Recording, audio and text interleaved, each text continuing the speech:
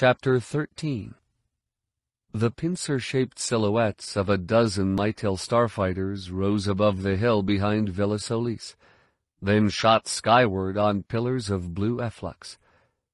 Jaina craned her neck, watching in silence as the fighter squadron arced toward a cluster of bright points already drifting across Terephon's night sky.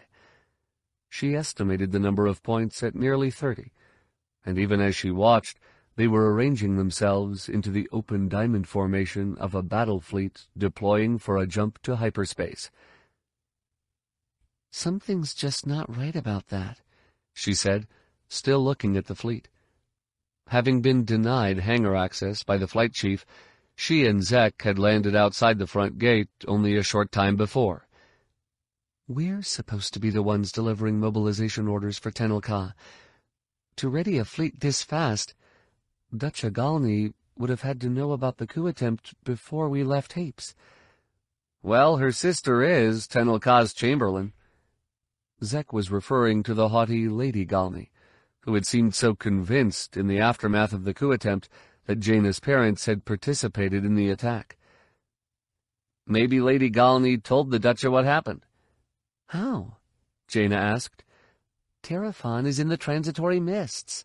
There's no HoloNet here, remember?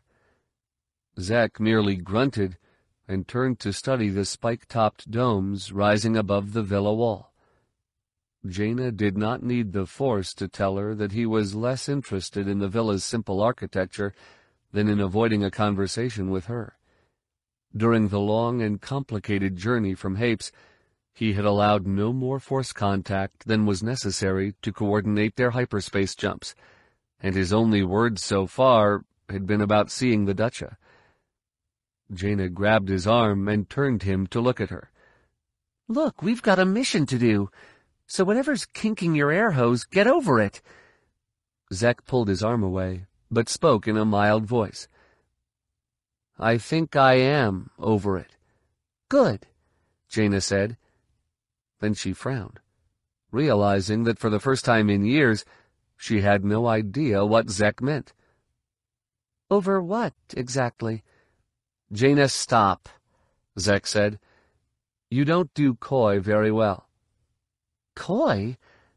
Now Jaina was really confused. She could almost always tell what Zek was thinking. At least until now. Zek, I don't know what you're talking about. I really don't. Zek studied her a moment, then arched his dark brows. Come on. We're not that unjoined. He shook his head. You've wanted this for years. Stop hiding from it. He secured his Stealth X and started toward the villa, leaving Jaina alone. She was so accustomed to his blind approval that she could not quite believe he was talking to her as though she were a spoiled little girl. She returned in her mind to the last time things had seemed normal between them, shortly after they had arrived at the Fountain Palace, and discovered that her parents were suspected of involvement in the coup attempt. Zek had tried to comfort her, suggesting that assassination just was not her parents' style, and she had snapped at him. He had stalked off to the other side of the room, and though he had continued to defend her parents to Tenel Ka and Prince Isolder, toward her he had remained silent and withdrawn. By the Force! Jaina secured her own stealth X and caught up to him. Is that what this is about? What I said in the sitting room? I was worried about my parents. You can't hold that against me. I don't, Zek replied. I just finally realized what... He caught himself and softened his tone. Look, Jaina, I just realized that you've been right all along. We're better as friends than we would ever be as lovers. I know you've been saying it for years, but I guess part of me really didn't believe it until now. Jaina was so astonished that she stopped walking and simply stood there staring at Zek's broad back. She had broken off their romance when they were teenagers, and she had been trying to get him to stop pursuing her ever since. So why did it suddenly feel like she had lost something? Now that she understood what had happened, Jaina realized she could still feel Zek's presence in the back of her mind. He was strong and certain and independent, and so over her. He had finally granted her wish. And that was a good thing. It really was. Jaina hurried to catch up, then fell in at Zek's side. It's about time, she grumbled. Now maybe I can stop waiting until you're asleep to take my sanisteams. Zek laughed. It didn't work anyway, he said. I kept having these dreams. You did? Jaina glanced over to find a mischievous glint in Zek's eye. But now that she had located their connection again, she knew he was telling the truth. And you didn't say anything? Zek shrugged and flashed an embarrassed grin. I thought they were just, well, dreams. Jaina started to accept his explanation, then had the sudden realization that he was mocking her. Liar! She punched him in the shoulder. Let's just deliver Tenel Ka's message. Sure, Zek chuckled. That's what I've been trying to do. Jaina strode ahead, taking the lead as they crossed the last few meters to the gate. Villa Solis was a cluster of squat round buildings, constructed of white gratinite and located in the heart of the planet's remote moorlands. It was surrounded by 200 kilometers of bog country, and the only practical way to reach it was by air. All in all, it was one of the most isolated and inaccessible retreats Jaina had ever visited. But she supposed that was the point. Lady Galney had warned them that the only thing her sister the Ducha enjoyed more than privacy was hunting, and there would certainly be plenty of both available at Villa Solis. As they drew nearer, Jaina kept expecting a panel to slide open in the tarnished Crodium gate so a sentry or at least a security droid, could issue a challenge. But the villa remained eerily silent, with nothing stirring but the dank bog breeze. Too quiet, Zek said. They must know we're here. Yeah, Jaina said. As elusive as stealth X's were, even they created a sonic boom when they sliced down through an atmosphere at many times the local speed of sound. Maybe we scared him. Once they had stopped in front of the gates, a brass-sheathed tentacle shot up to each side of them. Jaina and Zek both snapped the lightsabers off their belts and pivoted so they were standing back to back. And Jaina found herself looking into the bobbing dark blue lens of a servo droid gatekeeper's iPod. You have one minute to leave the estate.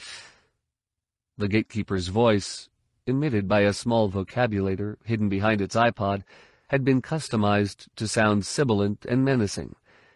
Failure to obey will be dealt with harshly. We are here with a message for the Ducha, Jaina replied. You're not on the schedule. It was the gatekeeper on Zek's side that spoke this time, in a voice that was sugary and feminine. You should have requested an appointment. How? Zek asked. The HoloNet doesn't reach Terephon. Our message is from Queen Mother Tenel Ka, Jaina added. It's important. Then you'll have to make an appointment and return when you're on the schedule, the first gatekeeper said. The Ducha is not in residence at this time. Jaina frowned. The Royal Intelligence Service says she is, she retorted. And they haven't been wrong about the whereabouts of any of the other nobles we visited. The two gatekeepers reared back on their motility tentacles. You have thirty seconds to depart, the first said.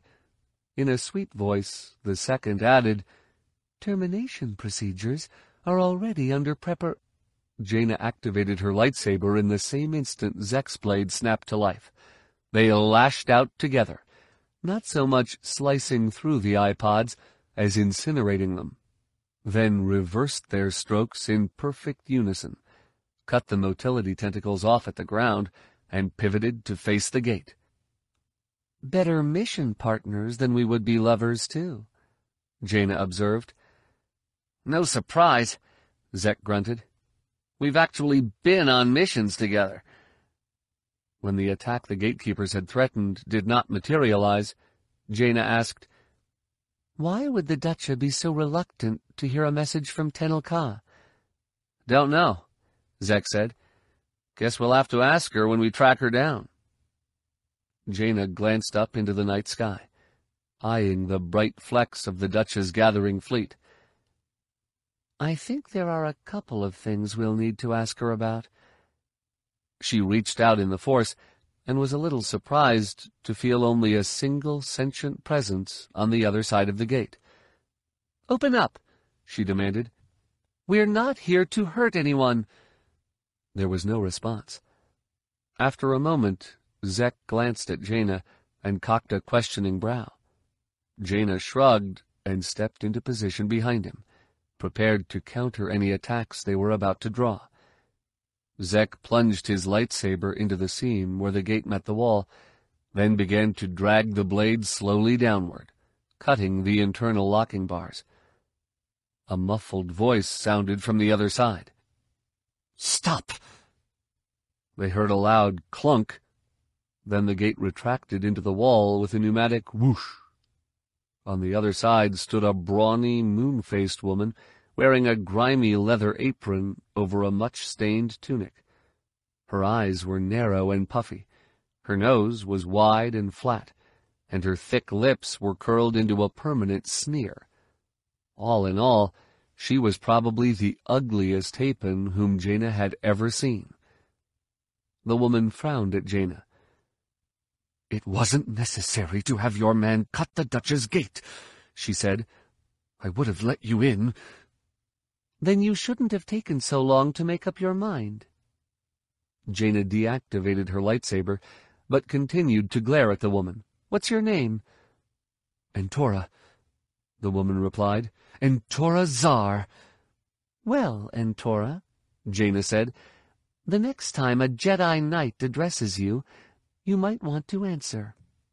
She and Zek stepped through the gate, into an eye-boggling mass of domed white gratinite structures, packed so tightly that at first glance it looked impossible to squeeze between them.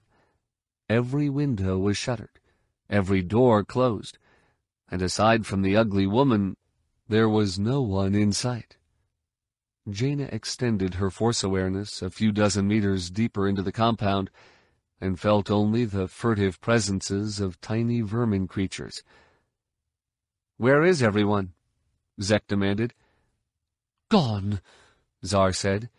Your poor piloting was an affront to the Ducha's sensibilities. Jaina was too astonished by Zar's audacity to be offended. Our piloting? Your entry angle was too steep, Zar said. You couldn't decelerate fast enough to make a graceful approach. I'm surprised you didn't rip your wings off. We weren't trying to make a graceful approach, Jaina said through gritted teeth. And I don't recall asking your opinion. Our craft have unique flight characteristics, Zek explained. They don't handle like XJ-7s, especially in the atmosphere. I doubt you could do any better with an XJ-7, Zar replied. You obviously need more simulator time in anything you fly. This was too much for Jaina. Listen, Rotter. I started flying XJs into combat before I was old enough to sign my own contracts. How many hours have you logged? In an XJ? No, in a pedal car, Jaina retorted. Of course in an XJ.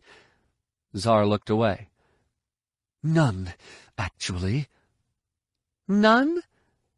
Jaina could not believe what she was hearing. No decent pilot would presume to know the proper atmospheric entry angle for a craft she'd never flown. Then what do you fly? A lot of different stuff, Zar answered with pride.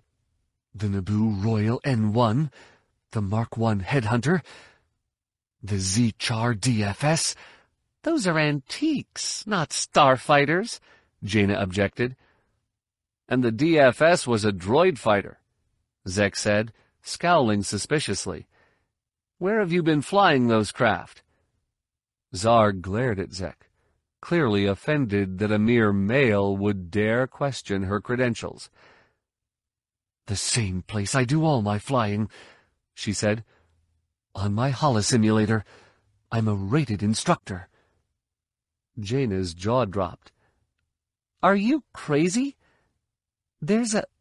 She felt a force nudge from Zek and realized that she was allowing herself to be distracted by what was at best an irrelevancy and at worst an intentional delaying tactic. Never mind. Just take us to the Ducha. But Zar wasn't ready to drop the holosimulator debate.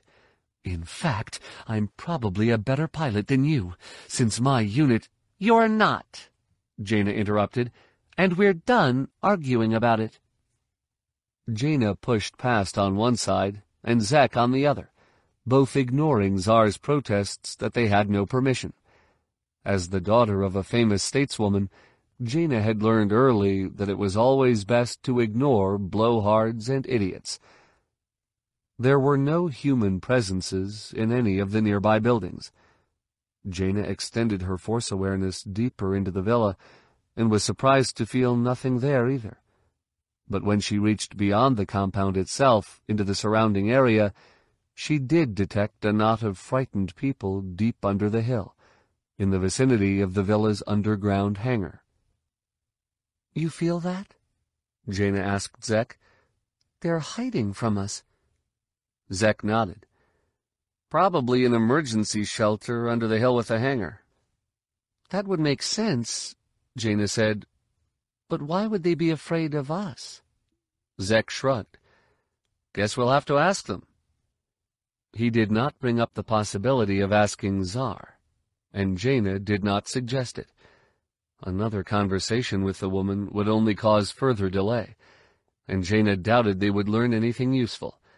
Zar was hardly the type of woman a shrewd Hapan noble would trust with any information not meant to deceive. They continued deeper into the villa, with Zar trailing along and protesting. Now and again a mouse droid zipped across a nearby intersection, and once they came across a cleaning droid carefully polishing the gratinite blocks that paved the walkway. Otherwise, the interior of the villa remained as deserted as the entrance had been. Given that the buildings were all locked and that they were simply here to deliver a message, Jaina refrained from breaking in. But from the evidence she noticed as they passed, scarred door frames, an outdoor roasting pit, the sour smell of tanning vats, the villa certainly appeared to be the favorite hunting retreat of a very wealthy noble. The only odd part was that the Ducha would feel compelled to take her entire household into hiding because two Jedi had arrived with a message from Tenel Ka. A few moments later, they reached the hill at the back of the compound, where an artificial cliff indicated the source of the gratinite that had been used to build Villa Solis. A pair of white towers stood tight against the cliff, one on each side of a large pit. The pit was surrounded by a chest-high wall, and from its interior rose a faint stench of decay and muskiness. After confirming that both towers were sealed as tightly as had been the other buildings, Jaina went to inspect the pit.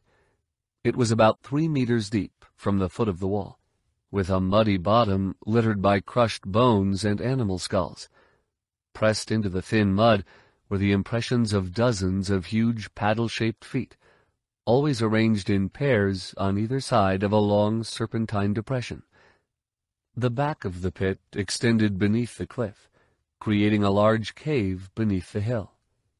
Deep within the cave, Jaina sensed a cluster of semi-intelligent presences. Zek came to her side and peered over the wall, then made a sour face at the smell. I hope that isn't the only way in. Can't be.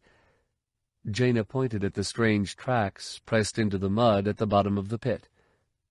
No people feet and I don't see the Ducha crawling through the mud just to avoid us, either.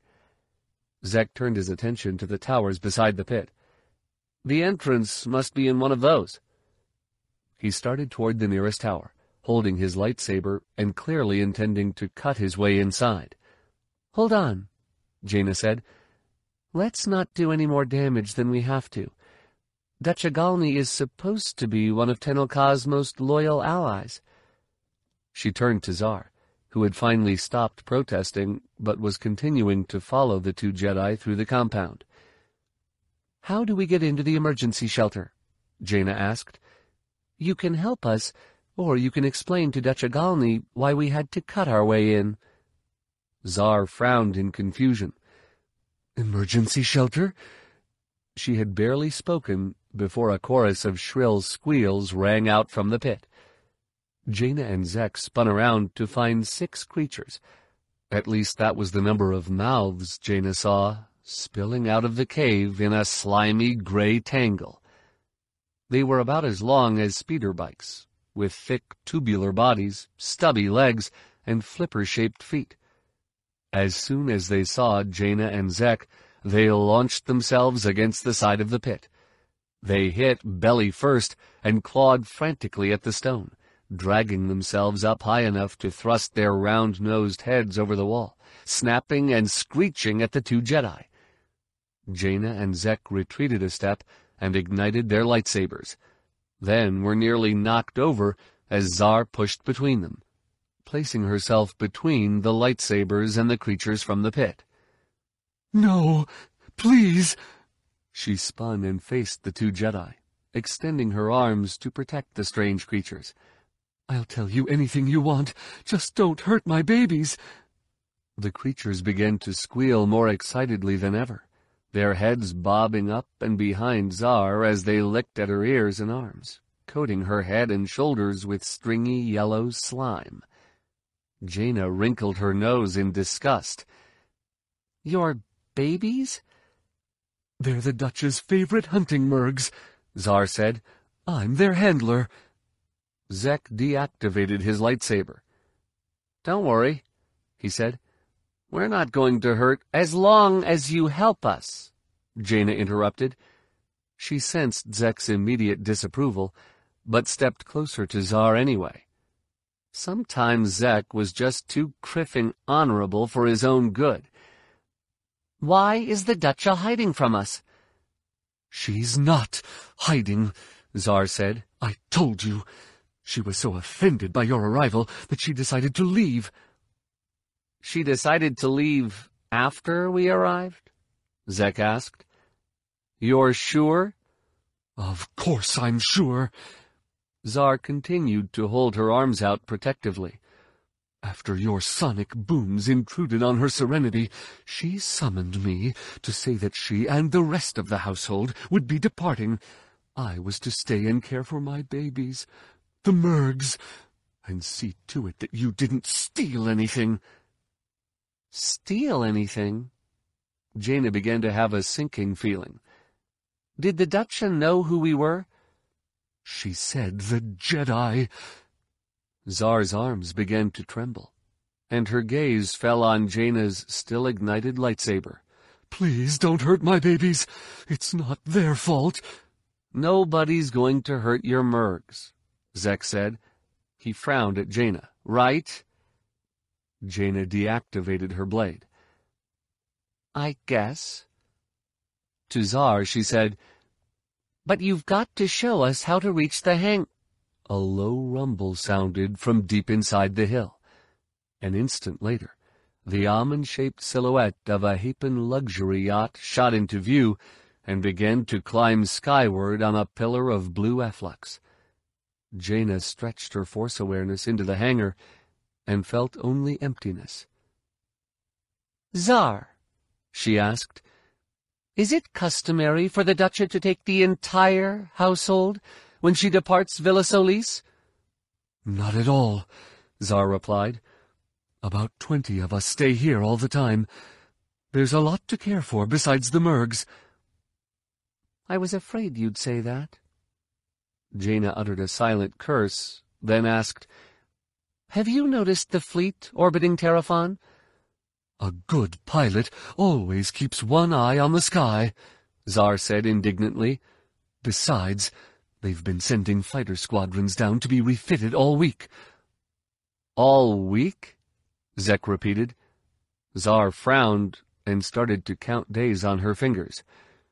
Yes, all... Never mind, Jaina said. She turned to Zek. Before she could know about the coup attempt. There was a coup attempt? Zar asked.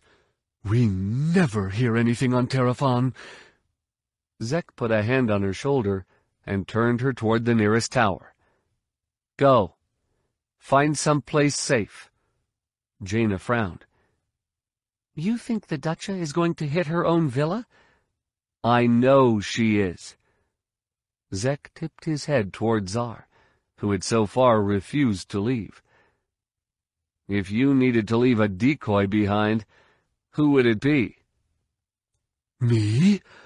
Zar shook her head emphatically. Never! I'm the Ducha's favorite riding companion. Jaina ignored Zar's protest and nodded to Zek. I see your point, she said.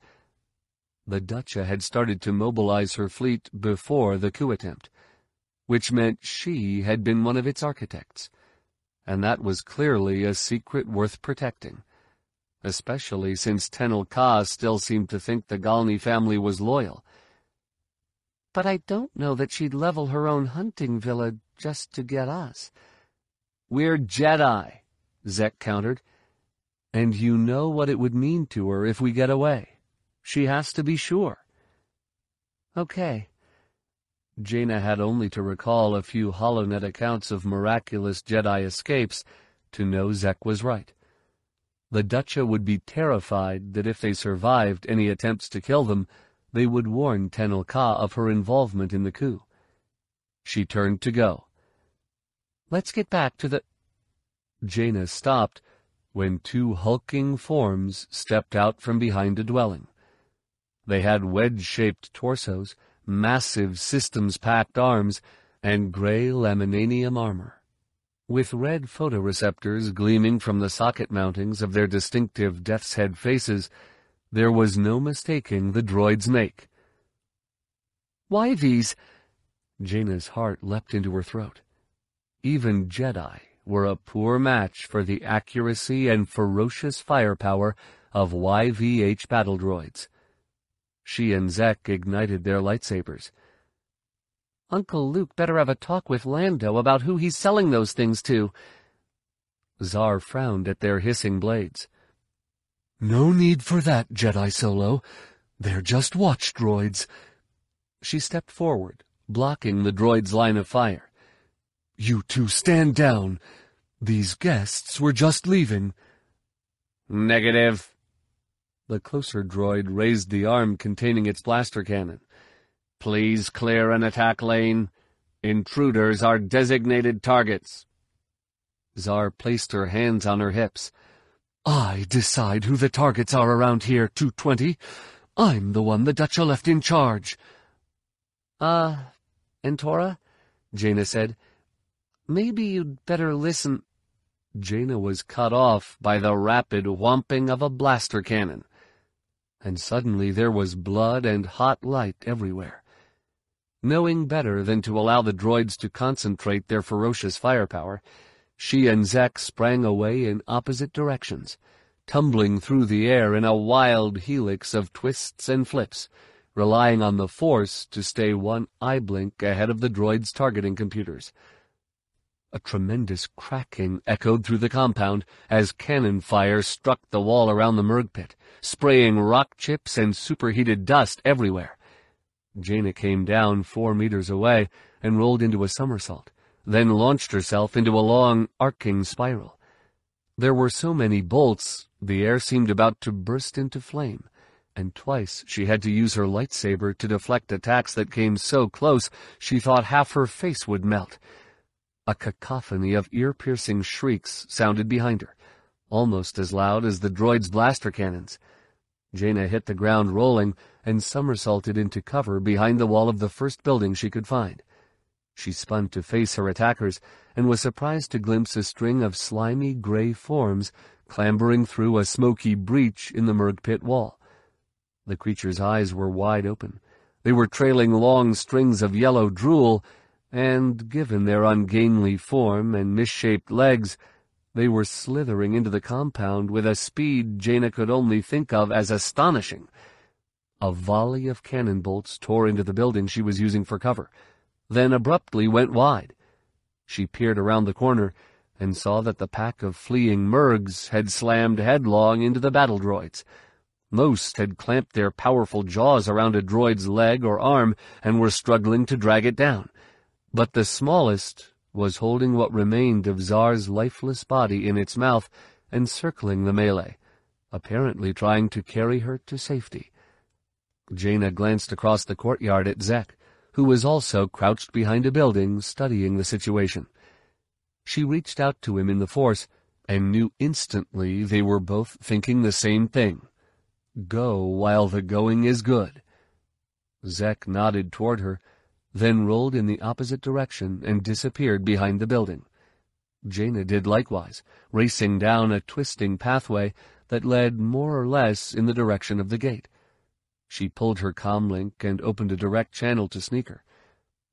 Hard fire those engines. We're coming back hot and need to be at takeoff power fast. Sneaker replied with an irritated whistle. No time to explain, just do it, Jaina ordered.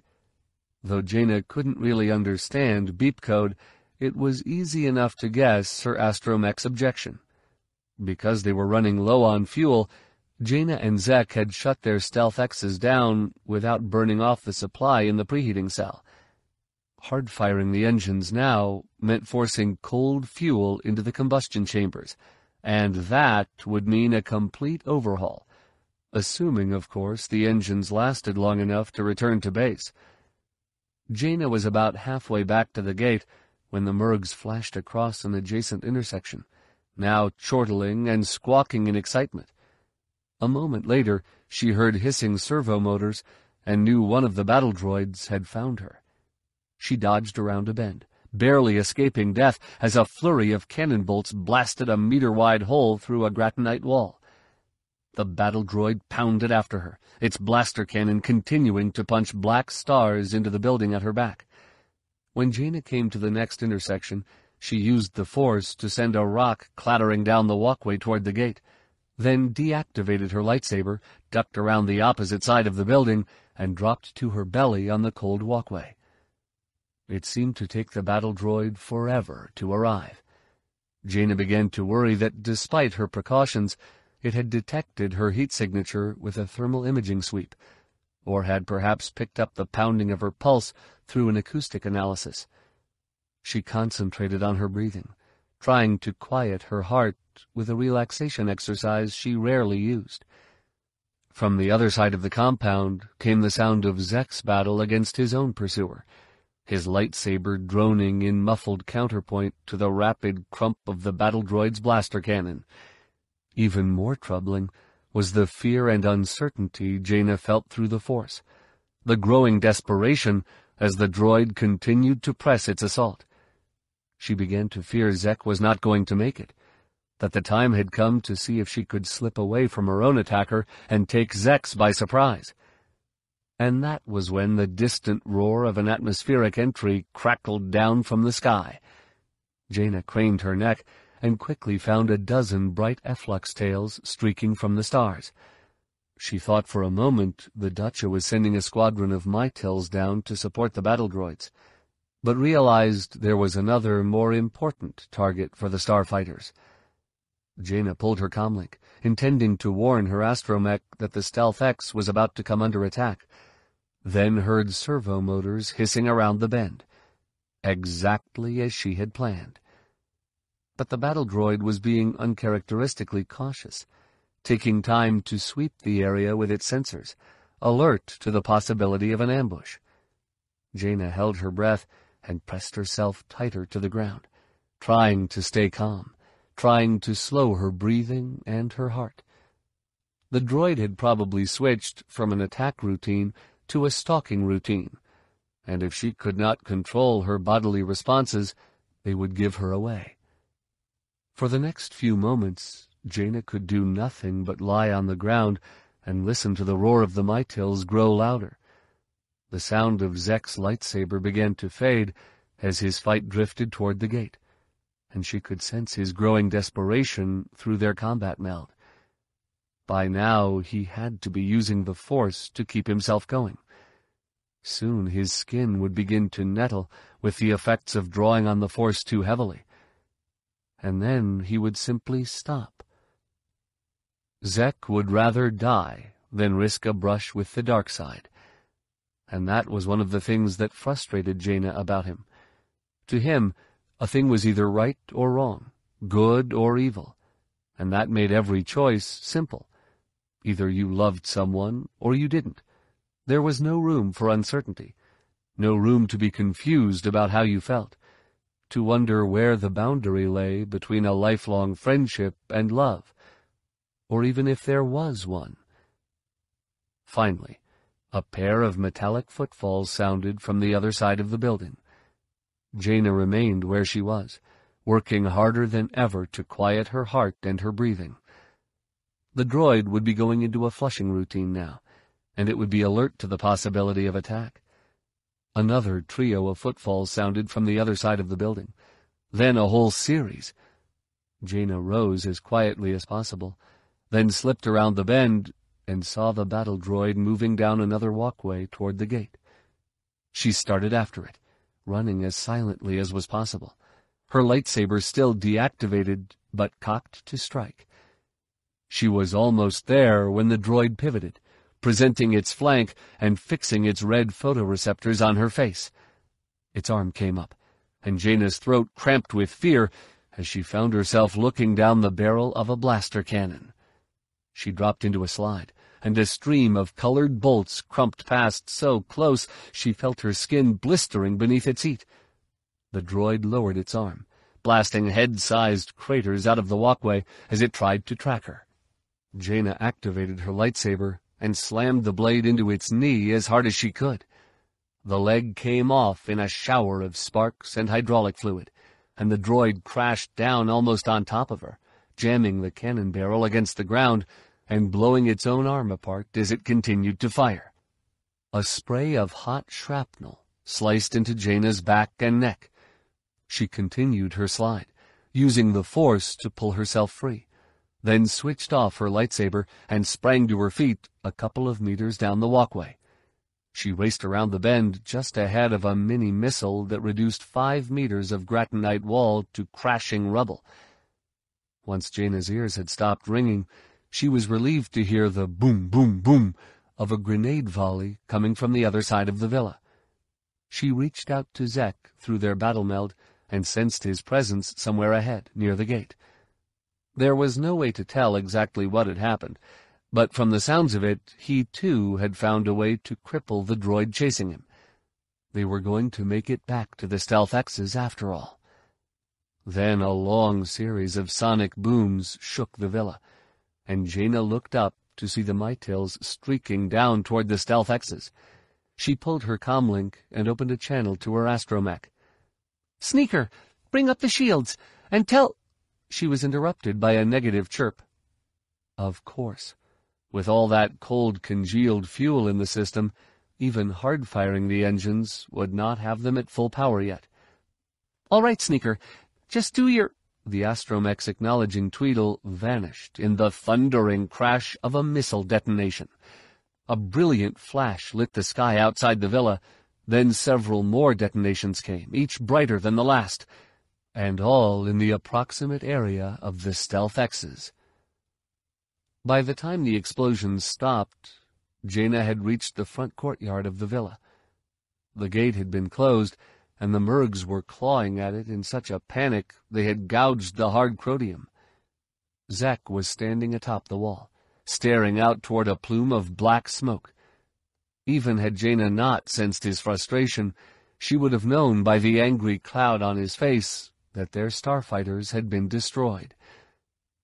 A distant roar sounded out over the bog, and Jaina looked up to see the Miy'tils wheeling around for another pass. She raced forward and force sprang over the Murg pack, then came down atop the wall next to Zek. Where their stealth X's had been, there were now six smoking craters. We'd better get out of here, Jaina said. She turned her attention back to the sky and saw that the Miy'tils were already diving back toward the villa. You were right about the Ducha. When it comes to Jedi, she doesn't think there's any such thing as overkill. There isn't, Zek said darkly. And when we find a way off of this mudball, I'm going to hunt her down and prove it. Instead of jumping down outside the wall and running for cover in the bogs, he dropped back inside the wall and shoved through the screeching mergs toward the gate controls. Are you crazy? Jaina cried from the top of the wall. Those Miy'tils will be dropping bombs in about five seconds. Then help get these gates open. Jaina started to protest, then realized she would just be wasting time. Whatever else he was, Zek was as kind and courageous as Jedi came, and nothing was going to change that. Not even her. Zek, sometimes you're a real pain in the neck. She used the Force to pull a pair of Mergs out of his way, and he finally reached the gate controls. And I can't believe I'm saying this, but I'm kind of starting to like it. Now you tell me. Zek pulled the lock slicer out of his equipment belt and started to work on the gate controls. Let me know when we're out of time. Why? Jaina turned toward the approaching Miy'tils. Would it make any difference? Not really, Zek said. The lock slicer surprised Jaina by beeping a success signal after only a couple of seconds. The gates hissed open, and the Mergs shot out toward the bog but it's good to know you waited. Chapter 14 With dim blue lighting and the sweet taint of rekka smoke in the air, Telkur Station Cantina was the kind of place where smart customers kept their backs to as many walls as possible. Its only ceiling was a disorganized web of ventilation ducts suspended in the murk above and there was a half-concealed entrance somewhere along every one of its eight walls. The patrons were clustered in groups of three and four, sitting around corroded steel tables and openly studying Han and his companions. "'What are we waiting for?' Nashtah demanded from behind Han. "'I'm thirsty.' "'Just being sure,' Han said.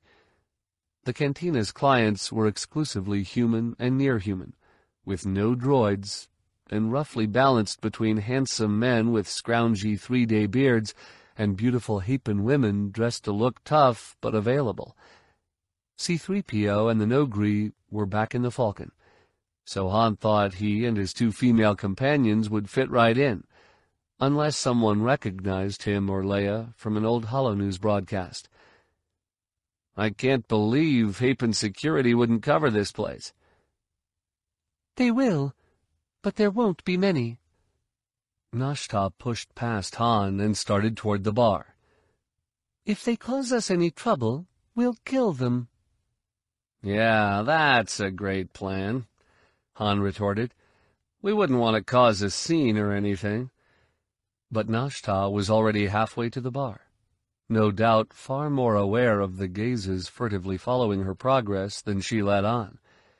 Having rebuffed Leia's suggestion that they all wear disguises, claiming her contact would not show up unless both she and the Solos were easily recognizable, she now seemed determined to draw the entire station's attention. I don't like it, Han said to Leia. She's testing us. Clearly, Leia said. But she's our only lead. What are we going to do? How about not going along? Han took Leia's arm and turned toward the grimy access corridor. We'll head back to the Falcon and let her come to us.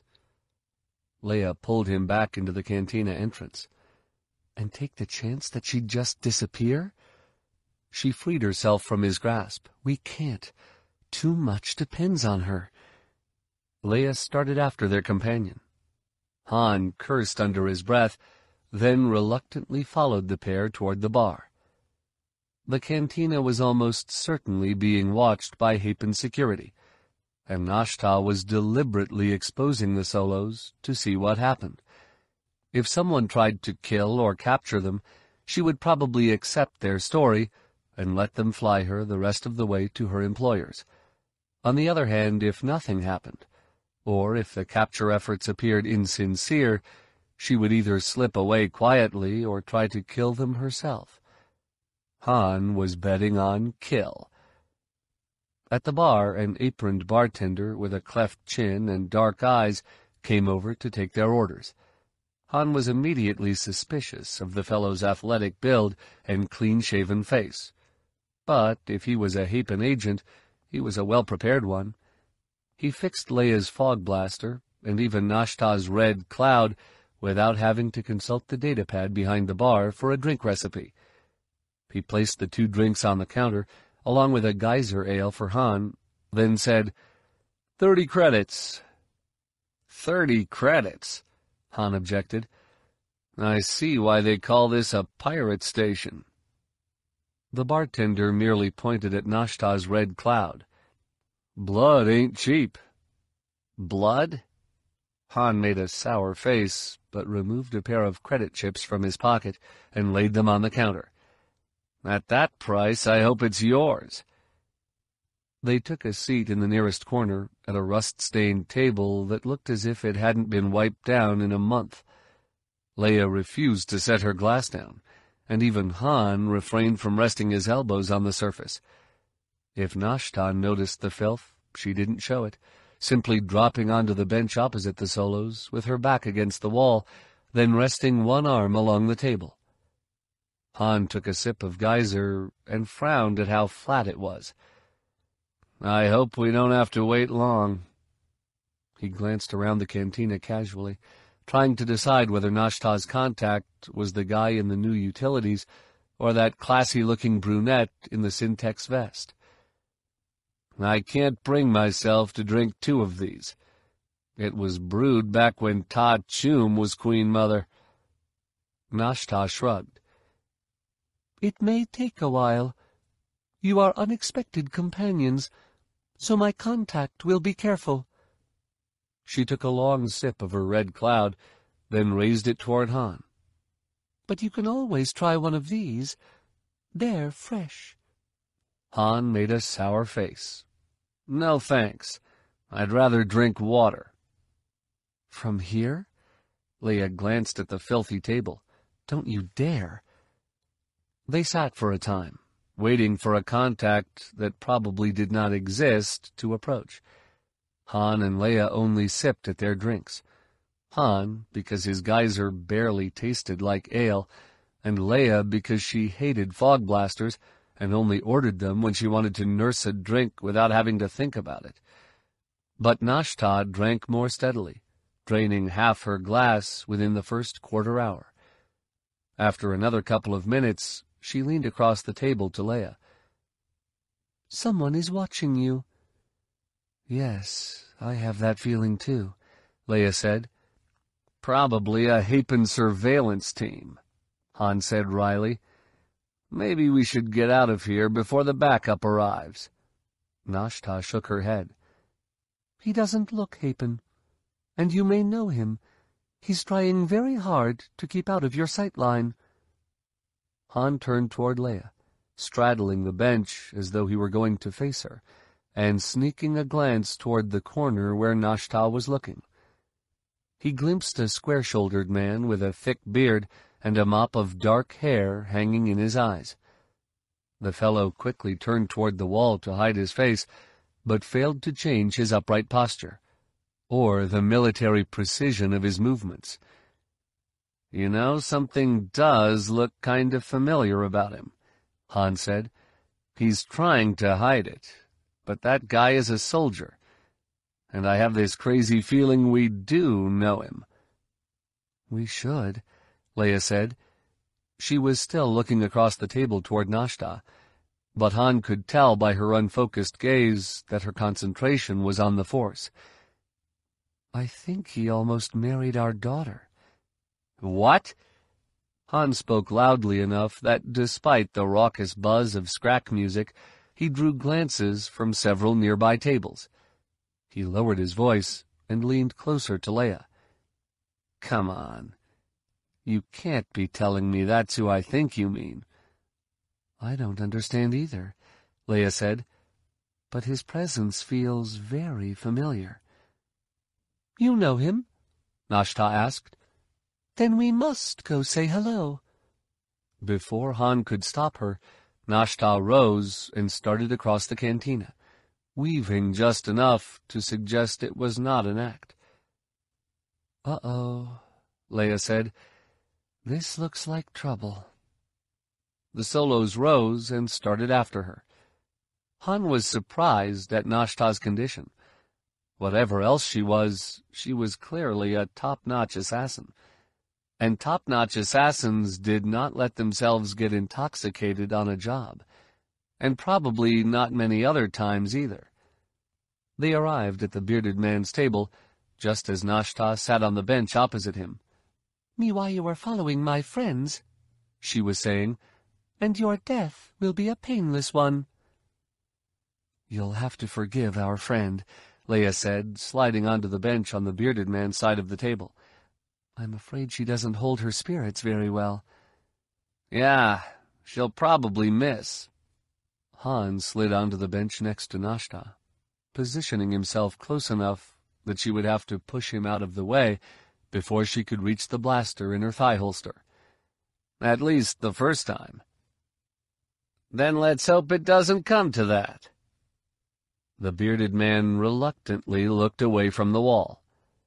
Though the hair hanging over his brow concealed the crooked scar running up his forehead, there was no mistaking the steely green eyes. Because I never miss the first time. Nashta tensed, but Han slapped a hand on her thigh, blocking access to her holster, and smiled across the table. Jagged Fel. He was genuinely pleased. Glad to see we didn't kill you after all. Leia frowned. What Han means to say is we're happy to see you well. We inquired about you many times, but Aristocra Formbi kept claiming your status was a military secret. Because I had yet to be recovered. Fel's voice was polite, but reserved. After you shot me down, I was marooned for two years.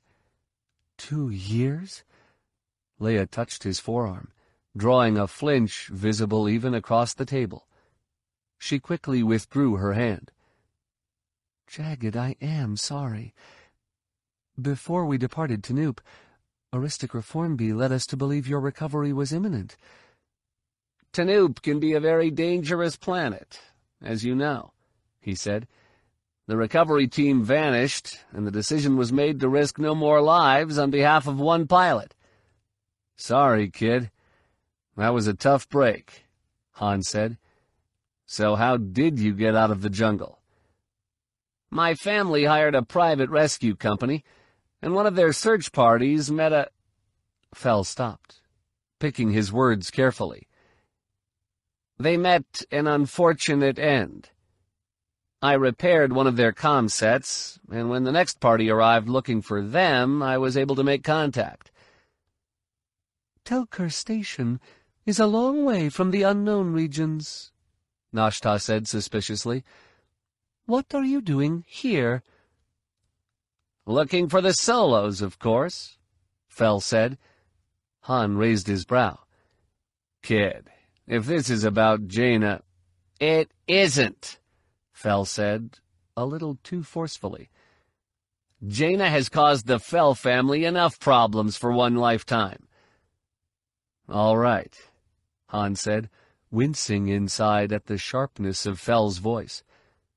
He had always kind of liked Fel, and there had been a time when he would have gladly welcomed him as a son-in-law except for the part about dragging Jaina off to live in the Chiss Ascendancy. I was just saying that if I'm here because of Alema Rar, Fel said, cutting him off. Alema? Leia furrowed her brow. I don't understand. She's dead. No more than I am, Fel said. Han looked over at Leia. You said some kind of spider sloth ate her. I said I was fairly sure, Leia corrected. She looked back to Fel. It had half her body in its mouth. I can't imagine she escaped, much less survived. I assure you she did both, Fel said. The creature... He let his sentence trail off when the bartender suddenly appeared carrying the drinks Han, Leia, and Nashtah had left on their first table. One table at a time, the bartender said. He banged the drinks down and turned to Fel. You drinking or leaving? Fel's eyes went to the mug of ale sitting in front of Han.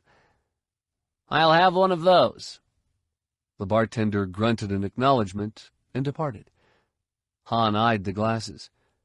His drink and Leia's were still about three-quarters full, but Nashtah had emptied almost all of hers. That bartender seems pretty determined to see us finish our drinks. I wouldn't indulge him if I were you, Fel said. Nashtah narrowed her eyes. Why? Because drinking can be bad for your health, Han said, resisting the urge to look around. He was pretty sure now that the bartender was part of a Hapan security team and he wanted to hear the rest of Fel's story before the fighting started. Didn't anyone ever tell you that?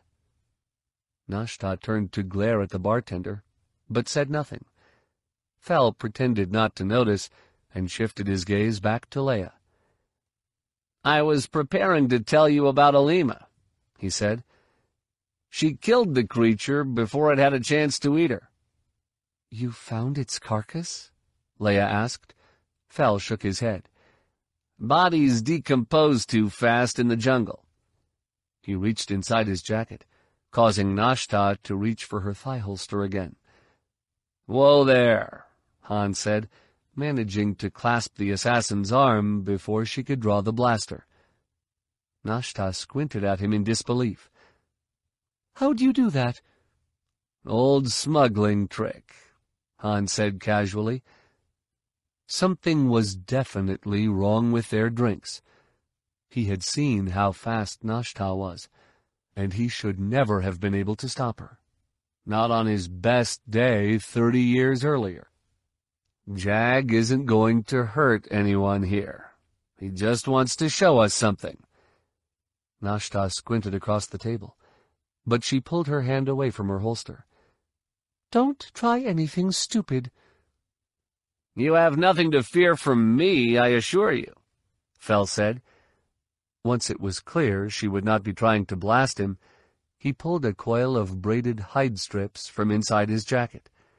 He held it in front of Leia. You know what this is, I assume? Leia nodded. A Twi'lek memory cord. A long one. Correct. I found it on Tenupe shortly after I discovered the bodies of the commercial search party I mentioned. He laid it on the table. But their vessel was missing, and I followed the tracks of a lame female back to a cave where she had been living. And that's where you found this? Leia asked. Fel nodded. My family had it researched. The first part seems to recount how she saved herself by cutting the spider sloth's throat from the inside. It bit down just as you described, but the creature was already dying, and didn't do as much damage as you led Aristocra Formbi to believe. Her lightsaber was activated when the creature took her, Leia said. I just didn't think she'd kill the thing quickly enough to survive. She nearly didn't, Fel said. He pointed to the next set of knots. These describe her wounds and recovery. Her arm and six ribs were fractured, and she had several deep wounds in her abdomen and back. Fortunately for her, and unfortunately for us, when the Killiks evacuated after the battle, they left thousands of stragglers behind. She was able to summon a small group to care for her. Wait a minute. Han said. He was doing his best to keep an unobtrusive eye on the rest of the cantina, and so far the Hapan security team seemed willing to wait for them to finish their drinks and pass out. Are you saying the Killiks are still there? I doubt it, Fel said. They were castaways, just as I was. I had regular, um, encounters with them during the first year, but they were always from different nests, and by the second year they were beginning to disappear. I think they lived out their lives and died. That makes sense. Killiks have short lifespans, Leia said. But a year would have been enough to nurse Alema back to health. Indeed. She records each of their deaths in detail. Fel paused, then indicated a set of knots that seemed to repeat themselves every four or five centimeters. But these knots are the reason I'm here. They appear to be a recurring list of injuries received at your hands, and the knots between appear to be lists of possible retaliations. What are you getting at? Han demanded. Are you saying that crazy trollop is coming after Leia? I'm telling you what I found in her cave, Fel replied evenly. What you make of it is your business. Leia's eyes flashed a warning at Han. Then she turned back to Fel. Thank you for telling me, Jagged. After what happened on Tenupe, I know it couldn't have been easy for you. Easy doesn't matter. Fel's gaze grew distant, and perhaps a little hard. You warned me to eject, and I had a debt to repay. Now I have. I see. Leia's expression turned sad. So now you'll be heading back to the Ascendancy? Fel shook his head. No. I'll be watching you. Han would have asked why, except that was when the bartender returned. He set Fel's ale on the table, then frowned at Nashtah who was slumped in the corner with the same unfocused gaze that Leia often assumed when she entered a force trance. Is Baldy all right? he asked. I don't want nobody dying in here. She's fine. Han slurred his words deliberately, but he truly was feeling a little warm and drowsy. Just forgets to close her eyes. The bartender scowled in suspicion. Han thought he might have overdone it, but Fel made a point of lifting his own mug to his lips and taking a small sip. Excellent. He smacked his lips with exaggerated pleasure, then set his mug on the table and wiped the froth away with his sleeve. Very thirst-quenching. Han frowned. Really? You don't think it's a little flat? Not at all. Fel's eyes flicked away nervously. But when it comes to ale, my tastes aren't very refined. That must be it. Han raised his own mug to his lips and took another small sip, then nodded. Yeah, the more you drink, the better it tastes. The bartender grunted and returned to his bar. Once he was gone, Han turned back to Fel. So why are you watching us? Because we're bait, Leia surmised. Her face was a bit flushed, but she seemed alert enough to finish the conversation and run. She turned to Fel. Your assignment is to hunt down Alema and make sure she can't restart the Dark Nest, isn't it? That's my intention, yes. Fel said, but not my assignment. I'm no longer with the Ascendancy military. Han frowned. If you're not on assignment, what are you doing here? I have nothing to hide. Fel pretended to take another long drink from his mug. I'm in exile. Exile? Leia asked. Why? As you know, I guaranteed Lowbacca's parole at Qoribu. When he participated in the attack on Supply Depot Thrago, My family became liable for the damage he inflicted on the Ascendancy from that point on. A look of sorrow suddenly came over Leia's face, and Han's stomach began to feel a bit hollow. It hadn't been him who tricked Lowbacca and the others into attacking Supply Depot Thrago, but it had been his son Jacen. As I'm sure you know, Wookiees can do a lot of damage, Fel continued, especially Jedi Wookiees. When my family couldn't cover the expenses, I was forced to leave the Ascendancy. Leia's chin dropped. Jagged, I'm sorry. If there's anything we can do— There isn't, Fel said, a little sharply. There's nothing any Jedi or Solo can do that would change the decree of the ruling families. I know things look bad now, but give it some time, Leia said. After you find Alema, I'm sure the Ascendancy will reconsider— Then you don't know the Ascendancy, Fel snapped. Finding Alema will redeem my family's honor and give it the means to rebuild its fortune, but my situation will remain the same. If ever I return to the Ascendancy, my entire family will be dishonored. Well, whatever we can do. Han didn't like the tone Fel was taking with Leia, but the kid did have a pretty good reason to be angry. Use us as bait all you want. Everyone else does. He cast a meaningful glance over at Nashtah, who was still slumped against the wall, staring off into space. I am using you as bait. Fel pushed his mug to the table center and started to rise. And now, if you'll excuse me, not so fast. Han took a quick glance around and was dismayed to notice half a dozen pairs of eyes turned in their direction. There's one thing about your story that bothers me. Jag did not return to his seat. That's really not my problem, Captain Solo. For old time's sake, Leia said. She grabbed Fel behind the elbow and, using the Force, pulled him down onto the bench. I think Han is saying that your account doesn't add up. Yeah, Han said. That's exactly what I'm saying. There's no way you found us on your own. Actually, it wasn't difficult at all, Fel said. The HoloNews is filled with stories about your defection to Corellia. This isn't Corellia, Han said. True, but I happened to see a communique from Admiral Bwua'tu. Fel glanced nervously around the cantina, then continued.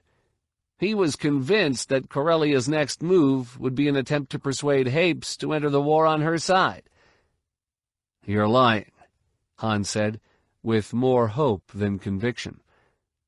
Despite his fury over Gejjen using them to set up the assassination attempt on Tenel Ka, his heart remained with Corellia, and it alarmed him to think that the Galactic Alliance was good enough to predict Gejjen's desperate ploy. Nobody sees that kind of communique.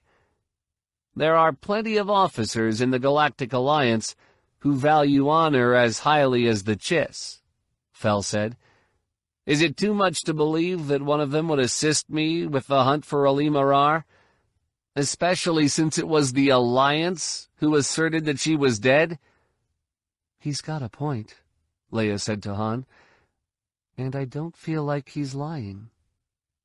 Han understood what she was saying, that she could sense through the Force that Fel was telling the truth, but he remained suspicious. It's still a long way from that message to Telkur Station. Not as long as you think, Captain Solo, Fel said. You two have known the Queen Mother since she was a child. Who else was Corellia going to send? Which gets you halfway here, Leia pointed out. But nothing you've said explains how you went from Hapes to Telkur Station. That was the simplest part of all. Fel glanced across the cantina. I followed him. Han followed Fel's gaze to the bartender, who was pretending to wipe down the counter. but watching them. Of course, Leia said quietly. Hapan Security. Fel nodded. His team departed the Fountain Palace a few hours after your attack on the Queen Mother. That right? It irked Han to let Fel believe he and Leia had actually tried to kill Tenel Ka. Clearly, the kid had already come to the conclusion that none of the Solos had any honor, but Han could hardly set the record straight with Nashtah sitting beside him. And you just happened to slap your homing beacon on their ship? Not really. Fel rose to his feet again. I picked his team because I heard a hangar tech say it was going to the vilest den of corruption and degeneracy in consortium space. Naturally, I knew you would show up sooner or later. You might want to be careful how you put that next time. Han was getting tired of Fel's bitter exile act, but he had to admit the kid's logic was pretty good. Telkur Station was exactly the kind of place where an outlaw ship hanging around this part of the consortium would eventually put in for supplies. But thanks for warning us about the drinks. You're welcome, though I suspect you were expecting trouble. Fel's gaze slid over to Nashtah, who was now sitting up and blinking. Now you'll have to excuse me. This fight really won't be any of my concern. Fel started toward the exit, leaving Han and his companions to locate the security team. It was hardly difficult.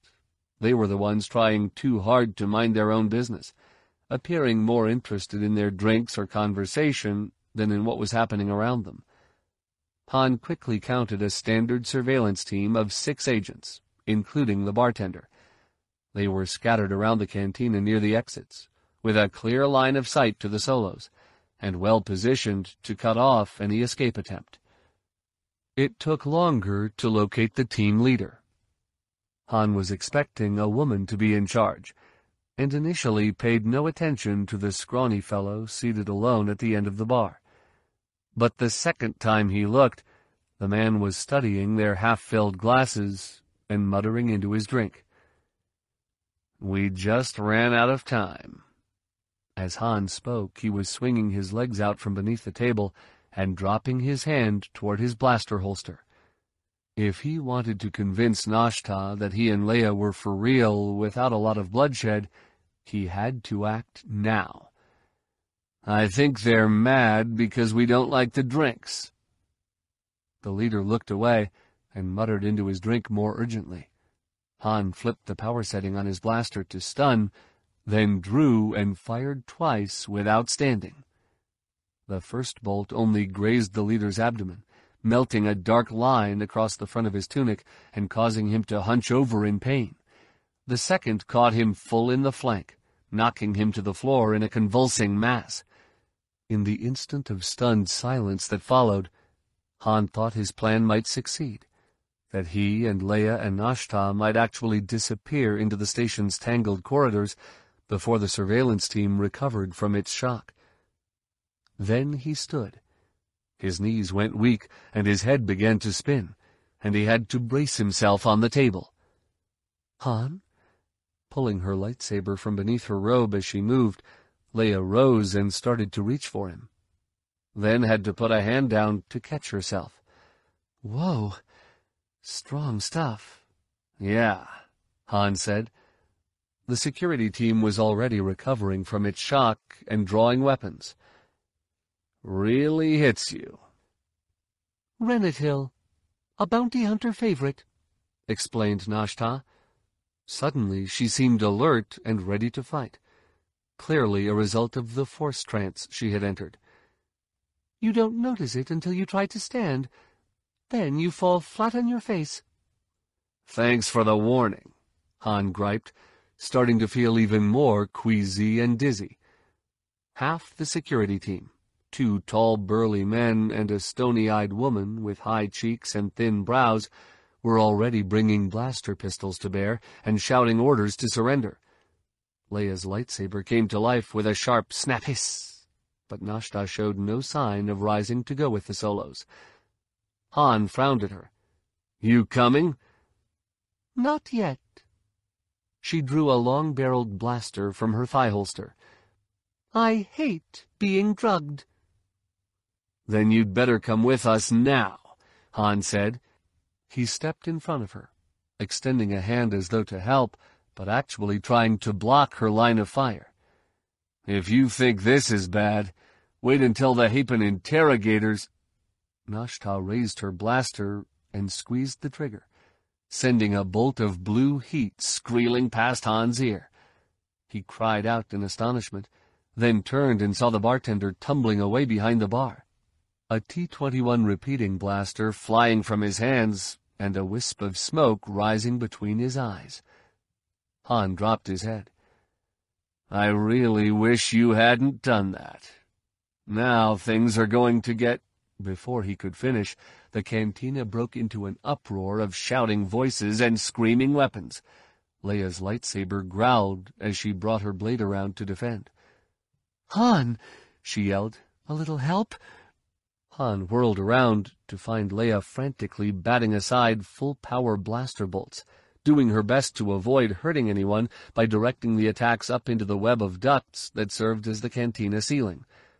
But the Renatil was having its effect on her, slowing her reflexes enough that some bolts ricocheted off a wall or the floor instead, and a couple even slipped through and went screaming past Han's head.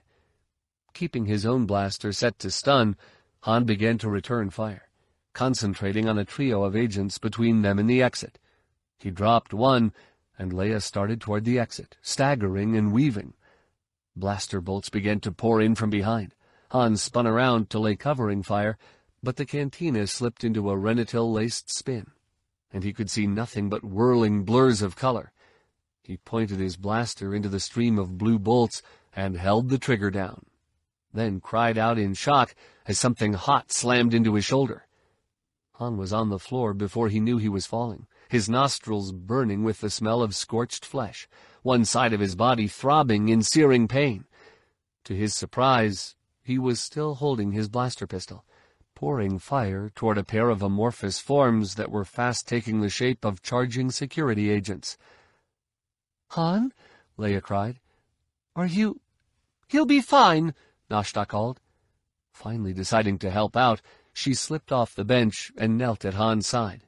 She fired twice, and both agents went down with scorch holes in their faces. Perhaps I believe your story after all. Too late, Han groaned. If we get out of here, you're on your own. Oh, you're angry? Nashtah patted him on the cheek, then turned to face Leia's direction. How cute! She fired a dozen times and suddenly the only sound in the cantina was the drone of Leia's lightsaber. Han rolled to his knees, nearly passing out from the pain and the Renatil, and spun around.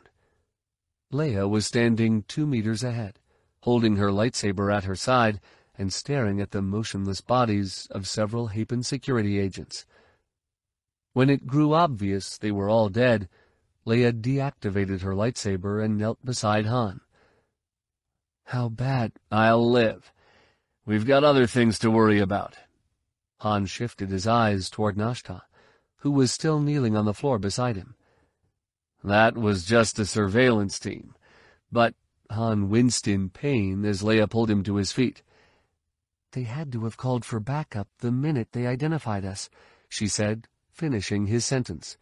You're right. We have to get out of here. Before we meet my contact? Nashtah asked. What contact? Han demanded. You were just testing us. But Nashtah was already staggering toward the back of the cantina, clearly feeling the effects of the Renatil even more than the Solos. Though most of the bystanders were evacuating as quickly as possible, a classy-looking brunette in a red Syntex vest was standing just inside the rear exit her eyes darting around nervously as Nashtah approached. Han's shoulder was killing him, but he was beginning to think this might have been more than a test after all. What do you think? he asked Leia. I think we passed, Leia said. Are you up to this? For Tenel Ka, I'm up to anything. Han led the way after Nashtah, grimacing inside as he and Leia stepped around wounded bystanders and motionless security agents. He was sickened by the thought of so many people getting killed just because Nashtah was too lazy to adjust the power setting on her blaster. But the stakes were too high to let his feelings show. The lives of Tenel Ka and her daughter depended on finding out who was behind the coup, and so did the stability of the Hapes Consortium. By the time Han and Leia arrived, Nashtah was already talking to the woman. Come alone? she was asking. That was the agreement. The woman eyed the Solos and frowned. For both of us. Those agents just proved that the Solos are on your side, Nashtah said, waving a hand at the dead Hapans. And I needed a ride. Your assassination plan was a setup. That's impossible, the woman retorted. If you think the Council is going to accept the blame for your failure... Nashtah placed a hand over the woman's mouth, then slammed her against a durasteel wall and leaned in close. It is not a matter of what the Council will accept, Lady Morwan. Nashtah's voice was cold and menacing. It is a matter of what I am going to do. The woman's eyes slid toward Leia as though seeking help. She's right, Lady Morwan, Leia said. They were waiting for us. Someone on your council is a spy. Morwan's eyes widened in alarm, and Han had to force himself not to smile. They had learned a lot about the coup already, but Leia had done something even more important. She had started to sow suspicion and discord within the organization itself. After a moment, Morwan nodded, and Nashtah removed her hand. What are you going to do? Morwan asked. Spy or no spy, the Council has paid you a Hutt's treasure. They expect you to earn your fee. I will. My way. Morwan considered this for a moment, then said, Very well, but the Council wants you to attend to the Chume'da first. The child? Nashtah frowned. What about the Queen Mother? After, Morwan said. We will always be able to find the Queen Mother. But now that we have made our intentions clear, the Chume'da will be sent into hiding. Nashtah did not even hesitate. I'll require another fee. Of course, once you have eliminated the Chume'da, Morwan said. Your first fee will be payment for that. Nashtah considered this, then nodded. Agreed. She stepped back and smoothed Morwan's vest. What kind of vessel did you come in? A Batog skiff. Morwan lowered her brow, clearly confused. Your instructions said to come in something small and anonymous. And you did well, Nashtah said. Give me the security code. Morwan frowned. The security code? I need transport. Nashtah glanced at Han. The Falcon is not very anonymous, even with the false transponder codes. But how will I? You are not my problem. Nashtah jabbed her thumb into Morwan's larynx. The code! Elephon, Morwan gasped. That's the hatch code. Nashtah eased the pressure on Morwan's throat. And the pilot's code? Remila. Nashtah smiled. Was that so hard? She lowered her hand and turned to Han and Leia. I trust we won't meet again. I suspect it would be more pleasant for me than you. That's it? Han asked. You're just going? Nashtah thought for a moment, then raised her brow as though remembering something. Ah, the problem with your son. She pulled a data chip from her utility belt and passed it to Han. Contact instructions. Leave a message when you're ready. She started through the exit, then stopped and looked back, smiling. I hope you will contact me. I'm looking forward to working with you on that. Not going to happen, Leia said, snatching the chip from Han. Jacen is our son. And Tenel Ka was your friend, Nashtah countered. Yet here you are. She disappeared out the exit, leaving Han and Leia to stand there fuming. Han caught Leia's eye, then glanced after Nashtah, silently asking if they should try to take the assassin out now. Leia gave a quick shake of her head. With him already injured, Han knew their odds were poor. Besides, there was a good chance that Tenel Ka and her security team, not to mention the Star Destroyers, would stop Nashtah on their own. What they would not be able to do, however, was find out who was on Morwan's mysterious council. Leia slipped a hand under Han's arm. Come on, flyboy. We'd better get you back to the Falcon and take a look at that blaster burn. She turned him toward the opposite side of the cantina and started away, then suddenly stopped and looked back over her shoulder as though she had just remembered something. Forgive my rudeness, Lady Morwan. Can we give you a lift somewhere? Please. Morwan started after them not even attempting to hide her relief. I was afraid you'd never ask. Chapter 15 After a hasty departure from Telkur Station, the Falcon emerged from her first hyperspace jump in a pocket of real space listed on the charts as knot holes. As far as Leia could tell, the name was a reference to the dozens of narrow hyperspace lanes that punched through the black depths of transitory mists creating a torn curtain tableau of jagged, star-filled shapes. Han, who was seated in the co-pilot seat while Leia did the flying, pointed toward a crescent of stars hanging on the starboard side of the viewport. That way. Han was sweating with pain and unable to move his wounded shoulder, but he refused to go back to the medical bay until they were a safe distance away from Telkur Station. He glanced back toward Lady Morwan, who was sitting behind Leia at the navigator's station, then added, We're heading back to the interior? Correct. Morwan replied.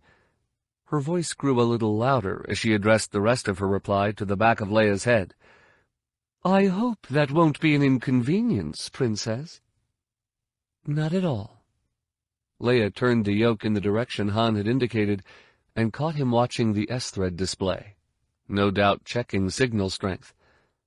Once they figured out whom Lady Morwan was working for, they would need to access the HoloNet and pass the intelligence on as quickly as possible.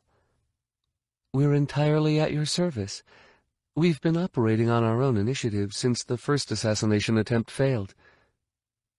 Assassination. Morwan's voice held a definite tone of remorse as she repeated the word. Depose sounds so much better, but I suppose assassination is more honest, isn't it? If the Council didn't want the Queen Mother killed, it wouldn't have hired Aurra Sing. The name made Leia lift her brow. She knew from historical records that Aurra Sing had been a ruthless killer of Jedi Knights during the Old Republic. Before she could ask if that was Nashtah's real name, Han twisted around to look squarely at Morwan. Don't tell me you're growing a conscience all of a sudden. I'm as dedicated to the Consortium's independence as you are to Corellia's. Morwan's voice had grown just cold enough to show her displeasure at being questioned by a man. That doesn't mean I relish the deaths of the Queen Mother and the Chume'da. Of course not, Leia said. She glanced at Morwan's reflection in the canopy, wondering the same thing she knew Han was. Were Morwan's misgivings strong enough to make her change sides and simply reveal the identity of the coup organizers? Decisions like these are never easy. Perhaps I can be of some assistance, C-3PO offered. If you're talking about the woman who accompanied us on our escape from Fountain Palace, I have some data suggesting she couldn't possibly be Aurra Sing. Just because she said her name was Nashtah doesn't mean it was, Han said. If that's your data, forget it. I'm well acquainted with the use of aliases, Captain Solo. C-3PO replied. Why, I have an entire sector of memory dedicated to the identities you and Princess Leia have assumed. We're more interested in Aurra Sing, Leia said. If Lady Morwan says she was, I'm inclined to believe her. I'm afraid Lady Morwan must be mistaken, C-3PO said. According to the records Master Skywalker found aboard the Chu'unthor, Aurra Sing was a nine-year-old Jedi trainee who was captured by pirates more than seventy-five standard years ago. She seems to have felt rather betrayed by the Jedi Order's failure to rescue her, because she returned years later as a bounty hunter who specialized in hunting and killing Jedi. She was finally captured by Jedi Aayla Secura, then imprisoned in the penal colony on Oovo 4. There is no record of her release. Maybe that's because there are no records from Oovo 4, Han replied. When the Yuuzhan Vong leveled the place, they were incinerated along with the guards, the confinement domes, and probably most of the prisoners. Perhaps, C-3PO replied, but the Warden was an excellent administrator. He maintained an off-world backup. 3PO, Han's trying to say there wouldn't be a release record, Leia explained.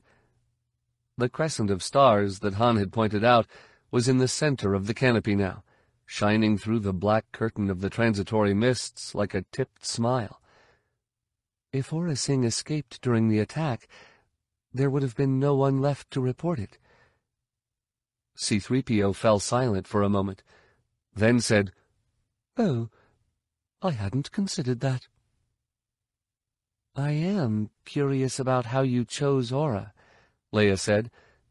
She's hardly a well-known killer of Jedi anymore. And even if she was, this isn't the kind of job you'd look up an eighty-year-old woman for, Han pointed out. Actually, she found me, Morwan explained.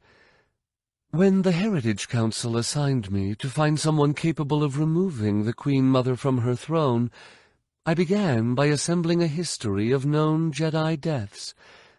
When I came across the story of Aurra Sing, I decided to research her as well, hoping to learn something that would help me choose my assassin wisely. I must have tripped an alarm gate, she continued. Sing showed up a couple of weeks later, demanding to know why I was investigating her. After that, it was hire or die. Sounds like you didn't have much choice, Han said sympathetically. I hope that doesn't mean you're having second thoughts now. I'm not.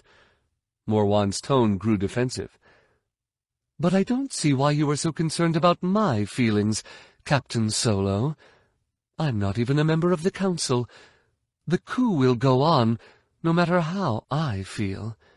Okay, don't get all touchy on me. Han turned forward again, grunting as the motion aggravated his wound. I'm just trying to figure out who set us up at the palace, that's all. It wasn't me. Morwan stood and stepped between the pilot's and co-pilot seats, then gently slipped a hand under Han's injured arm. Time for you to go to medbay. Not yet. Han tried to pull his arm free, but managed only to cause himself so much pain that he gasped. Not until we're in the interior. By the time we reach the interior, you may have an infection, Morwan said. Clearly unaccustomed to hearing no from a mere man, she continued to pull, slowly drawing Han to his feet. And the way your arm won't move isn't good. The blaster wound may have fused. Are you insane? This last remark Morwan screeched as the barrel of Han's blaster suddenly appeared beneath her nose. No means no, Han warned. Didn't your mother teach you that? Morwan released his arm, but refused to back down. You aren't that tough, Captain Solo. When the numb spray wears off, you'll be screaming in pain. Probably, Leia said, and he'll be sitting right there doing it. I've met Rontos who aren't as stubborn. Morwan turned to Leia, her mouth agape in surprise. And you put up with that? I have a shock collar, Leia replied, but it just makes him drool. Morwan's brows shot up in alarm. Be careful. Turning it up that high may affect his performance. She finally seemed to realize Leia was joking and let the sentence trail off. Please forgive me. It's sometimes hard to remember that the rest of the galaxy has a more tolerant view of men. Sometimes I find it hard to believe myself. Scowling at Han's blaster, Leia assumed the high-pitched voice a mother might use with a child. Han, dear, why don't you put that nasty blaster away? Maybe C-3PO will take the lady back to the med bay and help her find some Bacta salve and bandages. And then you can stay in the cockpit with the grown-ups. All right. You don't have to go all sarcastic on me.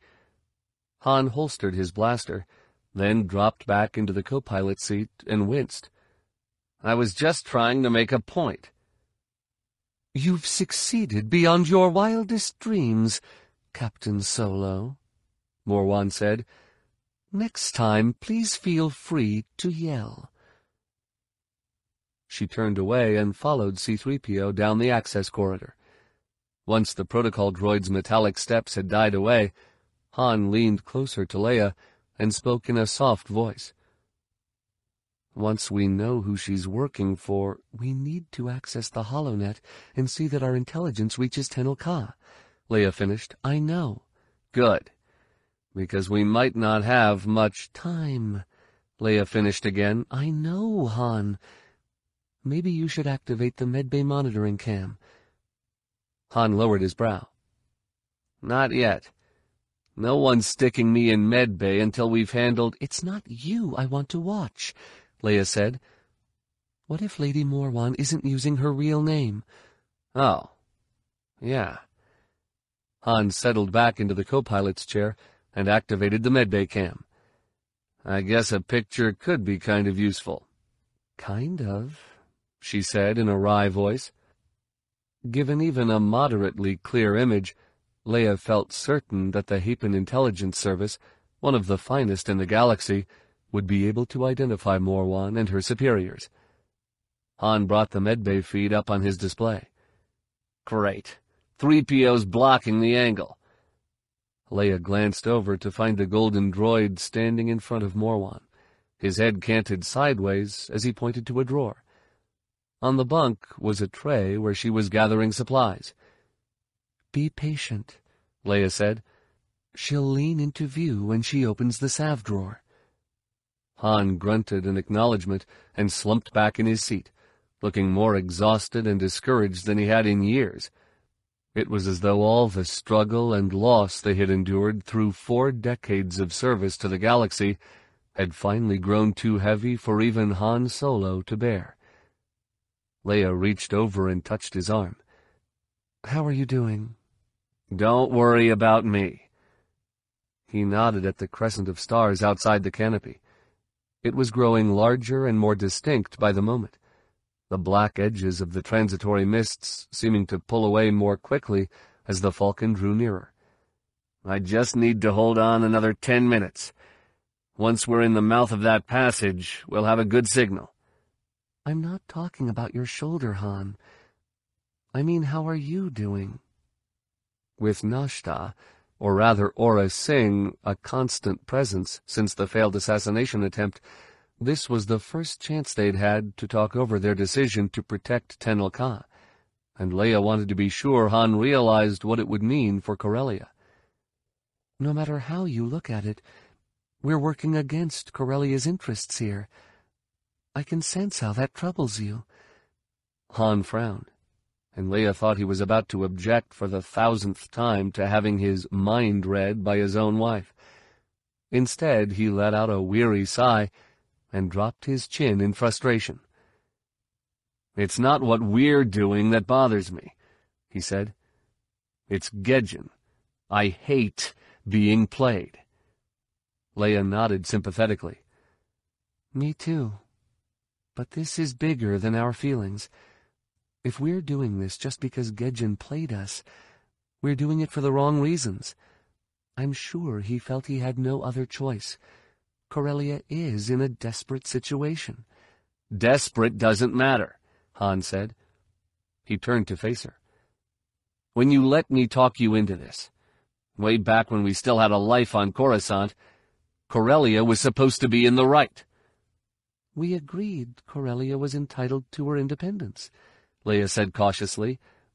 But she had to declare herself totally independent. She couldn't demand the benefits of Alliance membership without obeying Alliance law. Right, Han said, barely paying attention. But Thrackan was playing games from the start, building secret fleets and trying to reactivate Centerpoint. And now Gejjen used us to try to expand the war. What are you saying, Han? Leia studied his pupils looking for dilation or disparate size or some other sign that he needed another stim shot to keep him out of shock. That we should go back to the Alliance? Han looked at her as though she had just asked him to step through an airlock naked.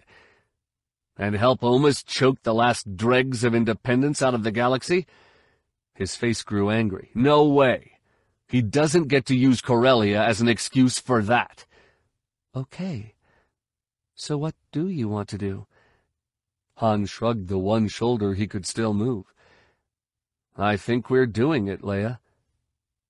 You're sure? Leia already knew the answer. Han was never unsure about anything, but she wanted to hear him say it. You know that keeping the consortium out of the war might be the difference between survival and defeat for Corellia. A defiant light came to Han's eye. Don't underestimate Wedge. Niathal hasn't seen Tricky until— I'm not saying Corellia doesn't have a chance, Han, Leia interrupted. Just that it's a small one, and we're about to make it smaller. Yeah, but what choice do we have? Let Gejjen arrange the assassination of Tenel Ka and a four-year-old kid? Han shook his head sharply. I don't want Corellia to win her freedom that way. If she can't do it without dragging Hapes and the rest of the galaxy into a big civil war, she shouldn't do it at all. I guess you are sure, Leia said. You aren't? Oh, I'm sure, Leia said. I'm fine with this. Han looked confused. Then why are we talking it to death? He turned back to his display and remained silent a moment then spoke in a sad voice. I just wish somebody in this galaxy could be trusted. Somebody can. Leia smiled. I'm sitting next to him. A look of mild surprise flashed across Han's face, but he continued to watch his display and pretended not to hear. Even after all he had done to help overthrow the Emperor and win the war against the Yuuzhan Vong, he still refused to think of himself as one of the good guys. In his mind, Leia suspected, good guy was just too close to sucker. On the display, Morwan finally leaned out from behind C-3PO, presenting a clear profile as she reached for the salve drawer. Han captured the image then another of her full face as she turned to ask 3PO a question. The droid pointed at another drawer, and from this one, Morwan pulled a sonic scalpel. Han sat up straight. What's that for? Probably to cut away dead tissue, Leia said. Up here? You aren't giving her much choice, Leia said. I wouldn't worry about it. From what I've seen so far, she knows her combat medicine. Great, Han said. She'll know right where to cut when she slits my throat. Leia lowered her chin, giving him a don't-be-ridiculous look. With a Jedi and two Noghri aboard? Han considered this a moment, then said, She's still not getting near me with that scalpel. You know how she feels about men. It has to be done, or you could develop a necrotic infection, Leia said. I'm pretty sure you can trust Lady Morwan. But you can always ask 3PO to do it instead. Thanks, Han grumbled. I'd rather kiss a Hutt. No, you wouldn't, Leia replied quickly. Take it from me. On Han's display, Morwan finally picked up the supply tray and started forward again. Han saved the images he had captured, then deactivated the monitoring cam and replaced the image on his display with a drive nacelle temperature readout. Once he had finished, Han leaned toward Leia again. You know, maybe you're right about trusting Morwan, he said quietly. She's not exactly happy about killing Tenel Ka and Allana.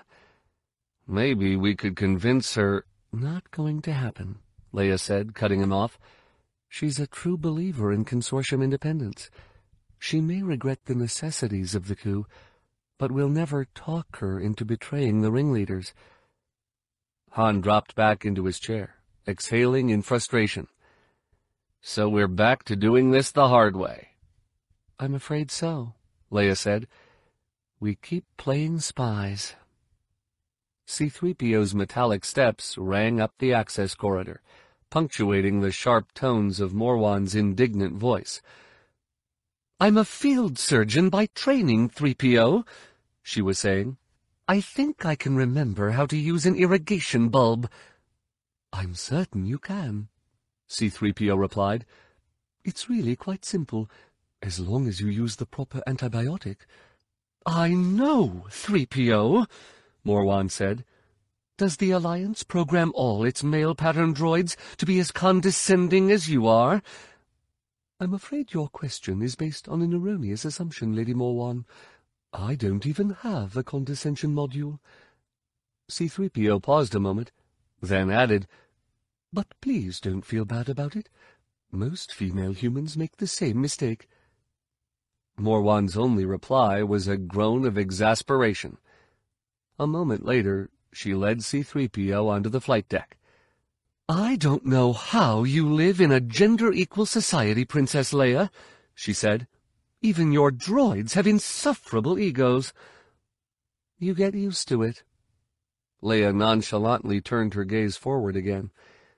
Their destination now filled most of the canopy, with a frame of dark mist swirling around the edges of the star crescent.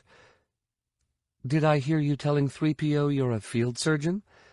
Was, Morwan corrected.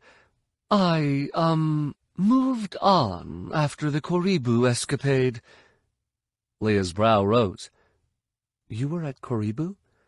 The Battle of Qoribu had been short but vicious, the result of a misunderstanding during the Dark Nest crisis between a Hapan commander and his Chiss counterpart. Aboard the Kendall? Morwan hesitated before answering just long enough to suggest that she realized she had given away more information about herself than was probably wise. As a matter of fact, I did serve aboard the Kendall, she finally said. How did you know?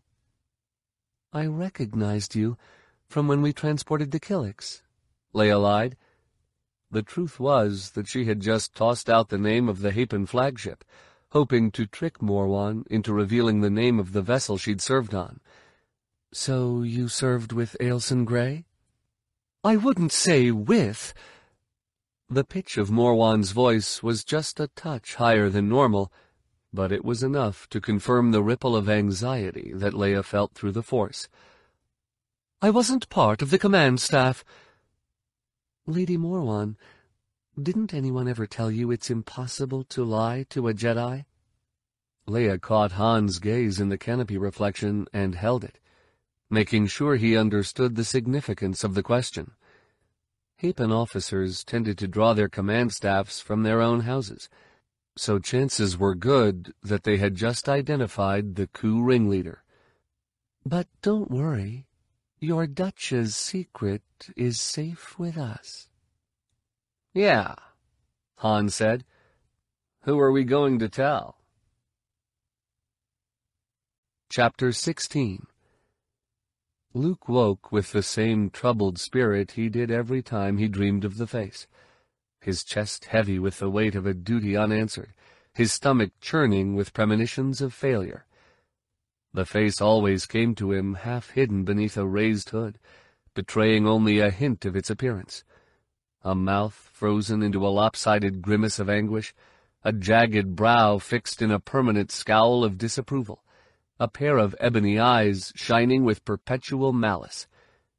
He never saw enough of the face to know whether it was the same one each time, but the emotions always came in order. Pain, condemnation, spite. Luke had no idea what the pattern meant, but he felt sure it was a storm warning. A beckoning whistle sounded from the far side of the Jade Shadow's elegant master cabin, where R2-D2 stood in the hatchway rocking back and forth on his support arms. Luke allowed himself the fantasy of using the Force to push the little droid back into the corridor and closing his eyes again. Since learning of Lumiya's involvement with GAG, he had been so worried about Ben that he had barely been able to sleep. And even when he did, he was so troubled by dreams that he never woke feeling refreshed. R2-D2 let out an impatient bleat then extended his charging arm and started across the floor. All right, no need for the Ronto prod. Luke swung his feet around and sat on the edge of the bunk. I'm awake. R2-D2 issued a doubtful whistle, but stopped and retracted the charging arm as Luke pulled on his boots.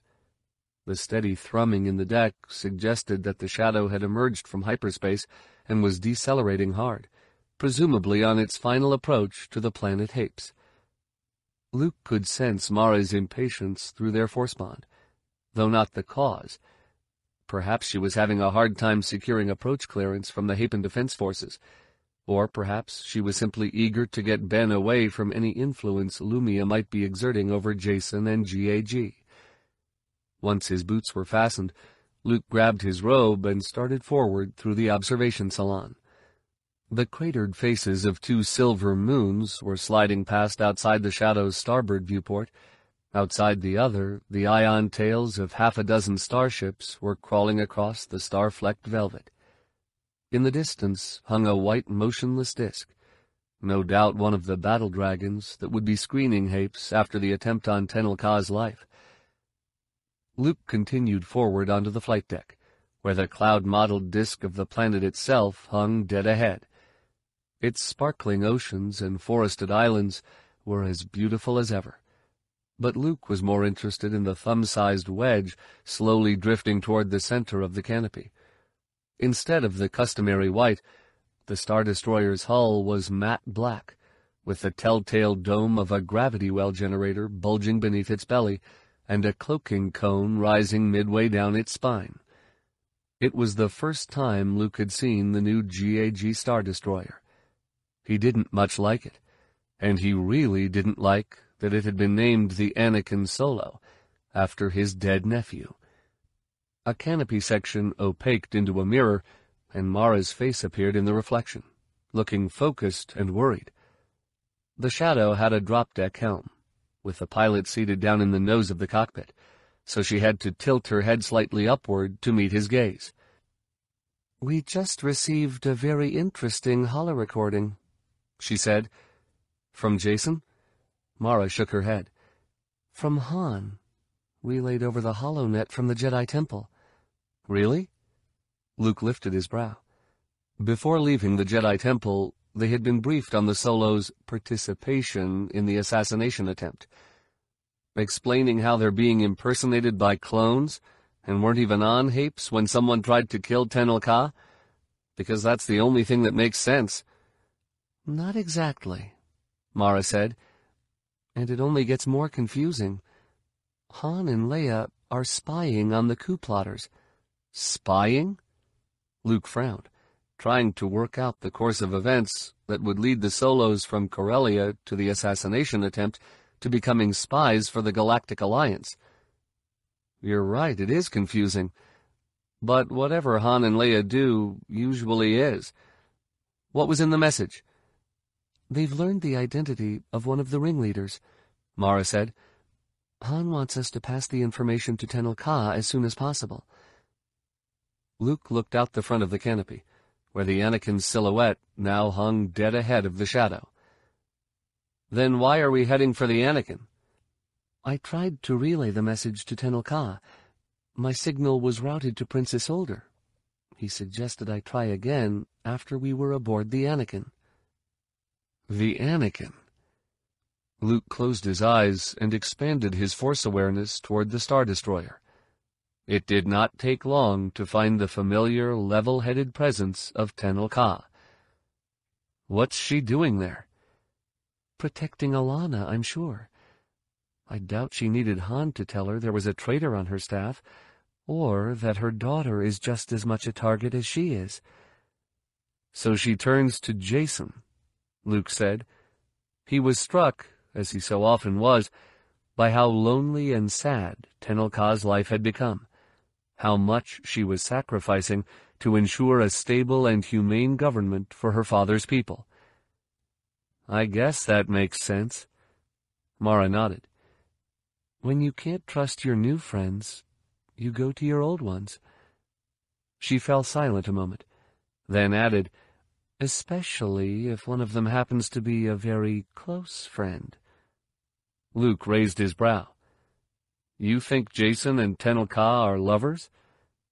He sneaks off to see someone every few months, Mara said. Tenel Ka? Luke frowned, trying to imagine Tenel Ka having secret trysts with someone as dangerous to her throne as Jacen, then shook his head.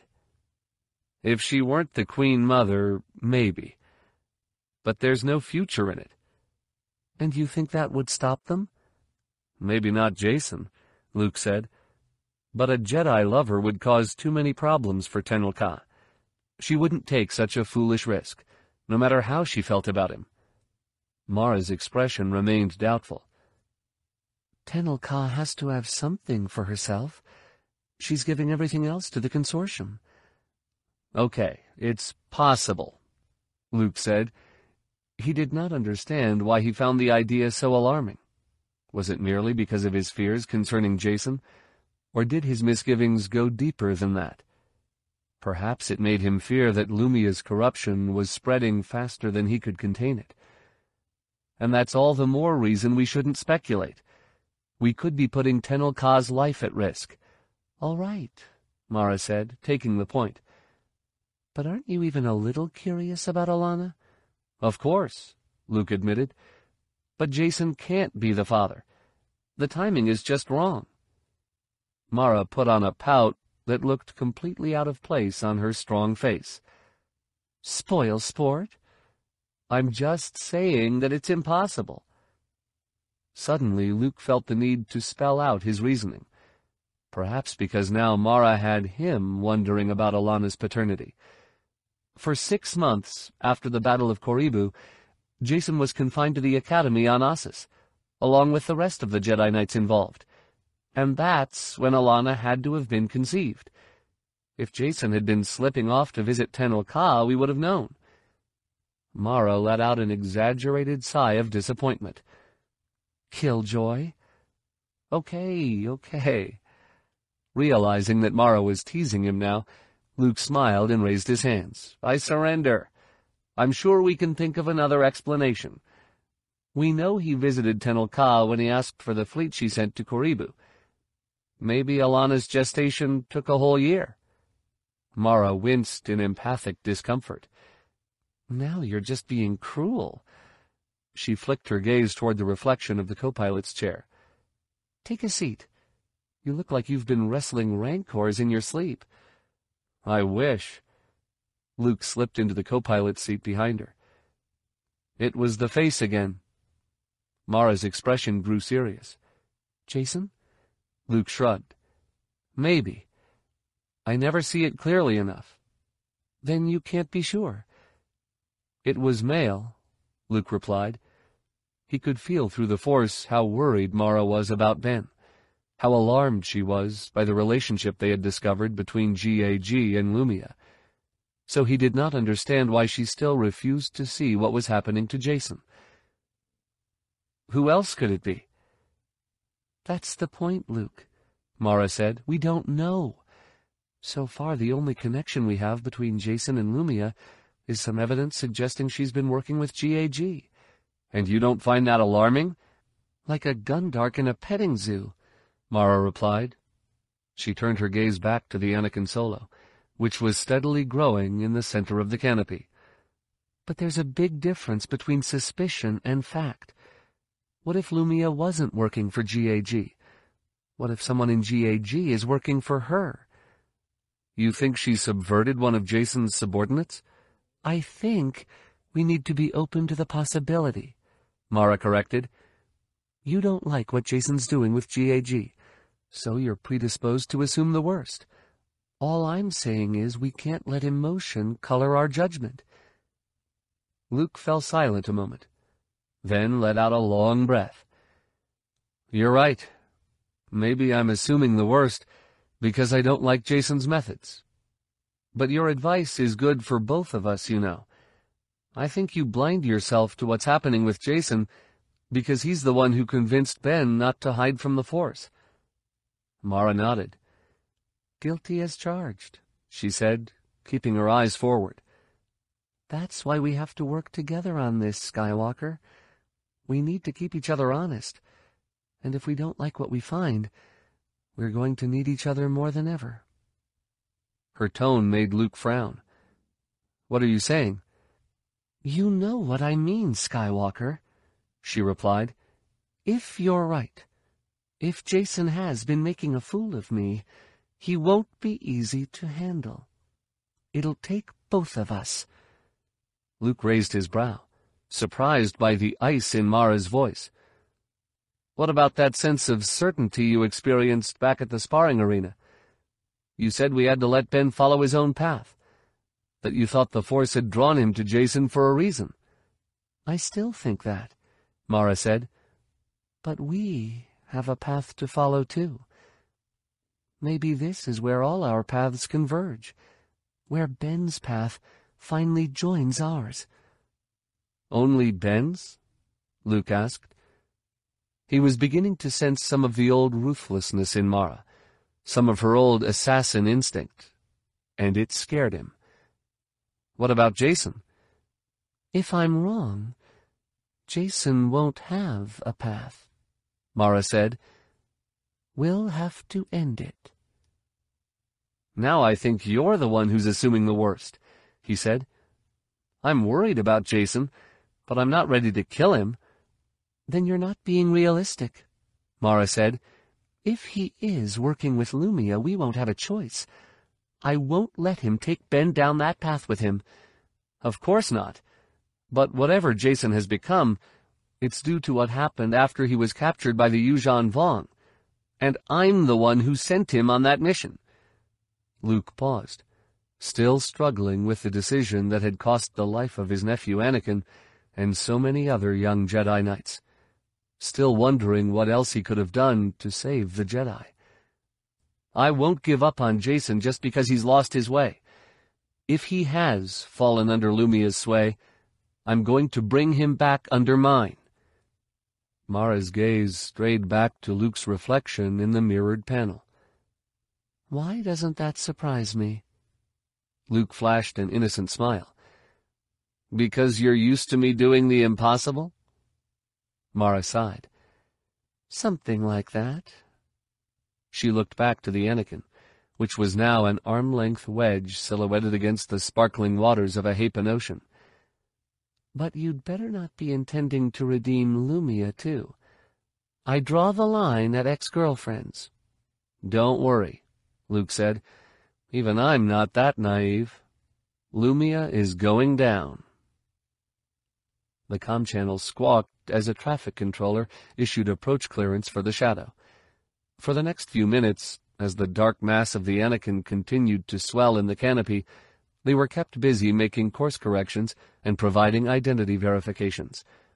A pair of XJ-5 Chase-X's flew by to confirm their identities visually, then irritated Mara by looping around to fall into the kill zone directly behind the Shadow. Finally, when the Shadow had drawn so close they could see nothing ahead except the dark tiers of the Star Destroyer's blocky superstructure, the traffic controller gave them clearance to berth in the command hangar. Mara dropped beneath the sky of black durasteel that was the Anakin's belly, then angled aft to a small launching bay defended by two quad-cannon laser turrets. She used the attitude thrusters to rise through the barrier shield into the hangar, where a set of beacon lights led her to the designated berth. No sooner had the shadow sat down than an honor guard of twenty GAG troopers emerged from an access hatch. They arrayed themselves in two columns and came to attention facing each other and a moment later Jacen appeared and strode down the aisle between them. A black cape billowed from the shoulders of his black colonel's uniform. "'Oh, boy,' Mara said, unbuckling her crash webbing. "'Does he know who he looks like?' "'He does if he bothered to look in a mirror.' Luke was disappointed to see that their son was not accompanying Jacen, but hardly surprised. He had not felt Ben's presence when he reached out to see if Tenel Ka was aboard the Anakin. I just hope that's not the point. He might as well be a recruiting holo for Corellian terrorists. As they shut down the shadow, Luke expanded his force awareness to the entire Star Destroyer, searching for any hint that Lumiya was aboard. He felt a second presence near Tenel Ka's that seemed very strong in the Force her daughter Allana, he suspected, but nothing dark enough to be Lumiya. Of course, that didn't mean much. Jacen was standing right there in front of him, and Luke couldn't sense his presence either. Once all systems had been placed on standby, they went aft and found Jacen waiting at the bottom of the boarding ramp. His face was gray and furrowed, and the purple circles beneath his eyes suggested that he had not been sleeping well, if at all. He bowed first to Mara, then to Luke. Masters Skywalker, welcome aboard the Anakin Solo. Jacen's voice sounded genuinely warm, though it was impossible to read his true feelings. What a pleasant surprise. You might want to reserve judgment on that, Mara said. We need to talk. Of course. Jacen remained at the foot of the boarding ramp making no move to allow them any farther aboard. Is something wrong? You'd be safe to assume that, Luke said. Where's Ben? On a mission, Jacen replied. He's in a comm blackout zone at the moment, but if it's important, I could dispatch... We'll talk about that later. In private. Luke had to struggle to keep his voice even. With Lumiya on the loose, he did not like the thought of Ben being on a mission anywhere. First, we need to speak with the Queen Mother. We have an urgent message for her. Jacen's eyes widened with surprise. Tenel Ka? Now, Jacen, Luke said. And we'll need a holoprojector. Jacen let out his breath. Very well. He stepped aside and led them and R2-D2 up the aisle between the honor guard. I'm sorry for hesitating, but she asked me to keep her presence confidential. Aside from the chamberlain she brought along, Prince Isolder is the only Hapan who knows she's aboard. They passed through a hatchway into a small foyer, where four GAG troopers stood guard over a bank of lift tubes. Most of the tubes had a small sign next to them listing a destination such as engineering or communications. But at the far end of the foyer, a tube large enough for five people remained unlabeled. It descends to the detention center, Jacen explained, apparently noticing what Luke was looking at. We find that prisoners are less likely to resist if they don't realize they've reached the end of the journey. Very practical. Luke said. trying not to be alarmed by how proficient his nephew had become at the art of imprisonment and interrogation.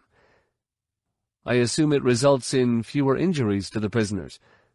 Jacen nodded. That, too. A shudder of revulsion ran down Luke's spine. But if Mara was alarmed by Jacen's apparent indifference to his prisoner's welfare, she did not show it. She merely followed him across the foyer to a lift labeled Bridge, then stepped into the tube and rose out of sight. Jacen turned to Luke. After you. Luke waved R2-D2 into the lift ahead of him, then followed without replying. His stomach sank as the tube walls blurred past.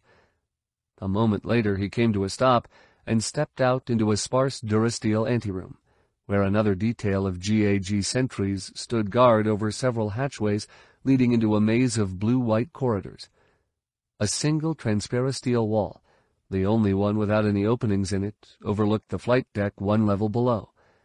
Most of the officers there still wore the blue and gray uniforms of a normal Galactic Alliance Star Destroyer complement.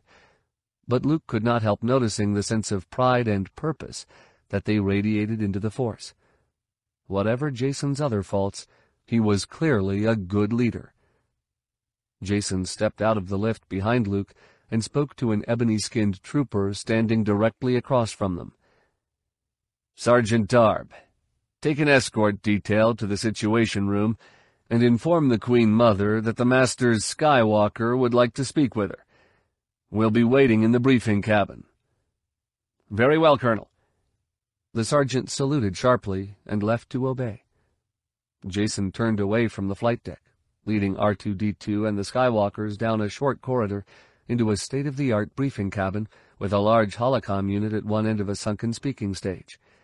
The area was enclosed by a circle of flow-form chairs, each with a panel built into the arm to control individualized com units, vid displays, and even automatic CAF dispensers.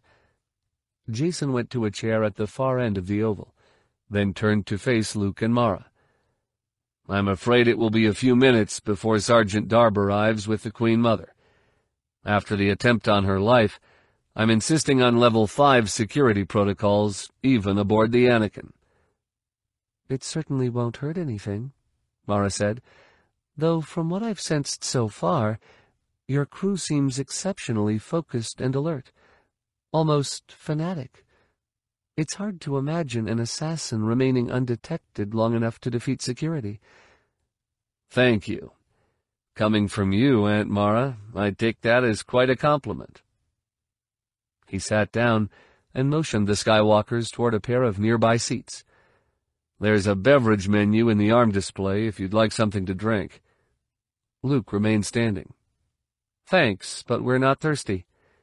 I see. Jacen's expression turned from pleasant to disappointed, and he shifted to the edge of his seat. Then why don't we get whatever is bothering you out in the open? I know you disapprove of my methods, but the hostility I sense runs deeper than that, and it pains me. You and Ben are the only family I have left. That's hardly true, Mara objected. What about Jaina and your parents? You know how strained my relationship with Jaina has been, Jacen said. I'm afraid her insubordination at Corellia finally snapped it. We're not speaking, and I suspect things are going to stay that way. Maybe things would be different if you hadn't brought her up on charges, Luke pointed out. What should I have done? Look the other way because she's my sister? Jacen's voice was cracking, but his expression remained confident and his gaze steady. The Galactic Alliance can't survive if her leaders keep playing favorites. That kind of thing is why Corellia thinks she doesn't have to live by the same laws as the rest of the Alliance. The rules apply to everyone or to no one. Luke did not need the force to sense the conviction behind his nephew's words. It was pouring off Jacen like heat from a star, bathing everyone near him in its glow, no doubt burning those who came too close. What about your parents? Mara asked. Are you turning your back on them because they don't share your beliefs? Not at all. I'm turning my back on them because they tried to assassinate the ruler of an alliance member state. Someone who's always been a friend to them. Jacen stood. My parents are terrorist scum, and that is why I have turned my back on them. The fire in Jacen's eyes was as anguished as it was intense, and Luke finally began to understand just how alone his nephew really was. He had lost his younger brother during the last Pangalactic War, and renounced his sister and parents in an attempt to prevent another one and in his unwavering battle against the evil he saw threatening the galaxy, he was clearly ready to surrender his relationship with his aunt and uncle as well. Like the Yuuzhan Vong who had once held him captive, Jacen had become capable of any sacrifice, and just as intolerant of those who did not share his commitment. Jacen Solo had fallen not because he was selfish, Luke realized, but because he was selfless. Jacen, I know your parents' actions are confusing, Mara said, but you need to trust your— Let Jacen judge his parents for himself, Luke interrupted. Their only hope of bringing Jacen back was to shock him, to let him discover for himself just how wrong he was. At the moment, I'm more interested in where Ben is. He's aboard a reconnaissance skiff, Jacen replied. I'd offer to holocom him for you, but they're in the transitory mists. What's Ben doing in the transitory mists? Mara demanded. Looking for Jaina and Zek, Jacen answered. They went to Terephon to deliver a message for Tenel Ka, and haven't returned yet. I sent the reconnaissance skiff to investigate and Ben went along to see if he could help find them through the Force. Mara's voice grew sharp. Alone? Of course not. As I told you, he's aboard a reconnaissance skiff with an excellent crew. A concerned frown came to Jacen's face. What's wrong? Didn't I warn you that Lumiya had returned? Luke's tone was just as sharp as Mara's. That I was worried she would come at me through him? Yes, Jacen said. But that was back on Coruscant. I don't think there's any reason to worry out here. Why not? Mara demanded. Because you're sure Lumiya isn't interested in him? Jacen's frown turned indignant. How would I know that? Jacen, we found Lumiya's apartment, Luke said. We know she's been working for GAG. Jacen's eyes widened. It was not an unreasonable reaction, given the subject matter, but Luke still wished his nephew wasn't so good at hiding his feelings in the Force. You might think you've been using her for your own ends, Luke continued, but you're fooling yourself. Lumiya always has an agenda of working with GAG how? Jacen interrupted. I certainly haven't seen her in uniform. Don't insult us by denying it, Mara said. She was living in a GAG safe house, and she had been accessing GAG files on the True Victory Party. Then she's the one who's been assassinating the Bothans? Jacen asked. Why? What could she stand to gain by spreading the war? You won't get out of this by changing the subject, Luke said. It was impossible to say whether Jacen's surprise was genuine or feigned, so Luke assumed it was feigned. We know she came with you. She left her apartment the same day the Anakin left Coruscant. You think she followed us? Jacen dropped into his chair and punched a button. The Anakin needs to remain here in support of Queen Mother Tenel Ka, but I'll take a skiff personally We'll be handling that ourselves, Mara said. Ben will be returning to Coruscant with us after this is finished. Do you think that's wise? The com light on the arm of Jacen's chair blinked on, but he ignored it and continued to speak to Mara. It will only interrupt Ben's training. And if Lumiya is trying to get at him, she'll have an easier time stalking him on Coruscant. Ben is done with GAG, Luke said. I don't understand yet why Lumiya is involved with GAG, but I do know she is. My decision is final. Jacen's face fell. Very well. He deactivated the comm unit, then composed himself and continued. There's a refueling depot at Roku, just outside the mists. You can rendezvous with him there. Thank you, Mara said. Jacen nodded absent-mindedly, then said, I hope you'll at least share the details of your investigation. If someone in my command is using Lumiya as an agent, I need to know. Of course. Tresina Lobi had been trying to track Lumiya down for some time. Luke was giving a slightly altered version of events, in part because he wanted to learn how much Jacen did know about Lumiya's relationship with GAG. Apparently she succeeded, because we found her body in Fellowship Plaza the morning you left for Hapes.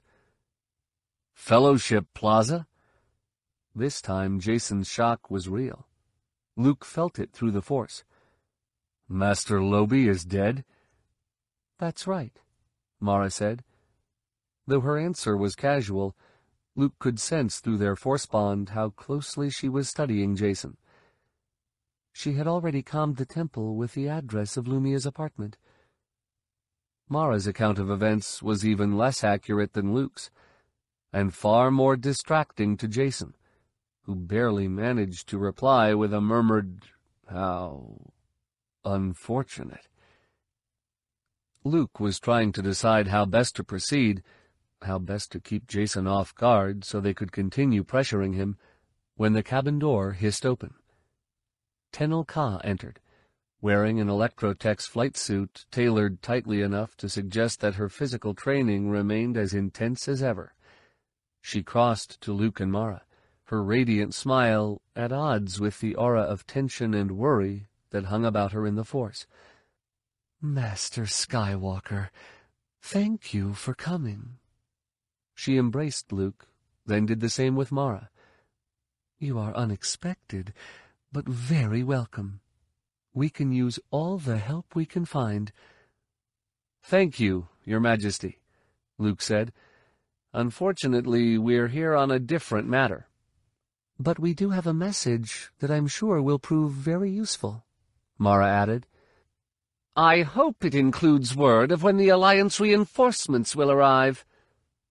The woman who said this was still in the cabin doorway, trailing half a dozen steps behind Tenel Ka. She was tall and pretentious-looking, with a long nose and a mouth turned permanently downward at the corners. After lending so many of our fleets to the Galactic Alliance, our enemies have us at a terrible disadvantage. Tenel Ka's face reddened, but she turned and politely motioned at the woman. Masters Skywalker, allow me to present my chamberlain, Lady Galney, younger sister to the Ducha Galney of Terephon. Luke noted that the name was the same as the planet to which Ben had been sent, but merely bowed to Galney and did not remark on the coincidence. Chief Omas and Admiral Niathal are assembling a sizable defense fleet, he said. It should be able to depart Coruscant in a week. A week? Lady Galney burst out. By then, the usurpers will have mined the hyperspace lanes and be attacking Hapes itself. There's no need to worry about the mines, Lady Galney, Mara said. Alliance fleets are well equipped to deal with them. Once the defense fleet is underway, the usurpers won't delay it for long. Of course they won't. Tenel Ka's voice carried more confidence than Luke sensed in her through the Force. Is that the message you mentioned? Actually, no, Luke said. That message is for your ears alone. He threw a tactful glance in Lady Galney's direction, but she merely smirked and remained where she was. I'm the Queen Mother's highest-ranking adviser. To perform my duties properly, I must hear whatever she hears. Then I'm sure she'll fill you in later. Mara took the woman by the arm and started her toward the door. But our instructions were explicit. Jacen rose. In that case, perhaps I'd better go as— No, you stay. Luke motioned him back into his chair. You need to see this more than Tenel Ka does. Jacen raised his brow, but returned to his seat. Mara pushed Lady Galney out the door with instructions to Sergeant Darb to have her escorted back to her quarters. I'm sorry about that, Your Majesty, Luke said to Tenel Ka, but it's possible that someone close to you is a traitor. Tenel Ka nodded. Yes, I have been having premonitions of that myself, though I don't believe it is Lady Galney. She smiled. I can still sense when someone is lying to me, you know. She is a fool, but she is an honest one. That doesn't mean she can be trusted with your secrets, Mara said, returning to Tenel Ka's side.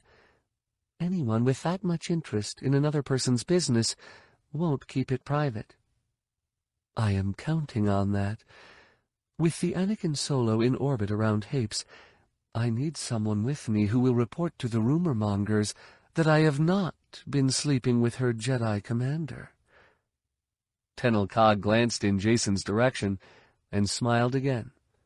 Besides, her sister, the Ducha Galney, is one of my most devoted nobles. It serves my purpose to cultivate the illusion of a special relationship with Lady Galney. Luke snorted in amazement. Your life is a maze, Your Majesty. I don't know how you live it. Because I was well prepared, Master Skywalker, Tenel Ka said solemnly, and I thank you every day. Luke actually blushed, but he remained composed enough to reply, And you've always made me very proud, Tenel Ka. Though we are disappointed that we haven't met Allana yet, Mara added sternly. I trust that will change before we depart today? Jacen started around the chairs, clearly alarmed. That won't be— Perhaps, Tenel Ka said. But, as Jacen was about to say, Allana has been very upset by the assassination attempt, particularly since there was a Jedi involved. It might be best if we put it off until another time. Luke and Mara exchanged baffled glances. Maybe Allana really had been traumatized by the attack, or maybe the rumors of deformity were true. In any case, they had no choice but to accept Tenel Ka's excuse. I'm sorry to hear that, Luke said. I was looking forward to meeting her. But the message may clarify a few things about Leia's involvement. Mara's voice had just a hint of petulance, as though she felt Tenel Ka should have known better than to think the Solos would really try to kill her. She used the Force to lower R2-D2 into the speaking area, then said, Play Han's message. R2-D2 acknowledged the order with a chirp then went over to the holocom unit and inserted his interface arm into a data socket. A rosy blur appeared over the projection pad and quickly resolved itself into an image of Han's face. His skin was pale and waxy with shock, and his mouth was hanging in a lopsided grimace of pain. Luke immediately felt a pang of concern. Mara hadn't warned him that Han was wounded, but when he glanced over at his nephew, Jacen's eyes were hard and narrow. Listen up, kid. Han's voice was low and raspy, as though he was trying to avoid being overheard. I don't have long. We've got someone aboard who can't know about this. But I need you to relay this holo to Tenel Ka, and only to Tenel Ka. Someone close to her is a traitor, and it could go bad on us if this message got back to the wrong people. The image changed to the profile of a beautiful Hapan woman with long brunette curls and high cheeks. She seemed to be leaning over something, Luke thought it might be a bench or table until he saw her remove a tube of Bacta salve from a drawer in the Falcon's medbay. Han's voice continued, This is a woman named Morwan, but that might be an alias. She was a flight surgeon aboard the Kendall at the Battle of Qoribu. We're fairly sure she's in service to the Algrave family of the Relafon Moons, and she's the contact between the Heritage Council, that's what the nobles behind the coup call themselves, and the assassin who escaped with us. The woman's image changed to full face, and she looked even more striking, with full lips and soft, slanted eyes. Han kept speaking. We heard her tell the assassin to take care of Allana first. The woman's image vanished. Then Han's face reappeared, looking even more distressed than he had a moment earlier. Luke, Tenel Ka needs to take this threat seriously. The assassin's name is Aurra Sing. Luke was so shocked that he temporarily shut out Han's voice. He knew Aurra Sing's name from records of the old Jedi Order that he had gathered and studied over the years thinks she might have been some sort of Jedi about 80 years ago, Han was saying. That's all we know, but there's something else. Keep an eye out for Alema Rar. We bumped into Jag Fel out at Telkur Station, and... Han stopped and glanced over his shoulder. Then his voice dropped to a whisper. Gotta go. Tell Tenel Ka we're sorry about that mess in the palace. Gejjen was using us to set her up, and we didn't know. The hologram vanished leaving them to stand there in silence. Though Luke was intrigued by the mentions of Alema Rar and Jagged Fel, he didn't give it much thought. He was more interested in his nephew's reaction to what they had just seen. Jacen was keeping his force presence buried and unreadable, but he was scowling at the floor and taking long breaths. Luke resisted the temptation to suggest that it had been wrong to doubt the Solos in the first place. If Jacen was going to break the dark side's hold, he had to rediscover for himself that a Jedi trusted his feelings as much as his eyes. After a few moments of silence, Tenel Ka said, Thank you for showing us this message. It is certainly easier to believe the Solos were being used than that they were trying to kill me. Jacen surprised Luke by nodding. And it explains some of those witness conflicts you mentioned, he said. If my parents were being used by Gejjen, once they realized what was happening, they would have tried to prevent the attack. A warm sense of relief rose inside Luke. Not only was Jacen open to the idea that his parents were innocent, he was looking for reasons to believe they were. Luke grew even more confident that he would be able to turn Jacen away from the dark side, whatever his nephew's relationship with Lumiya. I hate to be a wet blanket, Mara said, but to me, this smells like they're inviting us to a Hutt's banquet. Luke lowered his brow. What are you saying? He wanted to tell her to stop planting doubts in Jacen's mind, but he sensed through their force bond that Mara was only trying to be certain Jacen understood his mistake. To be sure that Jacen believed in his heart that his parents were not only innocent of aiding the assassination attempt, but incapable of it. That this might be misinformation? I'm saying their message is convenient. Mara addressed her comments to Jacen. If they were involved, the message would be a good way to throw off suspicion and feed us misinformation. Jacen's eyes widened. I'm surprised to hear you say that, Aunt Mara. There was a note of resentment, perhaps even anger, in his voice. I thought you had a better opinion of my parents than that. Mara's gaze did not waver. I have a very high opinion of Han and Leia, which is why we have to consider the possibility that they're deceiving us. She paused, then, with perfect timing, turned to Tenel Ka as though she were dismissing Jacen's opinion. This is war, and the Solos are fighting for the other side. We have to be careful. We also have to take into account who they are, Jacen said, also turning to Tenel Ka. You know my parents. They're not murderers. I think we should trust this message. Luke's heart filled with joy. Clearly, Jacen remained in touch with his emotions, and that meant there was still hope of guiding him back to the light side. After a moment's thought, Tenel Ka nodded to Jacen. So do I. She turned to Mara with an apologetic air. You don't know of the discrepancies in the witness accounts, but there was some question of whom the Solos were fighting during the attack. Their message clears that up. Well, it's your decision. Despite Mara's reply, Luke could sense that she was as happy as he was about the results. I just wanted to be sure you had considered the possibility. And I'm grateful for that.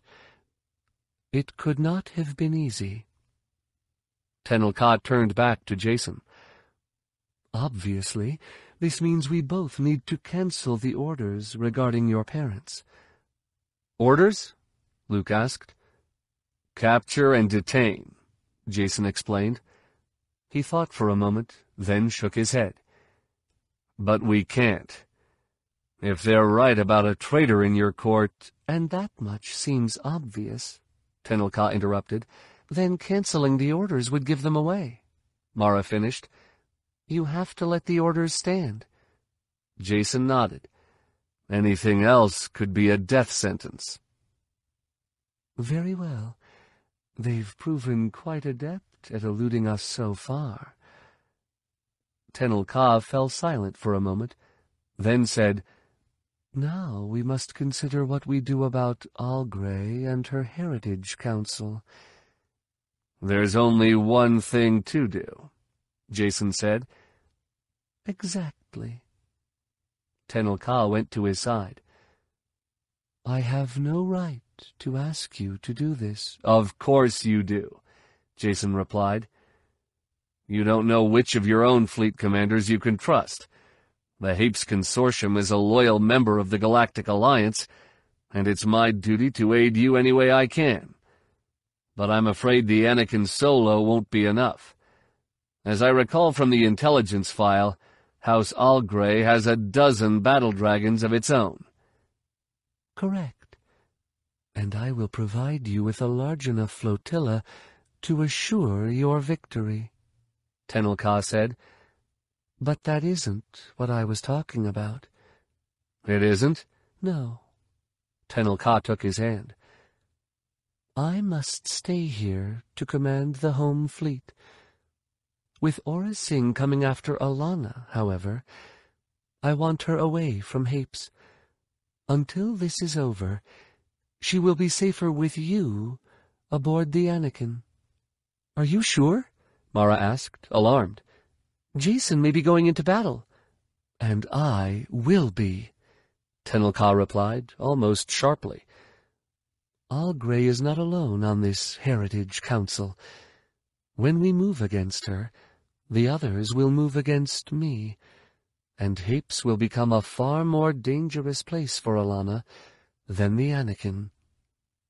Mara nodded, a bit taken aback by Tenel Ka's tone. Of course. I didn't mean to question your judgment. Of course you did. Tenel Ka's tone softened. And I thank you. It is not something I am very accustomed to these days. Besides, Jacen will not have much of a battle. He will have twice the fleet and far better weapons, so he is my best option. She paused, as though an idea had just occurred to her. Unless you and Master Skywalker will be returning directly to Coruscant. Sorry, Mara said. Allana wouldn't be any safer with us. I'm afraid we have to track down Ben, Luke explained, and then take care of some unfinished business with Lumiya. Chapter 17 It was not the dark silence of the missile hold that Alema found so troubling, nor even all those cylinders packed with detonite and baradium and propellant. It was the cold. The caves of Ryloth, where she had spent the first years of her life, had been hot and dry and dusty, and the Gorog nest in which she had lived as a Killik joiner had been warm and humid and close but the missile hold of the Anakin Solo was frigid, even with a pair of bulky GAG utilities pulled over her own customary robes. Her nose was numb, her leku were tingling, her teeth chattering, her old wounds aching, and her breath rose in curtains of steam. Alema, if you don't keep that glow rod on the cut, we're both going to be sorry. Lumiya was kneeling in front of a missile rack, using her cybernetic hand to carefully run a fusion cutter down the nose cone welds of a Baradium missile.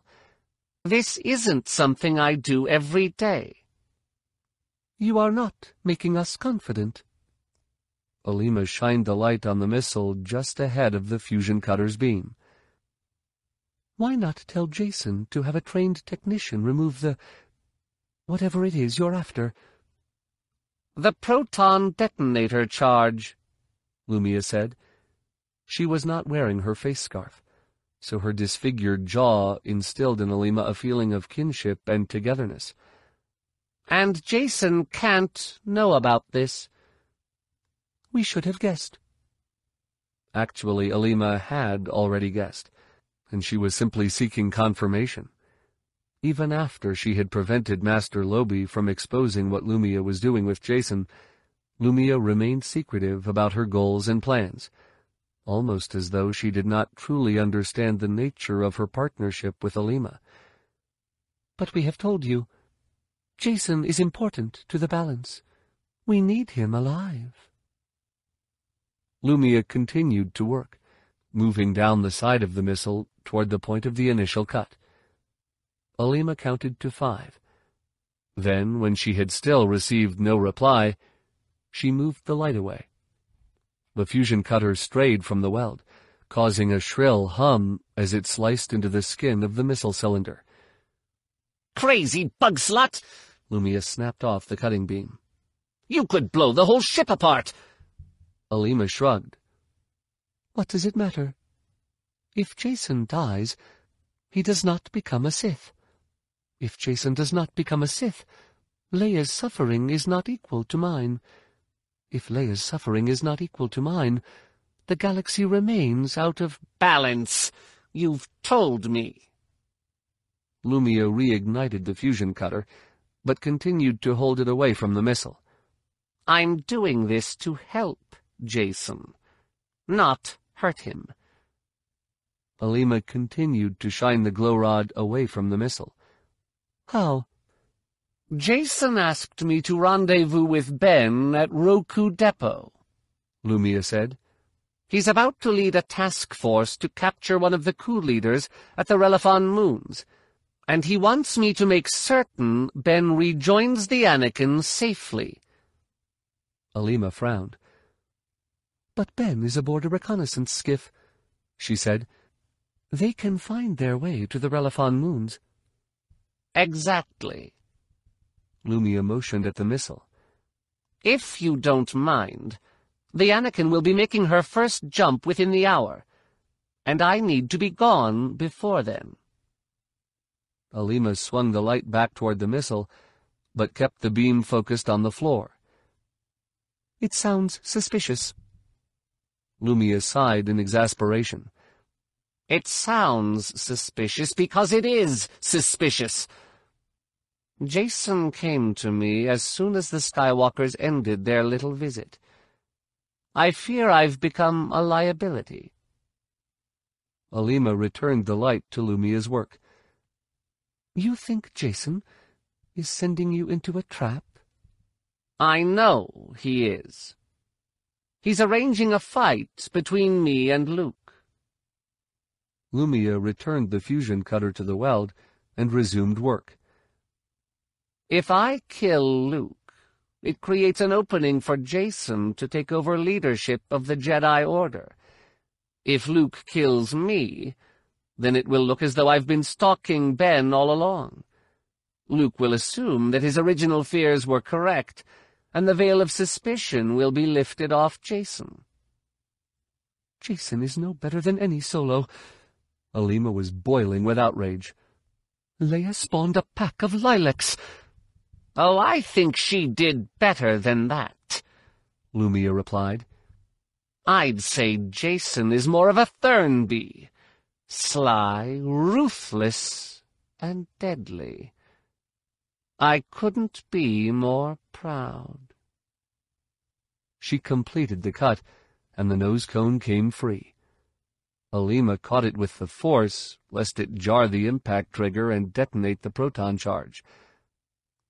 Proud? Alema carefully lowered the nose cone to the floor. For betraying you? Oh, very proud, Lumiya said. I was growing worried that Jacen lacked the strength and cunning to fulfill his destiny. His betrayal proves that I was wrong. Jacen is very capable. We do not understand. Jacen's destiny doesn't allow him the luxury of loyalty, Lumiya explained. She deactivated the fusion cutter and set it aside. If he were unwilling to betray me, how could we expect him to betray his entire family? Alema had no answer for that. Even in the rill dens of Kala'uun, where a dancer's loyalty was strictly to herself, the one person she had never betrayed was her sister Numa. Lumiya began to sort through the tangle of wires and filaments surrounding the missile's proton detonator charge. Master Skywalker is not someone to trifle with, Alema said. You could be killed.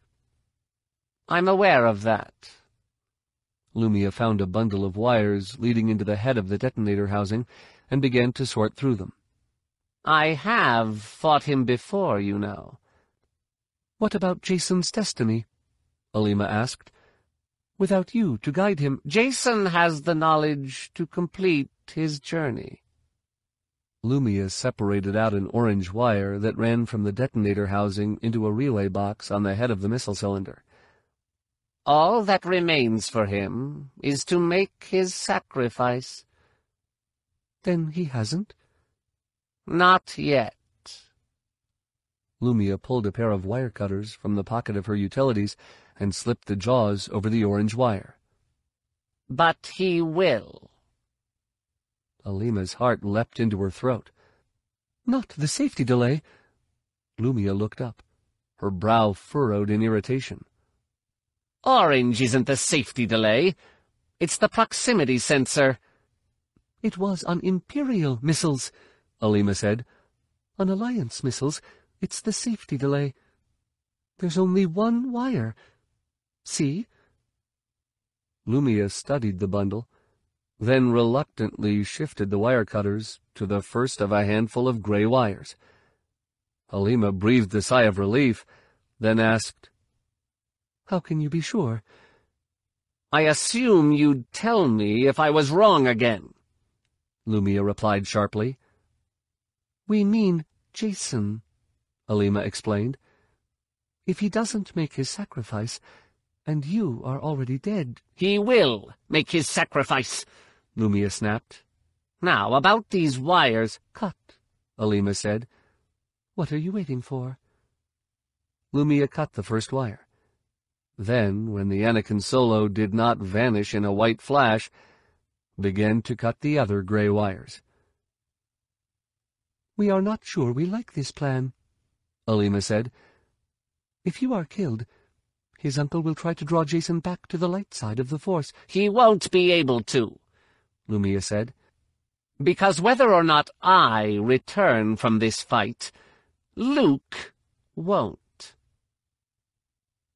She cut the last of the gray wires, then exchanged her wire cutters for a hydrospanner and began to unbolt the detonator housing. That is what the proton detonator is for?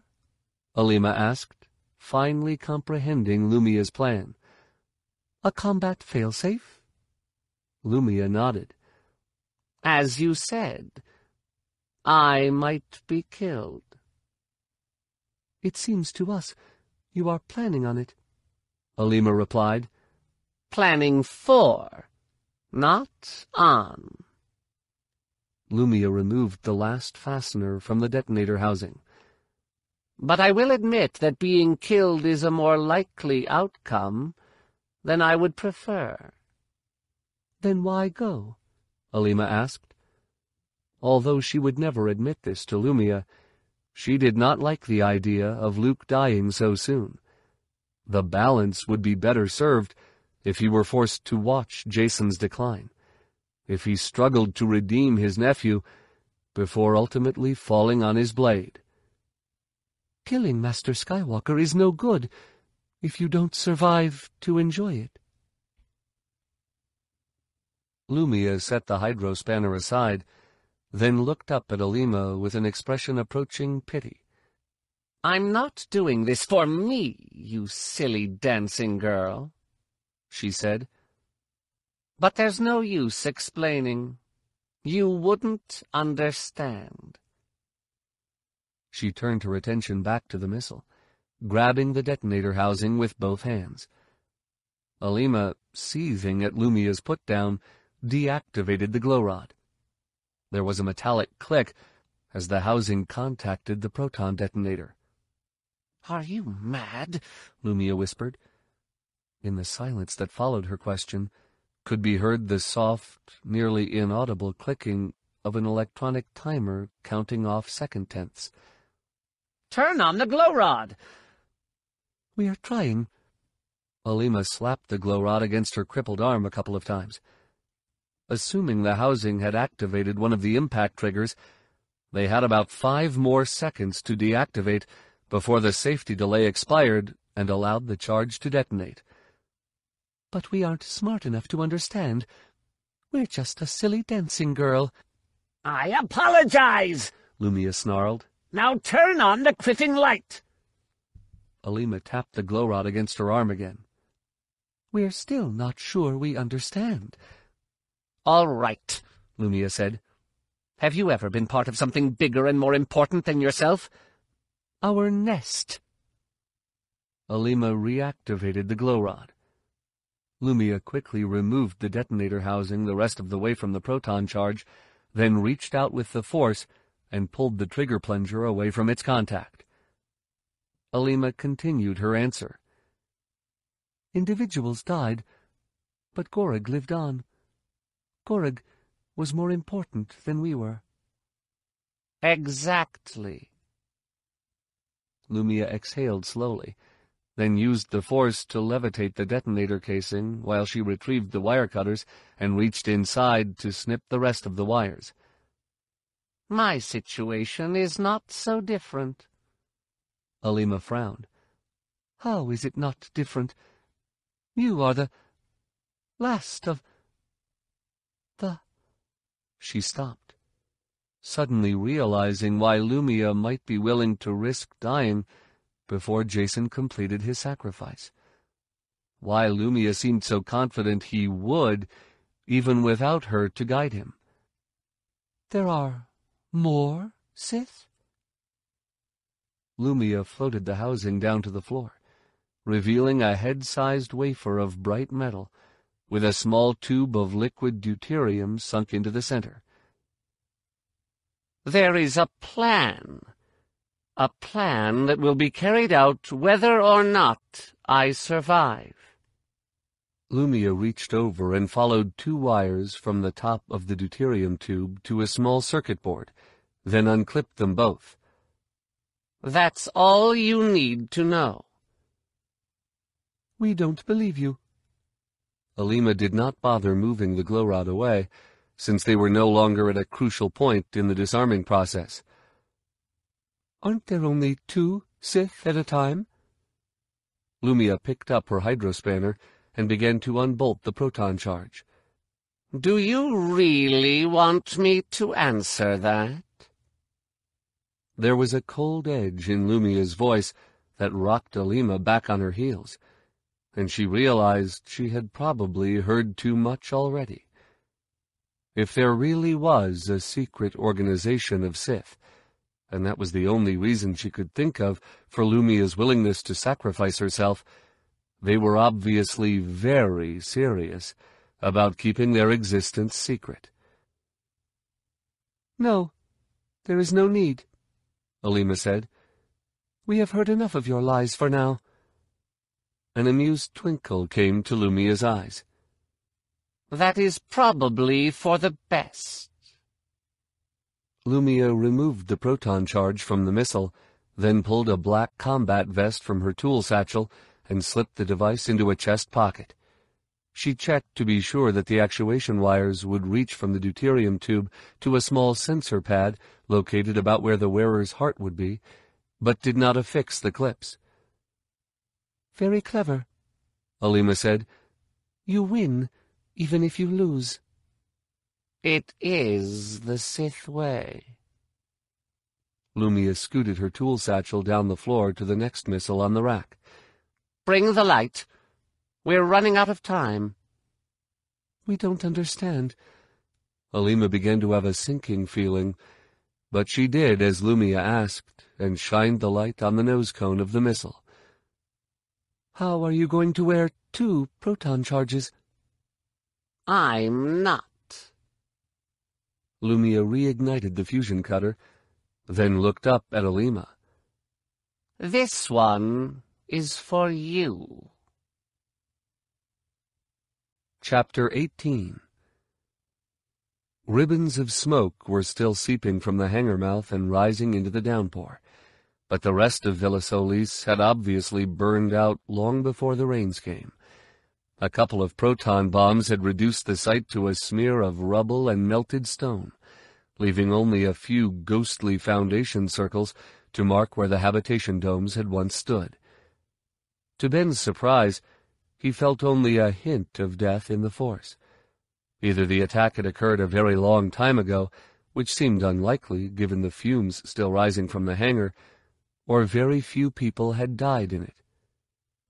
The lilting voice of the skiff's pilot and commander, a Duros junior lieutenant named Beta Ioli, came over Ben's headset, which he and the rest of the crew were wearing to muffle the roar of the oversized engines.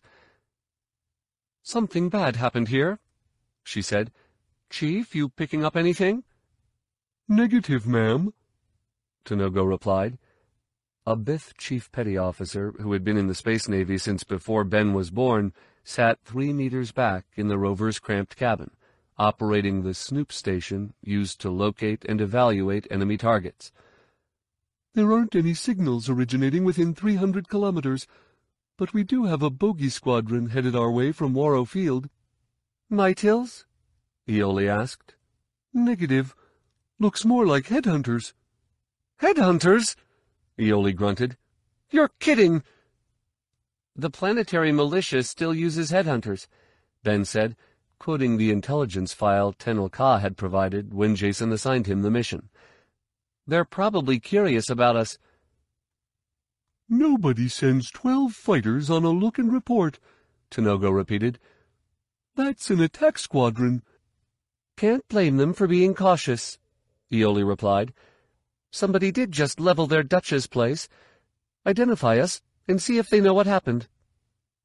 Tanogo acknowledged the order, and a moment later Ben noticed the weapons systems running through a test pattern. Either the skiff's young Twi'lek weapons tech had taken it upon himself to bring up the systems, or, more likely, the seasoned petty officer had quietly suggested it. After the rover had descended to an altitude of two hundred meters, Ioli circled around to the front of the ruins, where a cluster of flooded craters sat in what had once been the villa's foreyard. Ben suddenly experienced a sensation of frustration, so faint and muted that he thought at first he might be imagining it. As they swooped over the craters, however, the feeling grew stronger, and he recognized it as a reverberation in the force. They were here, he said. Who? Tanogo demanded over the headset. Be precise, son. Sorry, Ben said. Jaina and Zek. Those craters were a big problem for them. I'll say. Tanogo's voice was sarcastic. Getting blasted back to your molecules is always a big problem. Chief? Ioli brought the skiff's nose up and wheeled around to land. That's his cousin you're talking about. It's okay. Death isn't what I'm sensing, Ben said. As they swung back toward the villa ruins, the feeling of frustration and anger began to grow weaker. Turn back to our old heading, Lieutenant. I think that's the way we need to go. Ioli started to swing the skiff back around. Ma'am, we don't have time for the kids' guessing games, Tanogo said. If we're going to look around, we need to get on the ground now. That squadron is only twenty minutes out, and it just went from bogey to bandit. Why? The squadron leader answered your inquiry about what happened here, Tanogo said. She's saying a pair of Jedi bombed the place. Ioli glanced over at Ben. Her Duros face remained unreadable, but he could sense her uncertainty through the Force. We need to resume our previous heading, Ben said. Jaina and Zekk aren't here. I'd feel them if they were. Even if they're dead? Tanogo's tone was not cruel, just pragmatic. Ma'am, if we can't locate these two Jedi, our orders are to determine what happened to them. And to use Ben as a resource, Ioli said, continuing to bring the skiff's nose around to the heading Ben had requested. Are you going to be the one who tells Colonel Solo we didn't trust his apprentice's instincts? Tanogo fell instantly silent, suddenly pouring uncertainty and worry into the Force.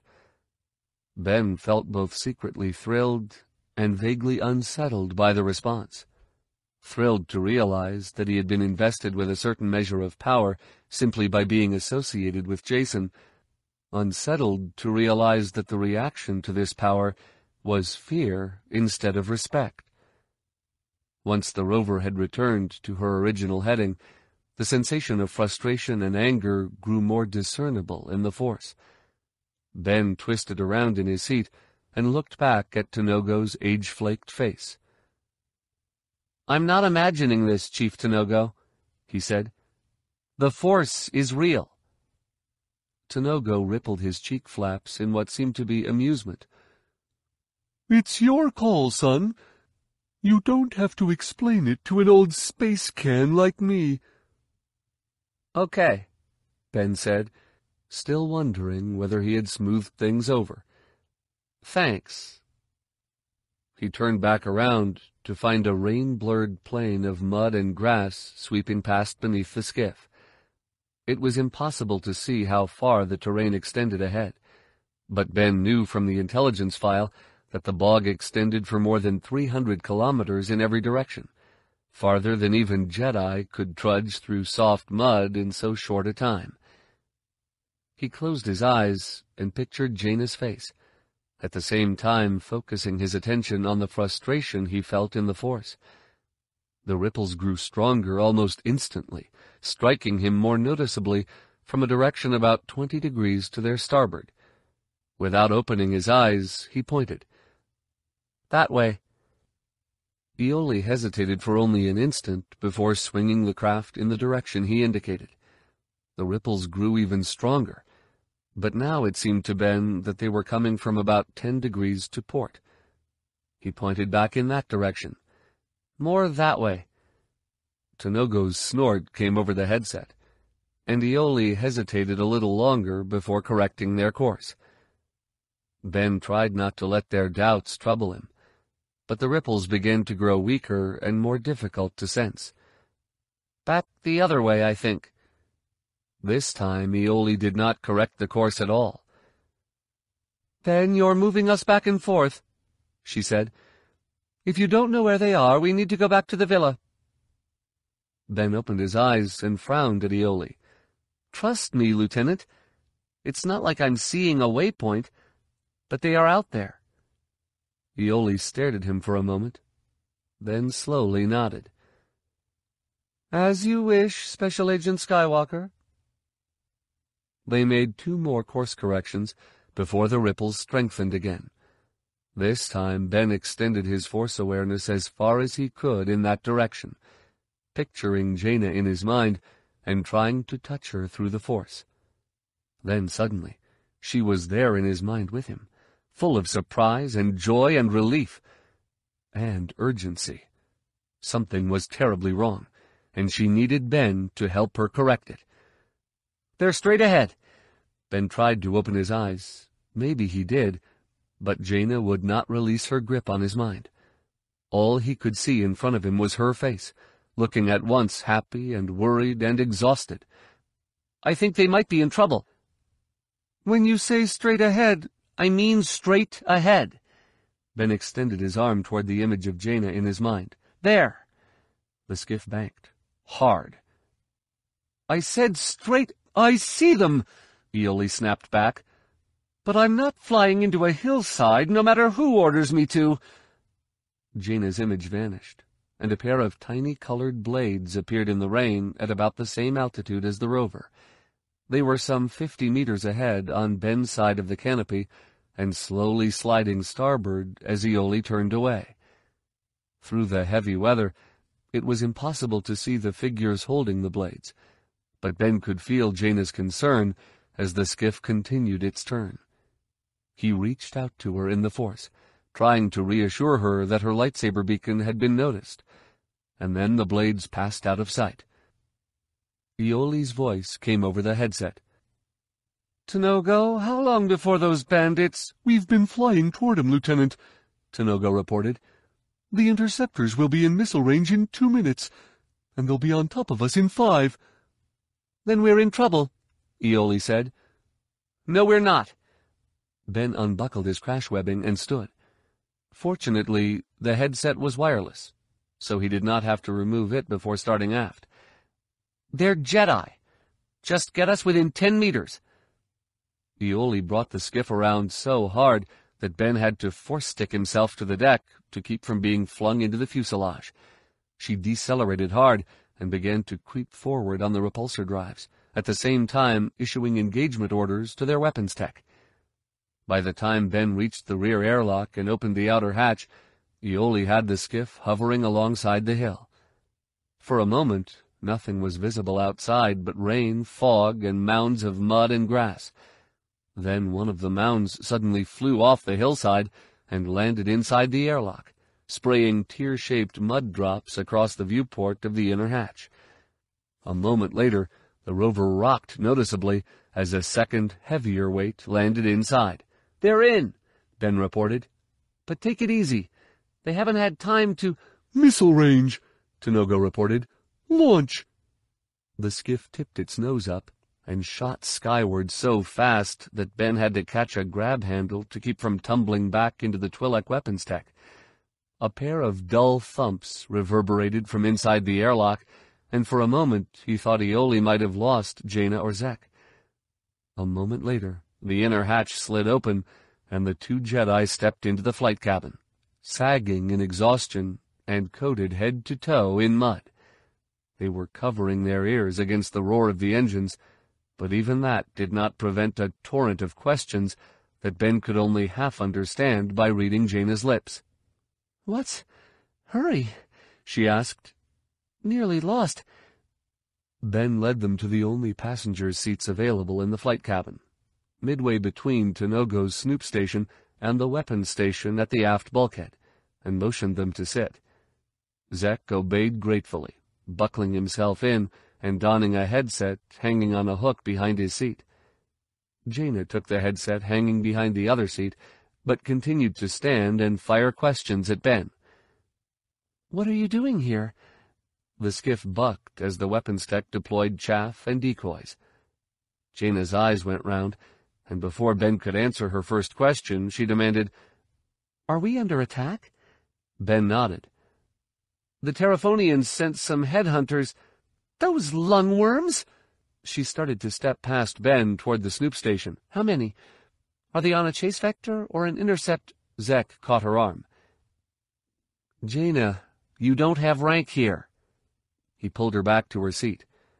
And we've just been rescued, remember?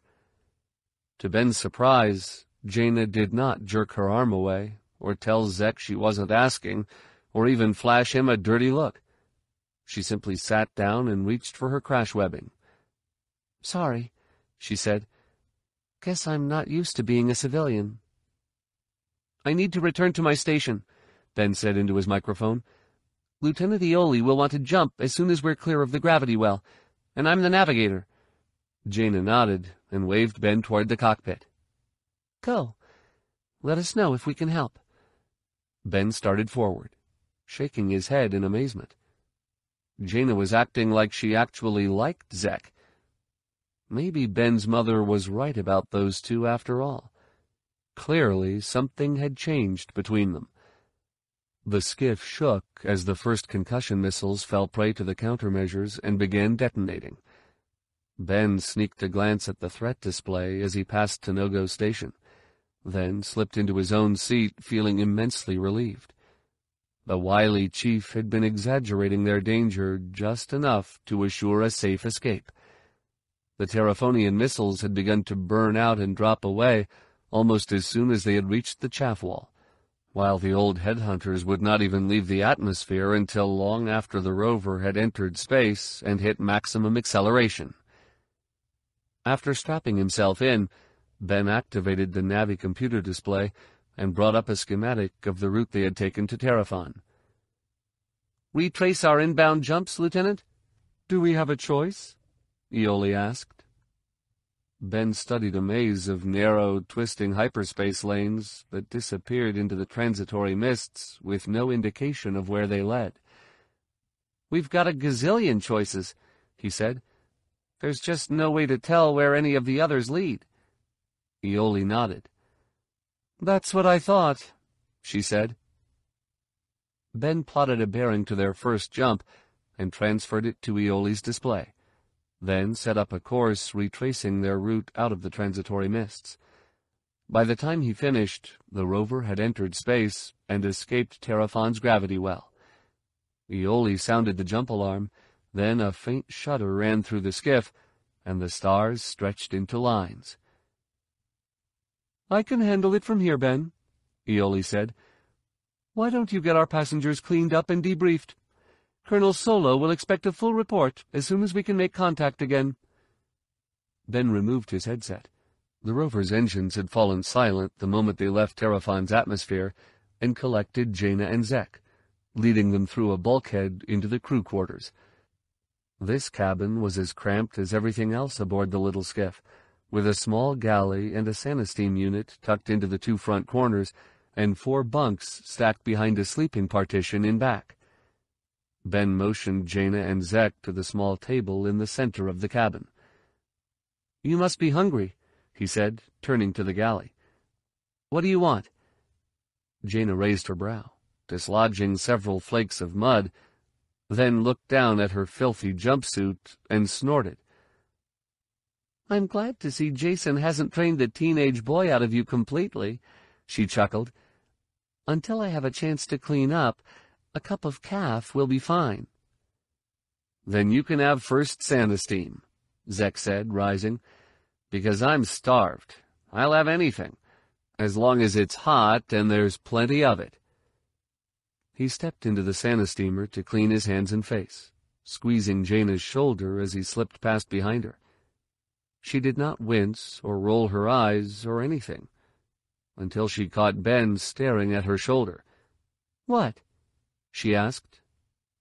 Uh, nothing. Ben turned to the caf dispenser. We're just friends, Jaina said. Ben shrugged.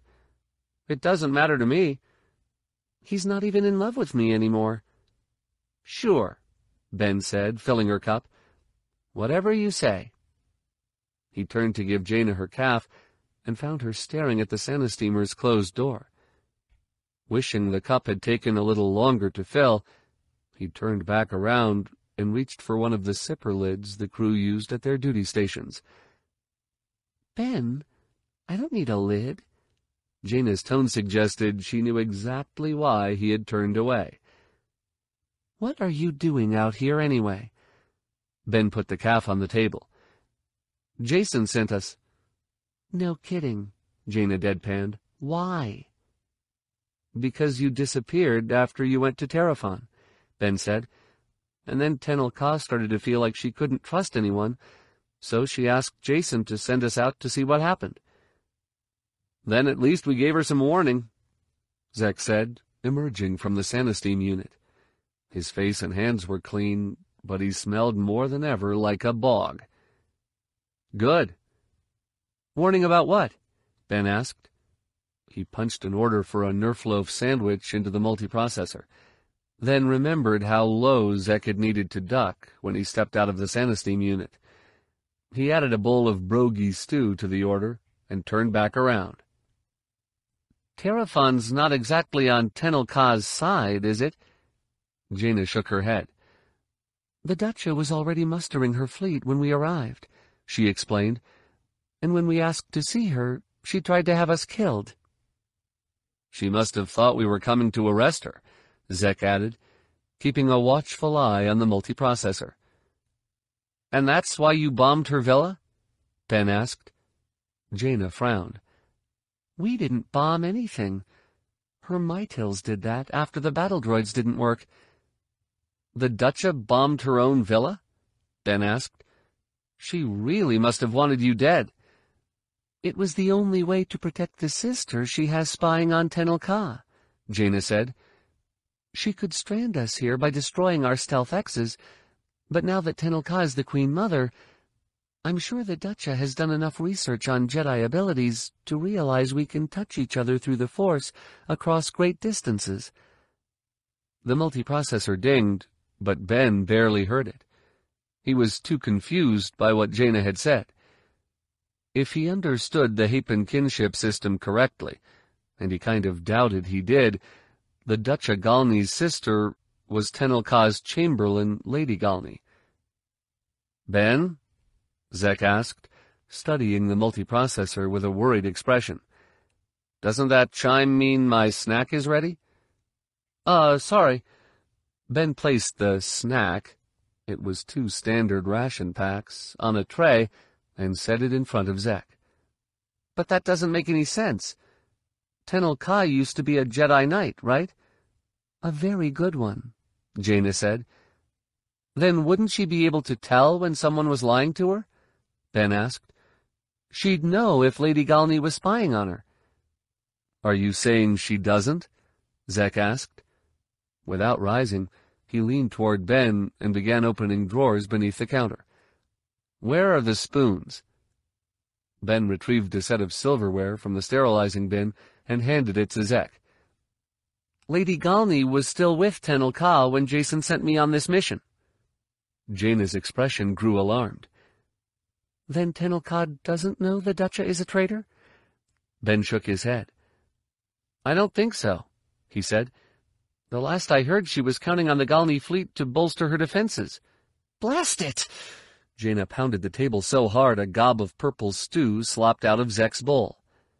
That's why the Ducha didn't want to talk to us. She's pretending to be on Tenel Ka's side, and she knew two Jedi would sense the lie. So Tenel Ka will think she's rushing to the defense, and then the Ducha can attack from inside. That makes sense.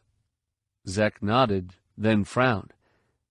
What I don't get is why Tenel Ka can't sense that her chamberlain is a spy. Maybe Lady Galney can hide it when she's lying, Ben said. If Jedi can do it, most can't, Jaina said, frowning at Ben. At least not from each other. Ben cringed inwardly, realizing too late that hiding lies was one of those special techniques that Jacen probably did not want him talking about. Well, maybe Lady Galney can, he countered. She wouldn't need to be a Jedi. All she has to do is make herself believe she's telling the truth when she isn't. Or not know she's lying at all, Zek added between mouthfuls. Jaina turned to Zek and asked, You think Lady Galney's not in on it? Zek shrugged. You don't have to be a spy to be a security leak, he said. Carelessness is all it takes. Yeah, Ben said, growing excited. Sort of like the blind Woolamander, only in reverse. The blind Woolamander? Jaina asked. You know, when you use someone innocent to put out false intelligence, Ben explained. Only this way, you're collecting the information from someone innocent, and since she doesn't know what's happening, she's her own cutout, too. It's a perfect setup against someone like Tenel Ka. Jaina looked vaguely worried. Where are you learning all this stuff? Again, Ben winced inwardly. Weren't other apprentices learning anything Jacen was teaching him? It's part of my GAG training. Ben drew a veneer of calm over his force presence so Jaina and Zek would not sense his lie. We need to know all that spy stuff. Well, you must be studying hard, Zek said, because I think you're right. Jaina nodded. It makes sense. The real spy is probably one of Galney's consorts. Tenel Ka would have no reason to talk to them anyway. She glanced back to Ben. And Hapan noblewomen have a bad habit of underestimating male duplicity. The comment sent a bolt of alarm shooting through Ben, but he did his best to stay calm, reminding himself that during their practice sessions not even Jacen could always tell when he was lying. I'm glad that stuff finally came in useful. To tell the truth, I was beginning to wonder if those instructors were making it up. He turned his attention to Zek, who had already devoured most of his snack and was using the bread to wipe the stew bowl clean. You know how to use the multiprocessor if you're still hungry? Zek studied the unit with a ravenous gleam in his eye. Oh, yeah. Good. Ben pointed to the locker beneath his bunk. My spare flight utilities might fit you, Jaina, but Zek, don't worry, Jaina said. I'll stick Zek's in the cleaner while he's sanisteaming. Then I'd better go talk to Lieutenant Ioli, Ben said. Ioli had not told him to report, but the last thing he wanted to do was say anything else to arouse Jaina's scrutiny. She'll want to send a report to Jacen as soon as we're out of the dead zone. Ask her to send one to Tenel Ka as well, Jaina requested. I don't know if that's a good idea, Zek said. We know she's surrounded by spies, even if Lady Galney isn't one of them. We're just going to have to take that chance, Jaina said. Tenel Ka needs to know about this as soon— The Queen Mother will know about it as soon as Jacen does, Ben said. She's aboard the Anakin with him. Jaina frowned. The Anakin? The Anakin Solo, our new Star Destroyer, Ben said proudly. She's in orbit above Hapes, and Queen Mother Tenel Ka is hiding— Our new Star Destroyer? Jaina echoed. She stood and leaned across the table toward Ben. Jacen named a GAG ship for Anakin? Yeah, he thought, what did he think? Jaina demanded. That he would drag our little brother's name into the poodoo pit with him? Uh, you'll have to ask him, Ben said, realizing there was nothing he could say to calm Jaina down. I gotta go. He retreated through the bulkhead and escaped forward. He was aware of the bad feelings between Jaina and Jacen, of course, but he had not understood the reason until now. Jaina was just as volatile and unreasonable as Jacen claimed. It was a wonder she had lasted in the military even as long as she had.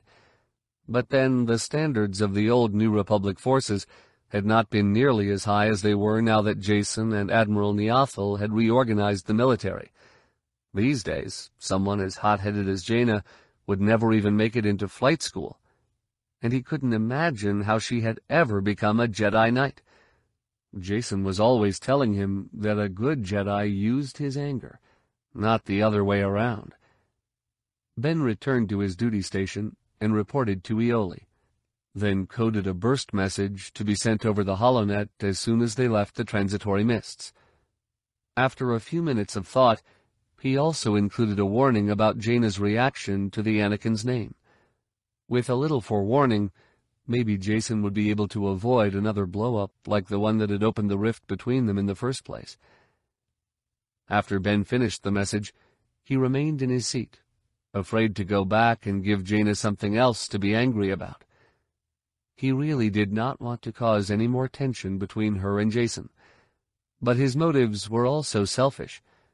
With his father already threatening to end his apprenticeship with Jacen, the last thing he wanted to do was give Jaina any reason to suggest to his parents there might be reason for concern. Fortunately, avoiding Jaina and Zek turned out to be easy. Their long trudge across the bogs had left them so exhausted that as soon as they had cleaned up and eaten, they climbed into bunks and fell asleep. The pair still had not stirred nearly a standard day later, when the rover finally emerged from hyperspace in the star-spangled vastness outside the transitory mists. Tanogo quickly brought up the holocom and sent Ben's message. To their astonishment, they received a response almost immediately, even before Ben had finished plotting their course back to Hapes. That was fast, he said. Too fast, Tanogo answered. He set to work decoding it. It's a CU message. Has to be. This drew a groan from the usually silent Twi'lek weapons officer. CU message? Ben asked. See you later, Ioli explained. When a Star Destroyer has to change posts while her scouts are out, she drops a message beacon with rendezvous coordinates. Okay, Ben said, not seeing the problem. So I don't plot a course until we have the new coordinates. That'd be too easy, son, Tanogo said. It's pretty rare that a Star Destroyer moves toward the scout ship, Ioli said.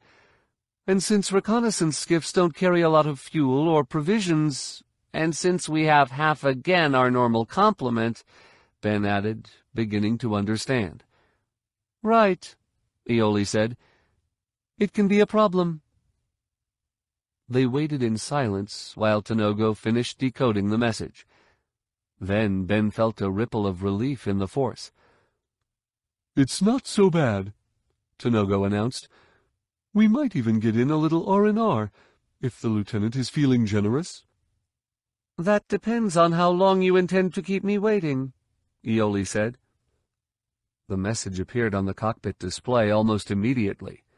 Recon Skiff Rover proceed to Roku Depot for refueling and resupply. Await rendezvous or orders. What about our message? Ben asked. The Anakin is probably in hyperspace herself, Tanogo said. We'll have to keep trying and hope we catch her between jumps. That's not good enough, Jaina said from the back of the cabin. Ben turned in his seat and saw her and Zek emerging from crew quarters. Their faces still had pillow lines, and their hair was still sleep-tousled, but they appeared completely rested, as Jedi usually did after a recovery trance. We have to go to Hapes, she said, continuing forward. Those aren't our orders, Tanogo objected. When Colonel Solo tells us to go somewhere, Colonel Solo doesn't know about our message, Zek interrupted, or the importance of getting it there now. Jaina slipped past Tanogo's station and stopped behind Ioli's seat. You know how important it is to deliver our intelligence to the Queen Mother in time, and you have the authority to act on your initiative. Ioli nodded. Of course, but the Queen Mother is aboard the Anakin, not if the Anakin left Hapes, she isn't, Jaina said. A leader of Tenel Ka's courage and integrity is not going to leave her capital world while it's under threat of attack, Zek added. Wherever the Anakin went, the Queen Mother will be staying behind to oversee Hapes's defense. So I suggest you act on your own initiative, Jaina said, or we'll act on ours. Ioli's small jaw clacked shut. Then she let out a snort of irritation and turned to Ben. What do you think Colonel Solo would want? Ben glanced over his shoulder at the uncompromising faces of Jaina and Zek. Well, that message is pretty important, he said. And I don't think Jacen would want you to get your crew killed by the two Jedi Knights he just sent you to rescue. Jaina smiled at Ben, then winked. Good answer, she said. Maybe Jacen's teaching you something after all. Chapter 19 The task force had emerged from hyperspace in perfect crescent formation, and the luminous green disk of the planet Relephon was already swelling in the Anakin's Bridge viewport. The world was one of those truly massive gas giants on the verge of becoming a star itself, the tremendous pressures in its core releasing enough energy to bathe its horde of moons in a life-sustaining blanket of heat and light. Jacen did not notice the tiny saucers of any battle dragons silhouetted against the pale glow, nor see the blue slivers of even one efflux tail streaking in to intercept the task force Tenel Ka had sent to arrest Algray. Still, he had a cold prickle along his spine and an uneasy emptiness in his stomach. The minutes after a fleet emerged from hyperspace were always its most hectic and vulnerable with the sensor officers struggling to calibrate their instruments and the hangar chiefs rushing to launch a fighter screen. It was the ideal time for an attack, and Jacen could feel one coming. Unfortunately, he had no idea from where. The advance scouts had reported only an alarming inability to locate the enemy fleet, and Algray's commander was certainly in no rush to reveal her position. Major Aspara, I find this odd. Jacen was addressing Major Morim Aspara of the Hapan Royal Guard, whom Tenel Ka had assigned to serve as his advisor and command liaison. Along with a handful of aides, they were standing together on the observation balcony overlooking the Anakin's busy bridge. Wouldn't Ducha Algray be deploying her fleet by now? She would if it were here, a tall woman with silky black hair and alabaster skin, Aspara was dressed in a pale blue uniform that managed to look both military and stylish. Even if she were innocent, she'd be troubled enough by our arrival to make a show of force. Jacen remained silent, concentrating on what he was feeling through the force. He could not sense the source of the danger, but the prickle along his spine felt as if it was about to erupt into hives. We're too late, Aspara continued, as though Jacen were not astute enough to understand what she had said. The coup must be moving faster than the Queen Mother realized. The usurpers are going into open revolt.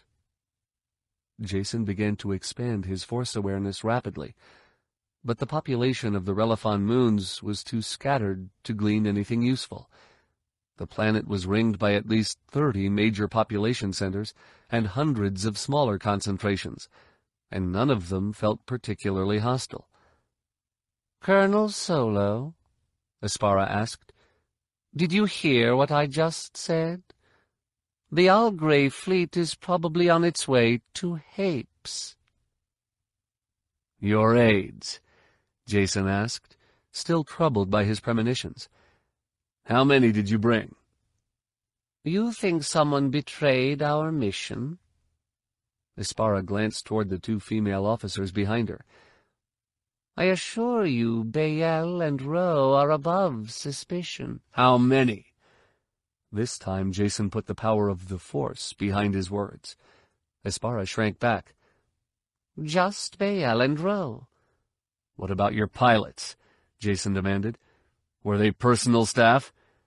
Aspara shook her head. They were from the Royal Transportation Pool. The empty feeling in Jacen's stomach turned to a cold void. Whatever had gone wrong, it had started with the pilots. But I don't see how they could have betrayed us, Aspara continued. Even if they were traitors, all they did was ferry me into orbit. They might have noticed the Anakin making preparations to get underway, but they wouldn't have known to where. That might have been enough, Jacen said. He turned to his aide, a genet named Orlop. Ask Commander Twizzle for a threat report. I've been monitoring that continuously. With a pink snout, wet nostrils, and smirking upper lip that did not quite cover his yellow fangs, Orlop cut a menacing figure in his black GAG uniform.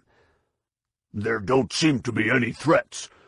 A junior garrison commander is demanding to know our intentions, though she hasn't deployed her defenses yet. She wants to avoid giving us an excuse to attack, Aspara surmised. That confirms the main fleet has departed. Colonel Solo, we must return to Hapes at once. If the Queen Mother is not under attack already... Jacen did not hear the rest of Aspara's complaint, for he had turned away and was rushing off the observation balcony. The threat seemed more immediate than ever, and if it was not coming from outside the Anakin, then it had to be coming from inside. Colonel Solo, Aspara called, following behind. We're in the middle of an action here. Aspara's confusion was understandable. Even she did not know that Tenel Ka had left Allana aboard the Anakin, and she certainly didn't know that Jacen's parents had provided intelligence suggesting that Aurra Sing's primary target would be the child. As he raced for the lift tube, Jacen's comlink chimed for attention. He pulled it off his belt and opened the channel.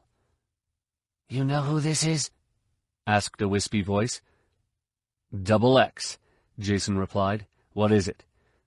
You ordered me to report if anyone attempted to enter the girl's cabin, the security droid replied. I'm reporting. Jacen's stomach sank. I was afraid of that. What are my orders? SDXX asked. Evaporate them? No, Jacen said. His briefing on Aurra Sing had suggested that evaporating her would be beyond the security droid's capabilities. Stay out of sight and frustrate her attempts to enter. I'm on my way. Jacen opened a channel to bridge security. Execute a level one lockdown. He did not bother identifying himself, as his name would already be displayed on the duty officer's data screen. This is not a drill. Level one, Colonel? Affirmative. Jacen reached the lift tube and stepped inside not bothering to acknowledge the crisp salutes from the two GAG sentries stationed there. Now! I'm sorry, sir, the officer replied. We can't lock down while we're at battle stations. The crew needs to move freely. Then go to level two, Jacen ordered. He would have canceled battle stations, except the order would have to go through Commander Twizzle, who would demand a confirmation and an explanation Jacen had no time to provide. The assassin, assuming Sing was the danger he had been sensing, had chosen her moment well, when the priorities of a Star Destroyer ready to enter battle took precedence over the safety of even her most important passenger. Alarm horns began to beep over the Anakin's intercom, indicating that the Level 2 security protocols Jacen had ordered were now in effect, Armed guards would be posted at every lift tube and bulkhead hatch with orders to detain anyone lacking proper identification. Anyone who resisted would be blasted. Jacen did not think those precautions would make the slightest difference to Aurra Sing. When he arrived at the commander's deck, he found the lift sentries lying on the floor, with smoke rising from their blaster-scorched faces. A dozen paces down the corridor, Two more guards were down outside the Sav stateroom, the quarters assigned to visiting dignitaries, and there was smoke pouring from the cabin. He unclipped his lightsaber and rushed forward. Jacen's mind was whirling with dark fears and black furies. For the first time since his imprisonment by the Yuuzhan Vong, he truly wanted to hurt someone, to make them pay in agony and anguish for their vile actions. And if Allana were to die, he did not see where he would find the strength to carry on with his mission.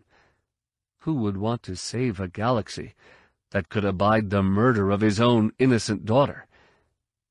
As Jacen approached the Sav stateroom, one of the guards began to moan for help. The fellow's torso had been cleaved at an upward angle by something hot and long, and his fading force presence suggested he would die if he did not receive help soon. An abandoned lock slicer hung on the keypad above his head, and a still crackling arc had been cut through the double doors. Leaving the stateroom uninspected, and the guard to die where he lay, Jacen continued down the long corridor. The low hum of a lightsaber cutting metal was droning around the corner ahead, where the entrance to his own stateroom was located. He extended his force awareness into his own quarters and was relieved to feel the presence of his daughter somewhere near the back of the cabin, approximately where the refresher was located. She seemed curious and not at all frightened. Suddenly, Allana responded to Jacen's contact, filling the force with surprise and delight. She seemed to recognize his touch and be happy about it, and that filled him with pride and joy, and an even greater determination to catch Sing before she found his daughter. But their contact was shattered by the intrusion of a cold presence, gleefully pouring its murderous intent into the force. Allana reeled back in shock and vanished, leaving Jacen alone with the assassin's presence. Then the humming of the lightsaber suddenly assumed a higher pitch, and a loud clang sounded as a freshly cut panel of security door fell to the floor. In the next instant, a brilliant orange flash lit the corridor ahead, accompanied by the crashing whoomph of a concussion grenade, launched, no doubt, by Allana's defender droid, Didi. Jacen paused a moment to be sure there would not be another grenade, then rounded the corner when he began to hear the shrieking of Didi's blaster cannon. The corridor ahead was so filled with smoke and blaster fire that it looked like the inside of a thunderstorm. Sing was a pale ghost in a red bodysuit, battling through the hole she had cut in Jacen's door, surrounding herself in crimson snakes of light as she used her lightsaber to bat aside Didi's attacks. Jacen drew his sidearm and fired on the run, hoping to blast the assassin in the back while she was too overwhelmed to defend herself. Sing dropped into a forward roll and vanished through the door. An instant later, her lightsaber whined half a dozen times, and Didi's blaster cannon fell silent. Aurra Sing was alone in Jacen's stateroom, and with her force abilities, it would take her only a second to find his daughter. He stopped a few paces from the door and reached out to the assassin in the force. Wait. Jacen spoke the word with his mind instead of his mouth. At the same time, he was expanding his force presence into Sing's mind, opening himself fully to the force and using its power to push himself deeper into her mind, to crush her own presence and force it deep down into the bottom of her being. Wait, he repeated. Sing fought back, trying to push him from her mind, but Jacen had taken her by surprise. He had the power of his anger and his fear and his hatred behind him, and she simply was not strong enough. Jacen started forward again, then dropped his blaster pistol and retrieved his comlink. Double X, open! The doors to his stateroom slid open, grating loudly as the damaged area scraped past the jambs. Jacen stepped into the foyer of his suite, where beads of molten durasteel were still popping and hissing on the stone decking. To his right, the walls above the galley and dining area were pocked with scorch marks, Allana's defender droid lay to his left, a heap of severed limbs and smoking circuits scattered along the edge of a sunken conversation area. Sing stood with her back to Jacen, about five paces beyond the droid, on the other side of a smoldering couch. In one hand she held her still-ignited lightsaber. In the other was a Class C thermal detonator with a disintegration radius large enough to kill herself, Jacen, Allana, and probably half the personnel on the decks directly above and below. As Jacen started toward her, She looked over her shoulder with an expression in her pale eyes that seemed equal parts hatred and awe. Don't ever touch me like that again. Jacen did not reply. Sing was still struggling to free herself of his domination, and all his concentration was focused on keeping the pressure on until he drew close enough to strike. Sing flashed him a cold smile. But then, I don't think you'll have the chance. Her thumb twitched. The activation light on the thermal detonator began to blink, and that was enough to shatter Jacen's concentration. He felt Sing slip free, and suddenly he was completely outside her mind, watching in horror as she pitched the detonator toward the refresher where Allana was hiding. Jacen's heart dropped through the bottom of his stomach. His arm shot out without conscious thought, and the detonator floated into his hand almost before he realized he had summoned it. Sing was already whirling, leaping toward him with her crimson blade coming around at neck height. Jacen brought his lightsaber up automatically and blocked, then pulled the detonator's thumb slide back. He never saw whether the activation light darkened. Suddenly, Sing's knee was sinking into his stomach, driving the breath from his lungs and sending him tumbling over a couch. The detonator clattered to the floor somewhere in the galley. He came down on a beverage table, smashing it apart. Then Sing was over him, her crimson blade arcing down. Jacen whipped his lightsaber around to block, catching her blade about halfway up the shaft and filling the air with a sizzling shower of sparks. Sing grabbed her hilt with both hands and began to push, slowly driving the tip of her lightsaber down toward his eye. The glow was as blinding as the heat was searing, and Jacen's vision blossomed into a fiery red blur. He brought his free hand up to brace his weapon arm, and tried not to worry about whether his eyeball would melt, not daring to turn his head or even look away, for fear that he would slip. Sing kicked him in the side. The tip of a small, wedge-shaped blade scraped across his ribs and sent a blazing bolt of pain shooting into his body. Never! She kicked him again, sending another bolt of pain deep into his stomach. Violet! She kicked again. My! Another kick. More pain. Mind! Sing kicked again, this time catching him near a kidney. A wave of fiery anguish rolled through his body, stealing his breath, so hot he could not even scream. The pain would have paralyzed anyone else, left him on the floor praying to die before he drew his next breath. But pain was an old friend of Jacen's. He had learned to embrace it during his imprisonment among the Yuuzhan Vong, and now it no longer troubled him. Now it served him. He turned the palm of his bracing hand toward Sing and pushed with the force. The move did not surprise her as much as he had hoped. As she flew away, Sing rolled the tip of her blade over his, and his lightsaber went flying. He held his force shove until he heard her thud into the wall opposite, then sprang to his feet. A fiery blur continued to blind one eye, and his sight in the other was still splashed with crimson blotches. But he could see clearly enough to be worried. Sing had landed near the refresher where Allana was hiding, close enough to fulfill her contract, if she was willing to risk Jacen attacking her from behind.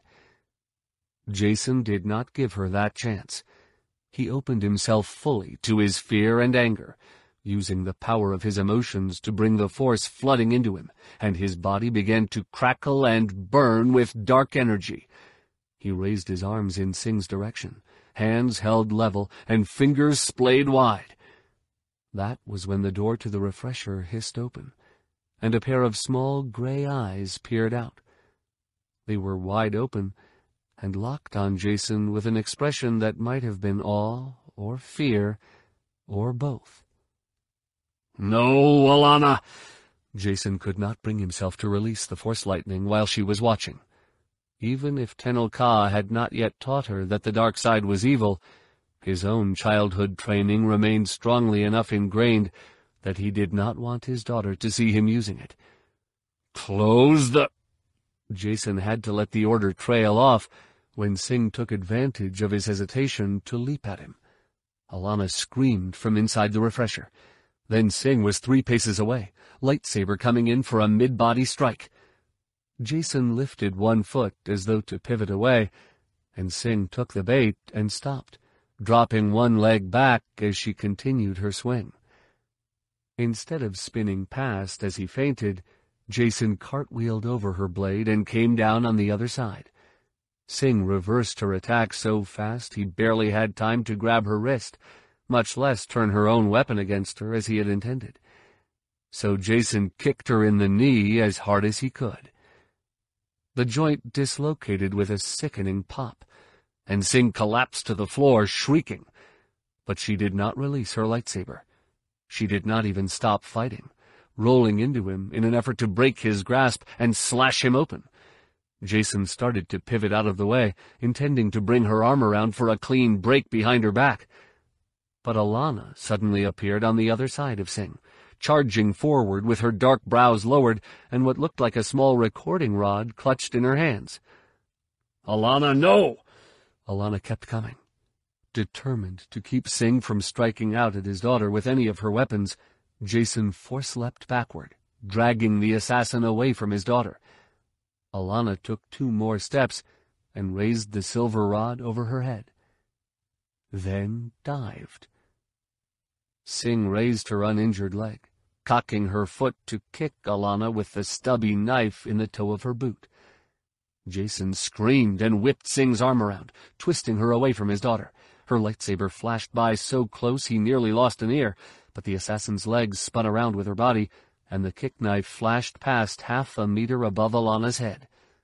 Allana landed on Sing's other leg and jammed the silver rod into her injured knee. The hiss of an auto-injector sounded from its tip, and Sing cried out in astonishment. You little shrew! Sing drew her leg back again to kick, then let it drop to the floor. Her eyes widened in anger, or perhaps it was fear. She craned her neck around, staring at Allana, and began to convulse. Jacen quickly pulled Sing's lightsaber from her unresisting hand, then held the still ignited tip to the assassin's neck. Allana, what? She'll be all right, Jacen. Allana sat up and straddled the assassin's leg, no longer afraid, if she ever had been. It was just my safety stick. Okay. Jacen was too numb and relieved to ask more or to chastise Allana for not staying in the refresher. He simply waved her off Sing's legs. Get off. She could still be dangerous. That's not what Dr. Miala says. Despite her protest, Allana climbed off Sing's legs. She says the bad person won't be dangerous again until someone gives her the antidote. Allana came to Jacen's side then squatted and looked into Sing's hate-maddened eyes. But don't be scared, she said. Jedi never kill helpless people, even bad ones like you. That's right. Jacen took Allana's hand, and, surprised by how right her words felt, pulled her up to stand at his side. We just put them in a confinement facility for a very, very long time. Chapter 20 Outside the falcon's canopy hung a streaming veil of blue and white brilliance, so intense that it made Han's eyes hurt like a fog blaster hangover. He hesitated at the back of the flight deck, trying to make some sense of what he was seeing half convinced that it was the efflux tail of some Death Star-type megaship. And if it was some big new superweapon, Han knew he and Leia would end up trying to destroy the thing before it blew up Tenel Ka's throne world or something. And he had no doubts about how that would turn out. Han was already older than Obi-Wan Kenobi had been when he died aboard the original Death Star. And on crazy missions like that, Wasn't it always the wise old man who got killed first? If it happened, Han only hoped his kids would figure out he and Leia had been no part of the assassination attempt on Tenel Ka. Dying he could take. He just didn't want to go out with people thinking he was some kind of terrorist. But the longer Han studied the blazing sheet ahead, the more he realized he could not be looking at any kind of efflux tail. There were actually two bright streams, one broad and curving and fan-shaped, the other thin and straight and braided. He finally realized what he was seeing. Scowling toward the pilot's seat, which had become Leia's until his shoulder was healed enough to fly, Han stepped onto the flight deck. "'Are you flying my ship into a comet?' "'Yes, dear.' Leia met his gaze in the canopy reflection, then shot him a brief frown, one he knew was meant to remind him that they still had a lot to learn about Morwan and the usurpers. We agreed to return Lady Morwan to her ducha, remember? Of course I remember. Han glanced at Morwan, who was in the co-pilot's chair, then dropped into the navigator's seat behind Leia. But no one lives on a comet. Actually, a surprising number of beings inhabit comets, C-3PO offered from the communications station. Hermits, pirates, fugitives, political exiles. Allgray's no hermit, Han grumbled. And even if she was, she must own a dozen empty moons already. Actually, all of the Relephon moons are inhabited, Morwan said. But we're not meeting Ducha Allgray at her residence. Han glanced down at the navigation display and saw that they weren't anywhere near Relephon. Far from it, in fact. The Hapan system? he asked. What are we doing here? The answer to that is obvious, Morwan replied. And you shouldn't be out of medbay. You need that hydration drip to keep your electrolytes in balance. Blaster burns remove a lot of fluids from your system. My fluids are just fine. Han had the sinking feeling that he knew exactly why they were in the Hapan system, and he was fairly sure that Tenel Ka could not be ready. With so much of her Royal Navy assigned to the Galactic Alliance, she would need support from the nobles still loyal to her, support that would take time to arrive. And stop changing the subject. Fine, Morwan replied. Your health is no concern of mine. If you're truly having trouble figuring out the situation, just look through the viewport. Hans squinted out at the comet. Once his eyes had grown accustomed to the glow, he saw a dark crescent of empty space at the starboard edge of the canopy, just in front of the boiling brilliance of the comet's head. Clustered close behind the head were about seventy tiny black ovals, arranged in a three-dimensional diamond commonly used to attack planetary defenses. Oh, that, Han said, trying to conceal the alarm he felt at how fast the usurpers were moving. I meant, what are we doing here? You can't intend to be a part of this fight. Morwan scowled over her shoulder at him. You doubt my devotion?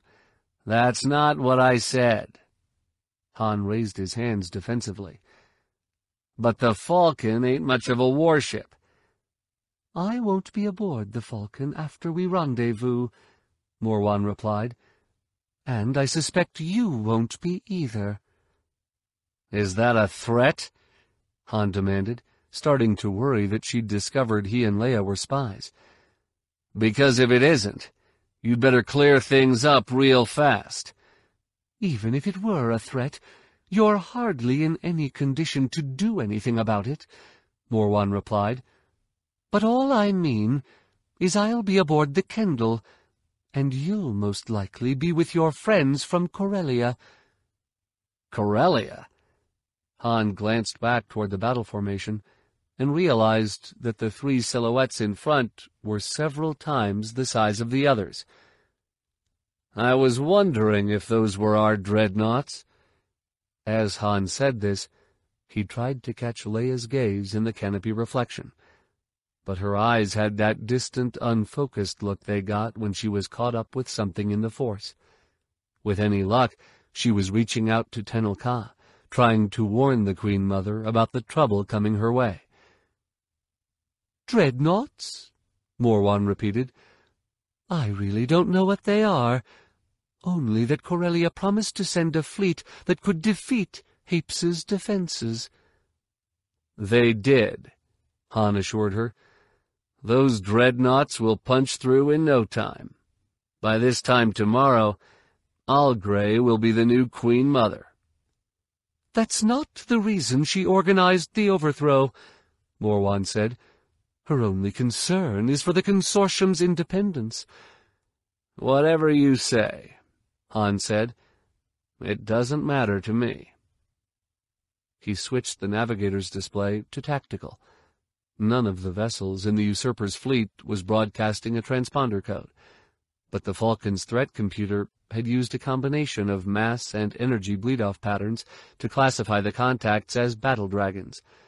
The three egg-shaped vessels at the head of the fleet, the Corellian dreadnoughts, it had designated unknown, assigning them an estimated threat level approximately twice that of Imperial-class star destroyers. The dreadnoughts were surrounded by a screen of light frigates configured for fighter defense and the battle dragons had a number of Nova battle cruisers interspersed among them. After a moment of study, Han noticed that the battle dragons were grouped in clusters with nearly identical masses and energy bleed-off signatures. It only made sense. The noble houses would be operating as subunits within the larger formation, and their vessels would tend to have standard configurations. Han stored a screenshot of the tactical display then noticed that one of the Nova cruisers had dropped out of formation and was turning to intercept them. "'Anyone in that fleet know we're coming?' he asked. "'They're sending out a welcoming party.' "'Ducha Algray won't be expecting me to arrive in—' Morwan paused to glance around the flight deck. "'A common freighter,' she finished. "'Then maybe we'd better turn this freighter around.' Han said, bristling at the disdain in her voice. Because they're not going to look in the windows before they open fire.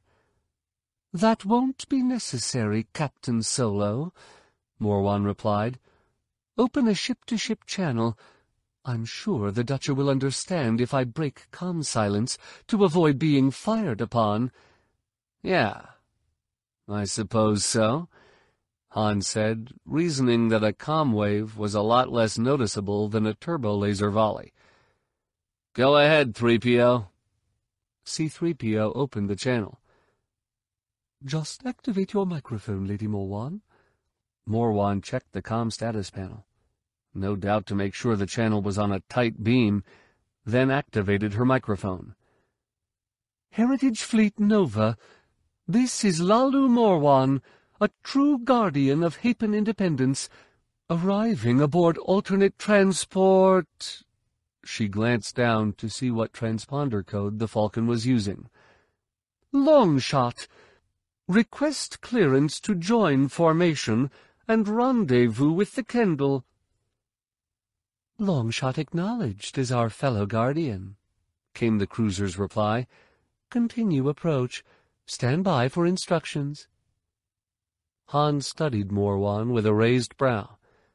Don't say it, Morwan warned. I've heard all the Lulu jokes I care to. Han dated a lot of Lulus before he met me, Leia said, finally returning from wherever her attention had been. I think he's just surprised you gave us your real name earlier. Morwan shrugged. I didn't have much choice. Aurra Sing found me, remember?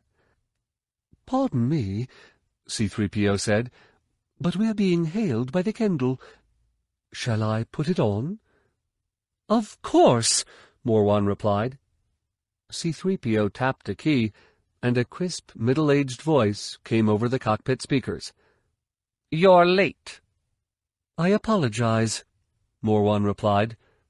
It's Lalu, your fellow guardian. Yes, yes, we're both true guardians of Hapan independence, Algray said, clearly irritated at having to use the recognition phrase. Now tell me why you're late, and why you're arriving in that wreck. Hans scowled and would have objected, except that he was busy with his tactical display, attaching the designator Kendall to the battle dragon from which the com signal was coming. Actually, this is the Millennium Falcon, Morwan explained. I was forced to turn my yacht over to our agent, and Princess Leia was kind enough to offer me a ride. Algray paused before answering.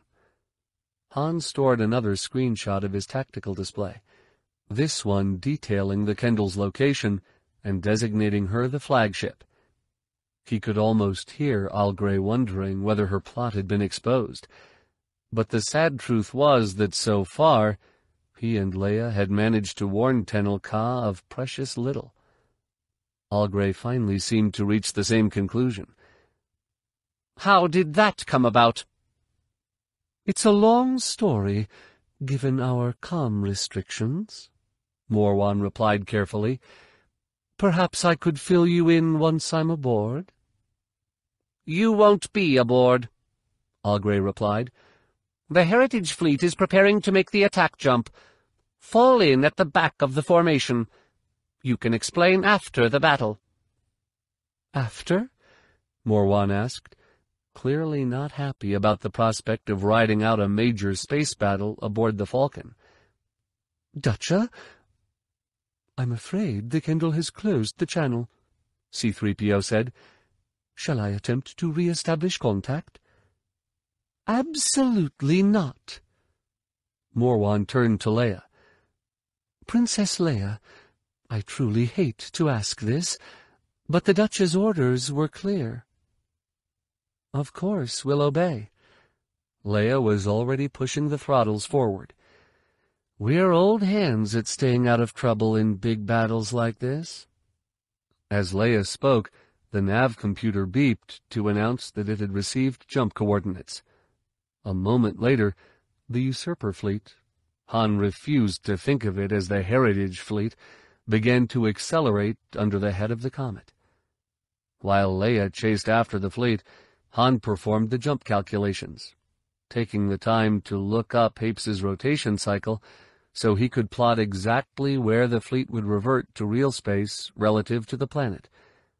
After double-checking his answers, he copied the information to a data file, then attached the two screenshots he had captured, identifying the fleet's flagship and composition. As field intelligence dossiers went, it was neither very thorough nor very timely, but it was the best he could do under the circumstances. The Falcon passed under the comet and pulled ahead. A moment later, the canopy blast tinting paled, revealing the blue circles of hundreds of ion engines spread across the darkness in front of them. The circles were accelerating toward the tiny white ball of the Hapan sun, but still growing rapidly larger as the Falcon overtook the fleet. Blast! Han said. He needed an excuse to make Leia delay a few seconds when the usurper fleet jumped into hyperspace, and he had to keep Morwan distracted at the same time. The sensor dish is sticking again. Lady Morwan, can you shut down the sensor suite just before we jump? Won't that be dangerous when we revert? she asked. We won't be able to tell where the rest of the fleet is. Not if Leia waits a bit after everyone else jumps, Han replied. And if you bring the sensors up again right after we jump, we won't be blind for more than fifteen or twenty seconds. Twenty seconds? C-3PO squawked. Eighty-seven percent of all fleet maneuver accidents occur within the first ten seconds of exiting hyperspace. Better that than being blind for the rest of the battle, Leia said, following Han's lead. I can handle it, 3PO. I have the Force, remember? Of course. Pardon me for doubting you, C-3PO said. It's impossible to assign a safety coefficient to the Force, but I'm quite sure we're as safe with you flying blind as we are even when Captain Solo has all his instruments. Han would have reminded the droid that he had not gotten them killed yet, except that the blue circles ahead had begun to swell more slowly as Leia matched the fleet's velocity. He quickly formatted his intelligence dossier for transmission, then watched in silence as the Falcon slid into position at the rear of the formation. Finally, the voice of a female maneuvering chief came over the cockpit speakers. Jump in three. Leia put her hand on the hyperdrive actuator, and Lady Morwan reached for the sensor controls. Two. Han turned to C-3PO and held his finger to his lips, then cranked their S-thread unit to maximum transmission power and switched to a general hailing channel. Mark. Space ahead flared blue as the usurper fleet accelerated to jump speed. Deactivate sensors, Leia ordered. Morwan used both hands to pull the sensor sweep glide switches to their off positions, and space went dark again as the usurper fleet entered hyperspace. Han hit the transmit key. Leia waited another second, then shoved the throttles to maximum and activated the hyperdrive. The stars stretched into a pearlescent blur. Han returned the comm unit to its previous settings, then caught C-3PO looking at him with a cocked head. It was hardly necessary to do that yourself, the droid said. I'm perfectly capable of— Your timing's no good, Han interrupted, worried the droid was about to mention the S-thread message. And that's the last I want to hear about it. But my timing is excellent, C-3PO protested. My reaction speed is less than two one-thousandths of a second, which is two magnitudes better than yours. Han means that it's a matter of judgment, Leia said. There were too many variables to define in the time available. Oh, I see, C-3PO replied, sounding calmer.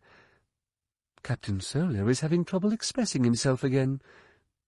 I'm going to trip your primary circuit breaker, Han said. Is that clear enough? That's hardly necessary. C-3PO retreated toward the far side of the flight deck. If you want me to keep quiet, all you have to do is say so. Morwan turned around in her seat. Keep you quiet about what, 3PO? C-3PO glanced briefly in Han's direction. I'm really not at liberty to say, Lady Morwan.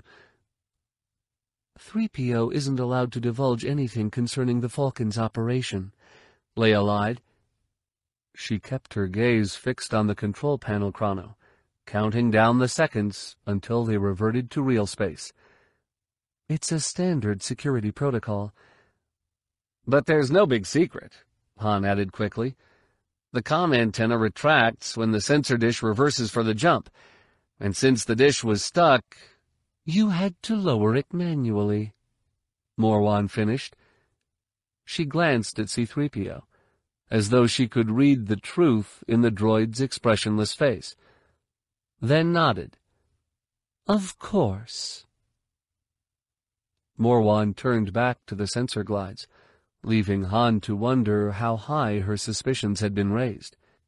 Even had she not believed before that he and Leia were spies, C-3PO's gaffe had clearly planted the seed. The reversion alarm chimed, and an instant later the gray veil of hyperspace erupted into a wall of crimson energy.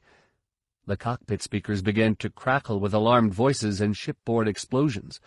Then the invisible fist of a turbo-laser strike glanced off the Falcon's top shields, pounding her so hard that C-3PO clanged to the deck on his back.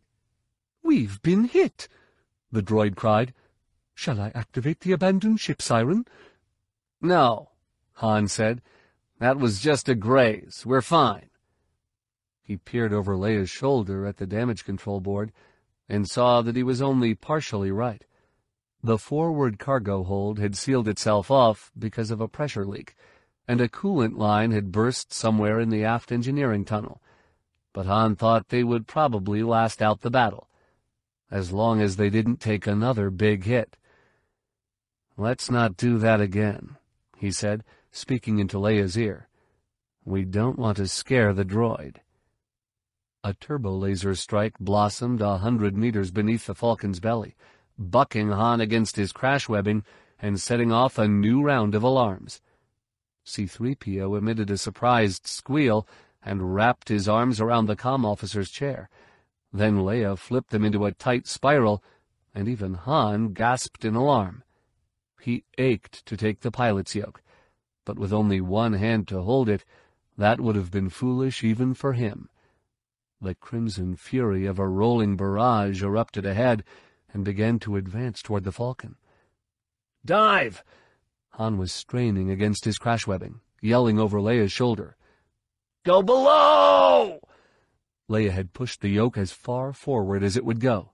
Trying, the barrage passed over their stern, bucking the ship hard enough to bang C-3PO against the floor, and to send a bolt of pain shooting through Han's wounded shoulder. A glowing red disk appeared ahead, then quickly expanded into a sheet of half-molten metal that had once been the upper saucer of a Hapan battle dragon. Escape pods were spraying from the vessel like shooting stars, and momentary fists of flame kept punching out through breaches in the hull. Pull up! Han cried. Leia was already bringing their nose up, and the battle dragon began to swing out from beneath the falcon. Trying, they leveled off just above the battle dragon so close to the half-melted hull that the temperature inside the Falcon began to climb.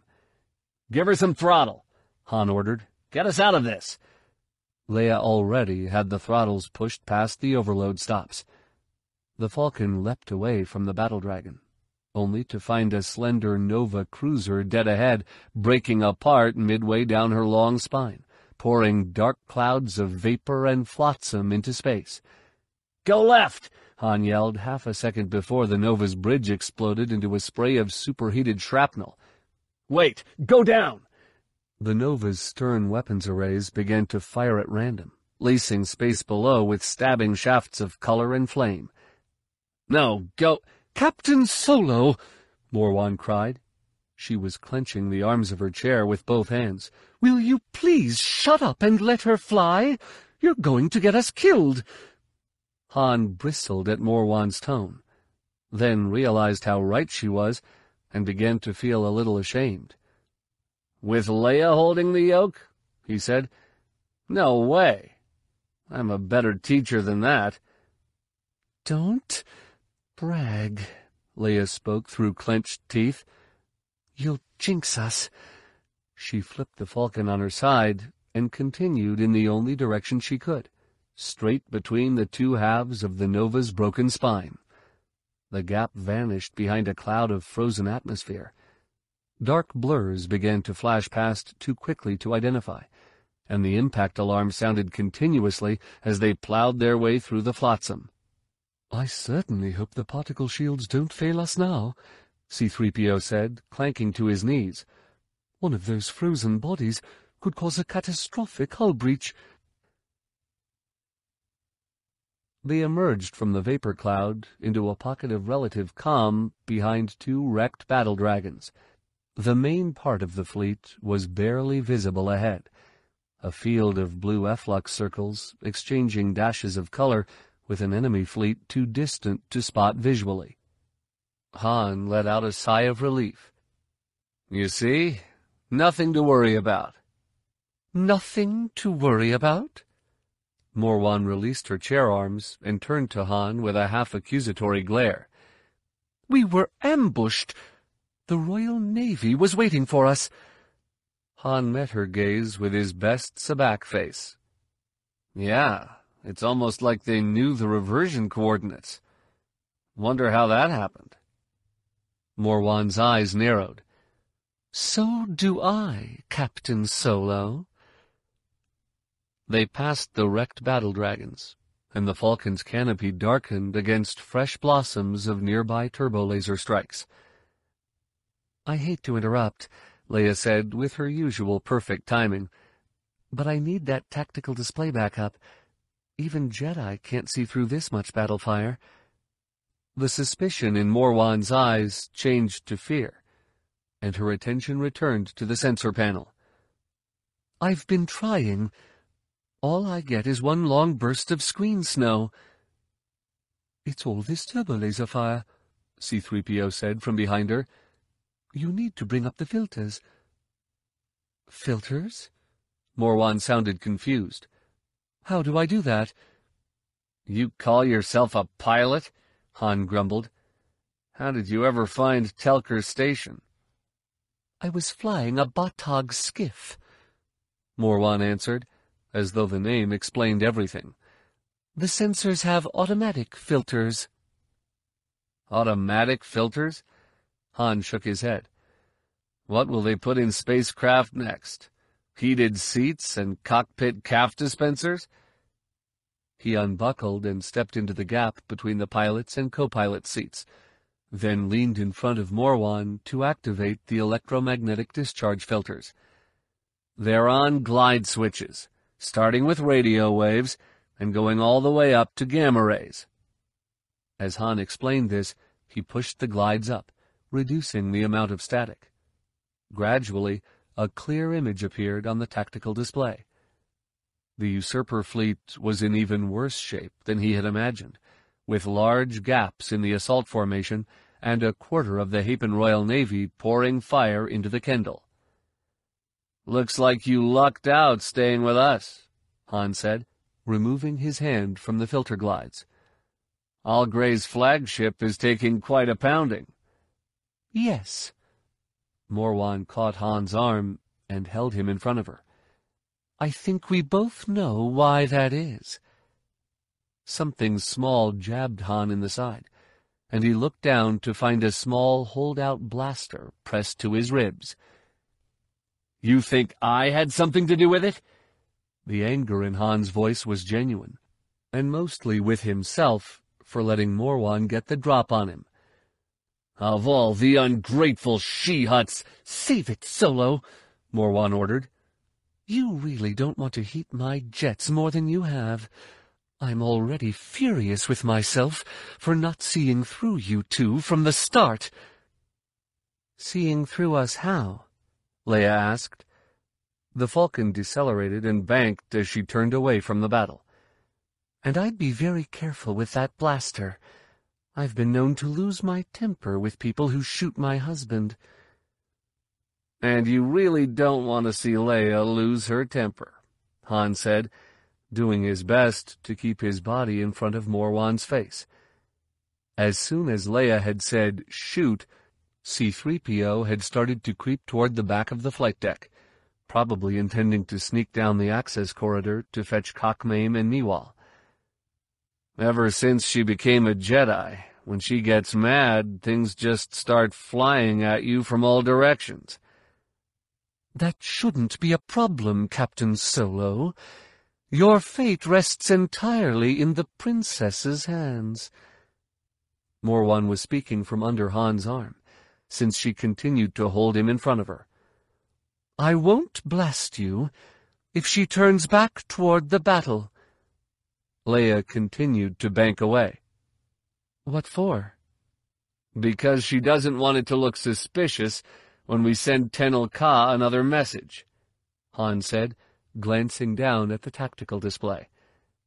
Protected by their powerful shields and multi-layered hulls, two Corellian dreadnoughts were continuing to press the attack, with what remained of the usurper fleet close behind. She wants to tell Tenel Ka to tighten up and hold her position.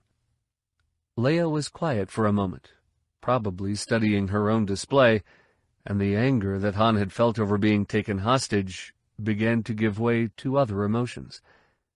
Knowing that Leia would be sensing the change through the Force, he only hoped she realized that the fear he was feeling was only for Tenel Ka. The last thing he wanted was for Leia to think a little thing like having a blaster stuck in his ribs was starting to bother him. After a moment, Leia asked Han, You think the dreadnoughts can actually break through? Han nodded. That's what they were designed for, to penetrate an enemy fleet and tear it apart from the inside. And if that strategy works... They'll go after Tenel Ka, Leia finished. And it won't matter whether they win the ship-to-ship -ship melee that follows.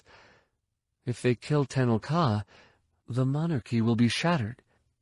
And the Heritage Council will still be in position to put the consortium back together again, Morwan said. Very astute, Princess. C-3PO reached the back of the flight deck and began to clank down the access corridor. Morwan didn't even turn to look. It sounds as though we're running out of time, Princess. Will you turn back now, or do I blast your man? Hmm, Leia said. That's a tough decision. On one hand, I would inherit this old transport that's classic transport, Han corrected.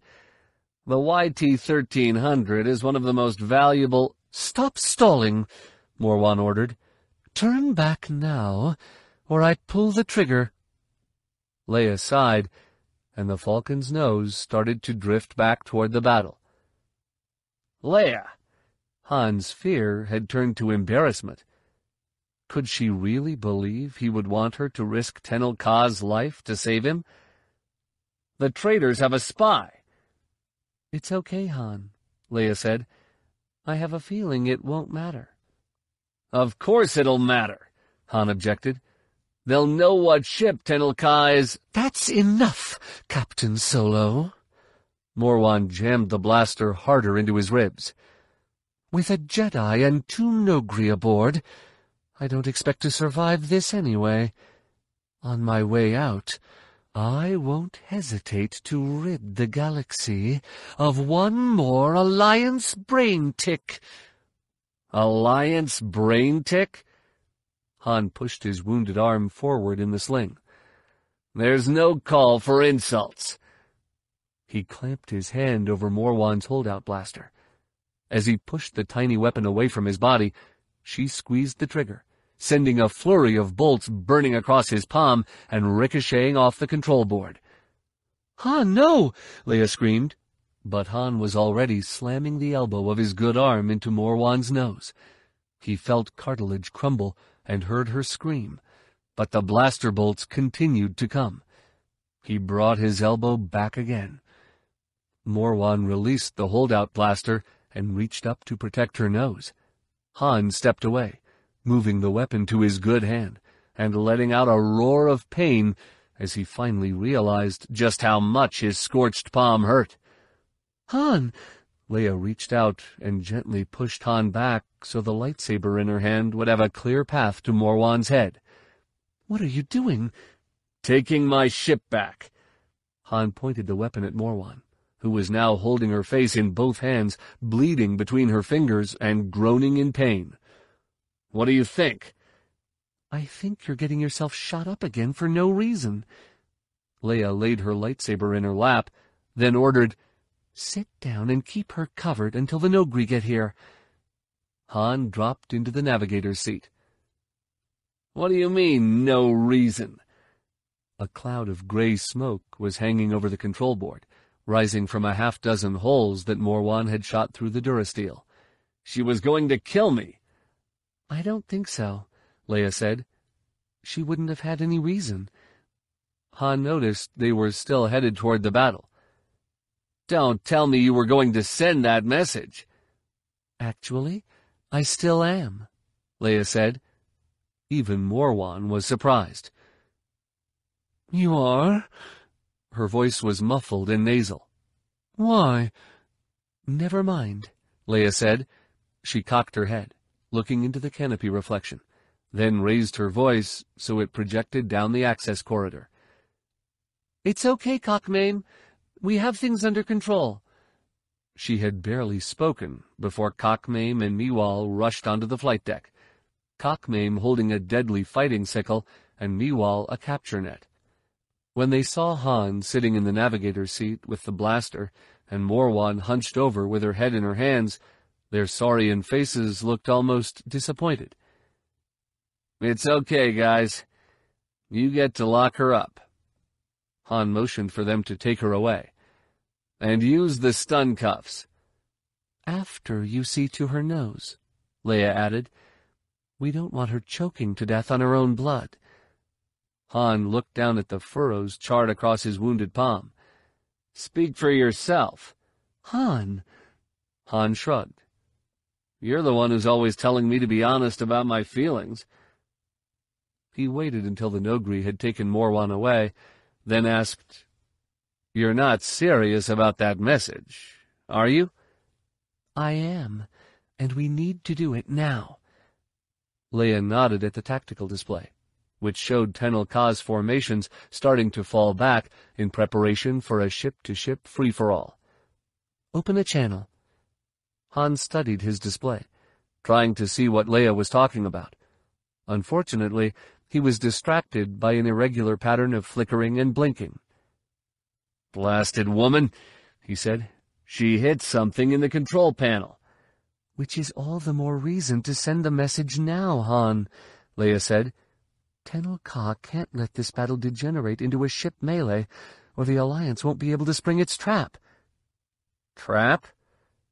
Something popped in the control panel, and smoke began to pour out of a hole in front of the co-pilot station. Han cursed, and ignoring all the blood Morwan's broken nose had sprayed everywhere, slipped into the co-pilot seat. The tactical display there was no better than the one at the navigator's station, but he could see clearly enough to tell it did not show any Alliance fleets. I don't see a trap. Leia fell silent for a time, then said, Listen, Han. If you can't do this, just say so. Now Han was growing really confused. Do what? It's okay, Leia said. I'll understand. Good, Han answered. That makes one of us. Leia dropped her chin and glanced over, giving him one of her patented, I know you're lying looks. Leia, what are you talking about? Once you send the message, we both know our names will be Hutt Slime in Corellia, Leia said. Gejjen will know we were working against them here, and you'll be branded a traitor. Leia's words hit Han hard up near the heart, and he realized she was right. If they helped Tenel Ka now, it could only be in the open, and the Corellian High Command, Wedge, Gejjen, all of them, would know he had chosen Hapes over his homeworld. But how could Han not choose Tenel Ka? Corellia was in the wrong here trying to assassinate a sovereign leader and expand the war just to win a more favorable negotiating position, trying to plunge 63 worlds into a civil war that would make the Corellian conflict with the Alliance look like a spitball fight. Leia, my reputation doesn't matter, he said. My conscience does. Leia smiled in relief. I'm so glad, she said. That's what I thought. But I didn't want to make the decision for you. Great. I appreciate that, Han said. But I still don't have any idea what you're talking about. I told you I had a feeling, Leia said. And then you made a grab for Morwan's blaster. Han frowned, remembering that Leia had said something about a feeling. Oh, that kind of feeling. Why didn't you tell me that's what you meant? Leia rolled her eyes. What could I say? Trust me? I guess not, Han admitted. He felt a little foolish for missing the hint, but he couldn't be expected to read Leia's mind all the time. After all, he wasn't the Jedi. But look, I can't just open a channel to Tenel Ka and say, hang tight, kid, the Solos are on their way. What kind of trap did you sense? Leia shook her head. I don't know exactly. Back at the Comet, I sensed someone watching us. Han remembered Leia's distant expression when he thought she was trying to warn Tenel Ka. A Jedi? Leia nodded. I think it was Tesar, but he wasn't sure about me and closed down pretty fast. Han frowned in concentration. And since you felt Jaina watching us back at the Kiris's... Exactly, Leia said. Chances are that whoever was watching the Kiris fleet there followed it here. Han switched the comm unit to the hailing channel, which they would need to use since they didn't have the codes or frequencies for Tenel Ka's fleet. Another streamer of smoke began to rise from the shield array panel, and when he tried to adjust the glides, the readout did not change. Uh, before I send this message, maybe you'd better put yourself into a Jedi flying trance or something. Han, I'll be open to the Force, Leia said. But there really is no such thing as a Jedi flying trance. Too bad, because I think our shields are stuck. Han looked over at Leia and blew her a kiss, then activated his microphone and began to broadcast on the general hailing channel. This is a message for Queen Mother Tenel Ka from Han Solo. Listen up, kid. I've got something important to tell you. Chapter 21 Outside the viewport of the depot cantina hung a glorious aurora a luminous explosion of green and violet and scarlet fanning across the face of the transitory mists from the direction of the star Roku. The spectacle was a testament to the vast sweep of the mists and the ferocious power of a blue giant's solar wind.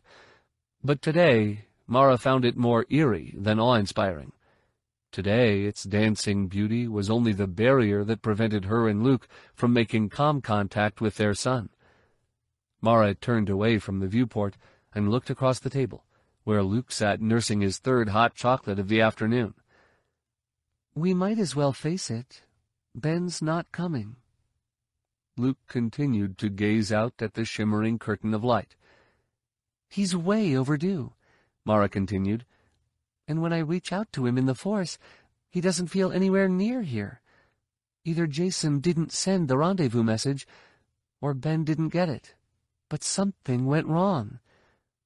Luke nodded and took another sip from his mug. And something wrong is coming, he added. Don't you feel it? Now that Luke had mentioned it, Mara could feel something. It wasn't much, just a faint prickle easily mistaken for a chill, but it was there. Mara turned back to the viewport. But this time she studied the reflections in its corners instead of the aurora outside. Most of the customers she could see in the murky cantina were good-looking humans, typical Hapans, and without exception they seemed more interested in their meals or the Faline Glimmick singer on stage than in the Skywalkers. The non-humans, a dozen blue-skinned Duros, some anvil-headed Arcona, and a couple of Mon Calamari, seemed transfixed by the aurora beyond the viewport. And the Twi'lek family who ran the place was being kept far too busy to pay attention to anyone not ordering something. Mara looked back to Luke. You think Jacen set us up? I do. Luke's voice was steady, but their force bond was permeated by sadness, and by a sense of bewilderment and failure. If Tenel Ka hadn't verified it, I wouldn't even believe he had sent Ben to find Jaina and Zek. Mara sighed. I have to admit, I'm beginning to feel a bit like a fool for placing my faith in Jacen. Don't, Luke said. We both trusted him, and I'm still not sure we were wrong. Jacen helped Ben overcome his fear of the Force. We can't forget that. How could I? Mara asked. But if he has set us up, if he's leading Ben into the dark side... Now who's leaping to conclusions? Luke leaned across the table and took her hands. In a low voice, he added, Look, even if Jacen is working with Lumiya, I don't think it's been for long. And it doesn't mean he's becoming a Sith. It doesn't mean he isn't, Mara countered. We can't know what's going on between him and Lumiya. I know Jacen, Luke said quickly. Whatever he's doing, it's because he thinks it's right for the galaxy. Once he realizes he's mistaken, he'll be easy to bring back. Mara considered this, trying to recall when she had ever seen Jacen do anything selfish, trying to think of anything, even after assuming command of GAG, that Jacen had done out of self-interest rather than for the good of the state. After a few moments, she nodded. Her fear for Ben and her anger at feeling deceived by Jacen were beginning to affect her judgment. You're right, she said, but we'd better work fast. Jacen is too powerful already, and if Lumiya has her hooks in him, it won't be long before he reaches the point of no return. We can't let that happen, Luke. We can't let him drag the galaxy down with him. We won't, Luke assured her. We stopped Raynar, didn't we? You're not inspiring much confidence, Mara said. After crash landing near a nest of Killiks, Raynar Thule had joined their culture, eventually rising to become the leader of a powerful insect civilization. Under his guidance, the colony had expanded to the edges of the Chiss Ascendancy, provoking a border war that Luke had averted only by capturing Raynar in personal combat. Look how well that worked out. He's been locked in the temple basement for how long?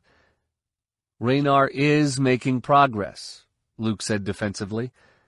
He's accepted a prosthetic arm and is considering cosmetic surgery to repair the burn scars. That should come in handy when he escapes, Mara said. He won't scare so many little children on the way to the Undercity. Luke frowned at her sarcasm. The surgery will help Raynar see himself differently, he said. Cilghal says that will be a big step in his recovery. Okay, so maybe he'll be cured in another two or three years. Mara rose and hiked up her equipment belt, which tended to slip down on her hips now that she was carrying the extra weight of the Shoto she had built in anticipation of meeting Lumiya.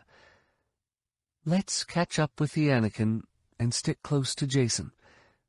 Ben will show up there sooner or later, if he hasn't already. Luke rose and started toward the door, and suddenly the uneasy prickle he had been feeling blossomed into full-blown danger sense. He glanced around the room, trying to locate the source of the threat. He felt nothing menacing from the other patrons, but that didn't stop him from pulling his lightsaber off his belt as casually as possible. Mara already had her weapon in her hand, though, like Luke, she held it down at her side to avoid sparking a panic. You feel it too? Let's go, Luke said. He weaved through the crowd toward the nearest exit hatch, and Mara stayed close on his heels. If they allowed a fight to start in here, a lot of innocent beings would suffer. They were a few paces from the exit when a hunched figure appeared in the bare Durasteel corridor outside the cantina, hobbling out of an intersection about six meters up the way. She was wearing a bulky black cloak with the hood pulled up, and she was being careful to keep her face turned away from the ceiling lights. Luke had just enough time to realize that he did not feel her presence in the Force before she brought her arm forward and sent a silver tube tumbling down the gray corridor toward him. A set of flashing diodes midway down its length confirmed the cylinder's nature. He raised his arm and used the force to hurl the tube back up the corridor. Grenade! He yelled. The grenade was almost back to the intersection when the corridor erupted into silver brilliance. A tremendous bang shook the cantina, and Luke found himself tumbling backward over a table, ears ringing and spots dancing before his eyes. He hit the floor amid a torrent of spilling drinks and flailing customers.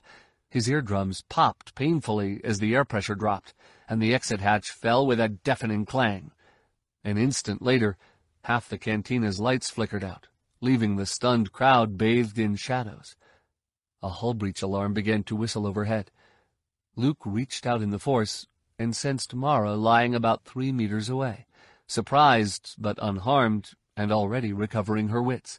He sprang to his feet and saw that the area closest to the exit had taken the brunt of the explosion, with perhaps two dozen beings lying on the debris-strewn floor in various states of injury.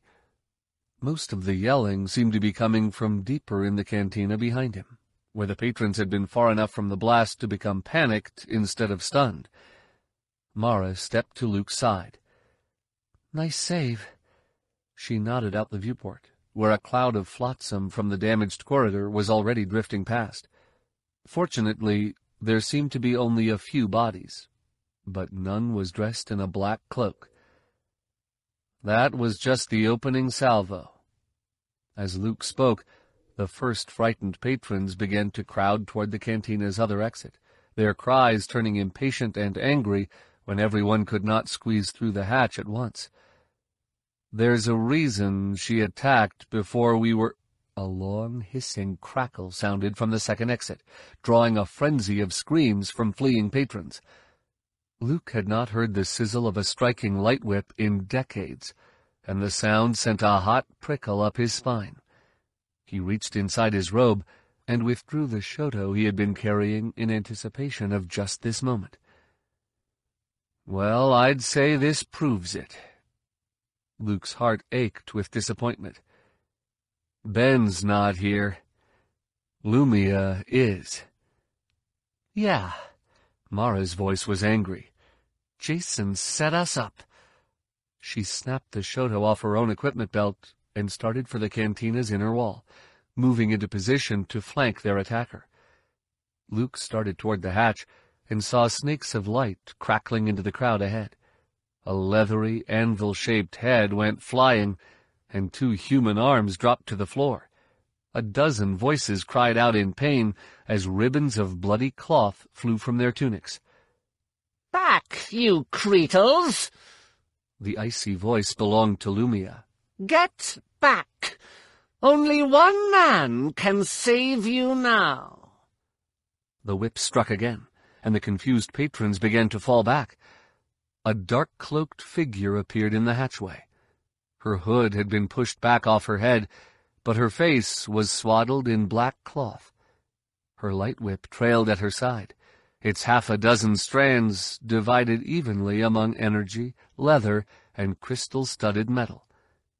Luke started to push toward her, using the force to subtly move people aside as he fought against the retreating crowd. You! Lumiya pointed a long finger in Luke's direction. Lay down your blades and kneel. Not a chance.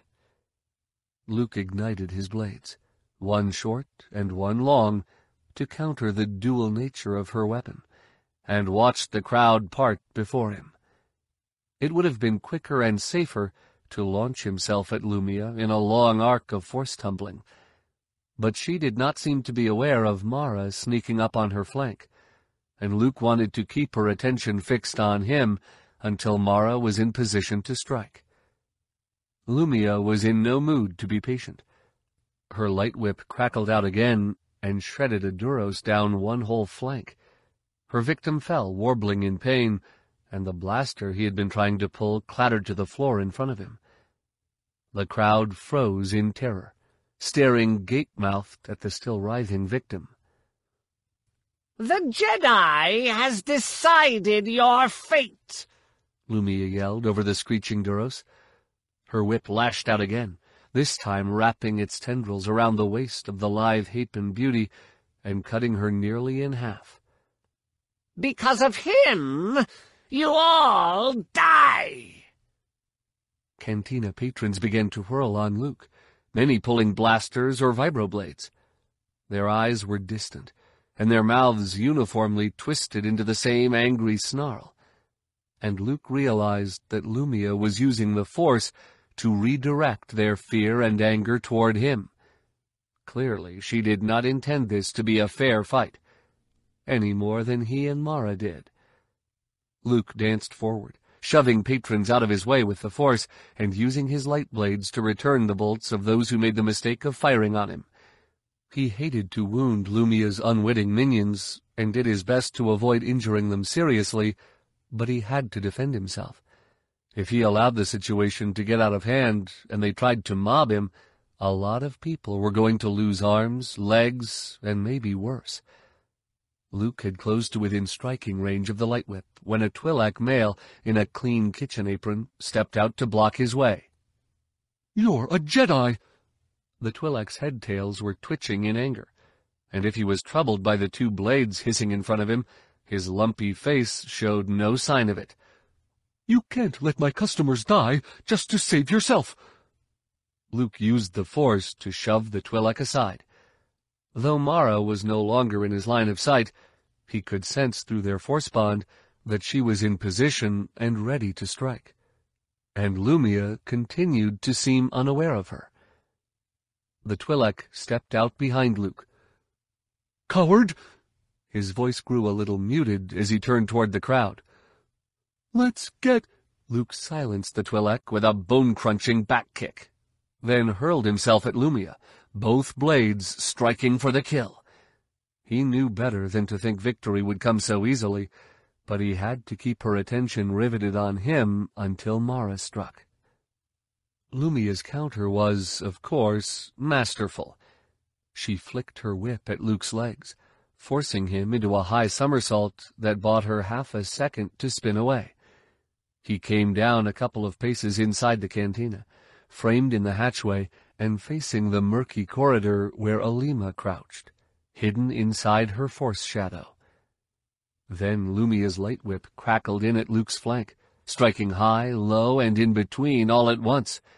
He pivoted around to defend himself, filling the air with sparks and ozone and flying shards of kyber crystal as he blocked with the short blade and used the long to cut away one of the strands.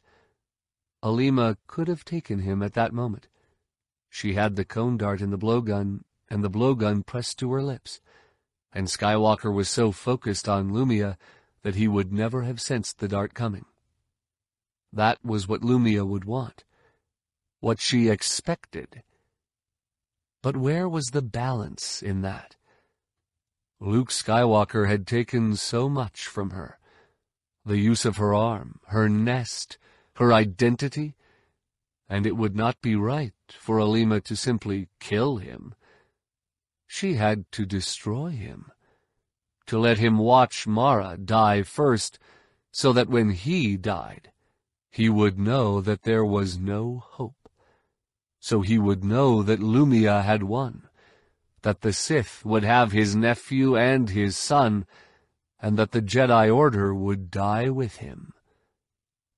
So Alema held her dart waiting motionless, while Lumiya's light whip flashed again and again, keeping Skywalker framed in the hatchway for her, striking at his flanks and head to keep him from pivoting or somersaulting, or simply advancing out of her line of sight.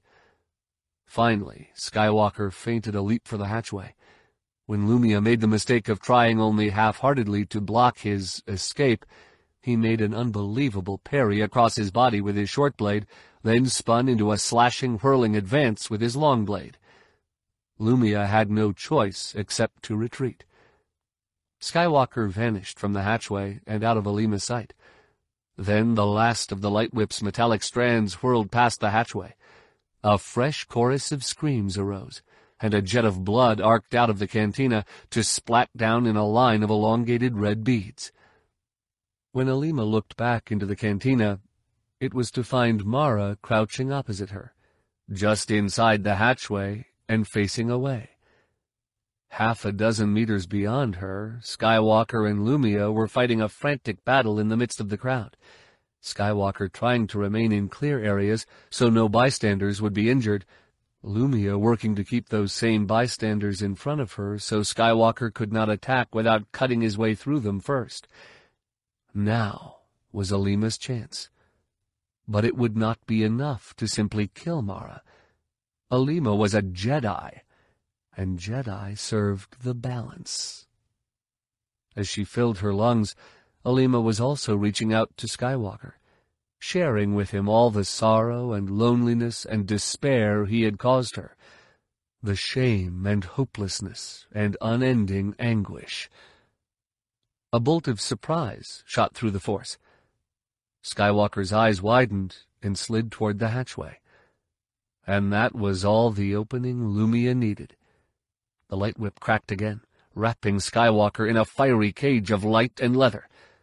The short blade went flying, taking along the hand that had been holding it, and Skywalker's robe fell away below the armpits in ribbons, leaving the air pink and smoky with blood and charred flesh. Alema emptied her lungs, and the dart shot from the blowgun. Mara heard Luke screaming, and thought it was only because he had been so badly hurt. But then he touched her through their force bond, and she realized he was frightened for her, that something was coming at her only slightly under the velocity of a blaster bolt. She dived away, and felt her skin prickle as something tiny and dark shot past her shoulder. A female Twi'lek cried out in astonishment, and when Mara rolled back to her feet, it was to find one of the cantina owner's wives standing a couple of meters in front of her, staring back through the hatchway as she plucked a tiny cone-shaped dart from her thigh. Clearly, Lumiya had brought her back up. But Mara had no time to think of likely candidates. Twi'lek suddenly began to tremble and gasp for breath. Then her leg buckled, and she collapsed in convulsions. Poison. Mara whirled around to charge through the hatchway, only to find it blocked by a swarm of terrified Hapans trying to flee. She deactivated her weapons and rushed into their midst, force-shoving the leaders into the dark corridor ahead of her. Luke was badly wounded, and she knew it, but she was not going to save him by giving the dart blower another shot. As soon as she was through the hatchway, she reignited her blades and spun toward the dark corner from which the dart had come. There was nothing but shadow.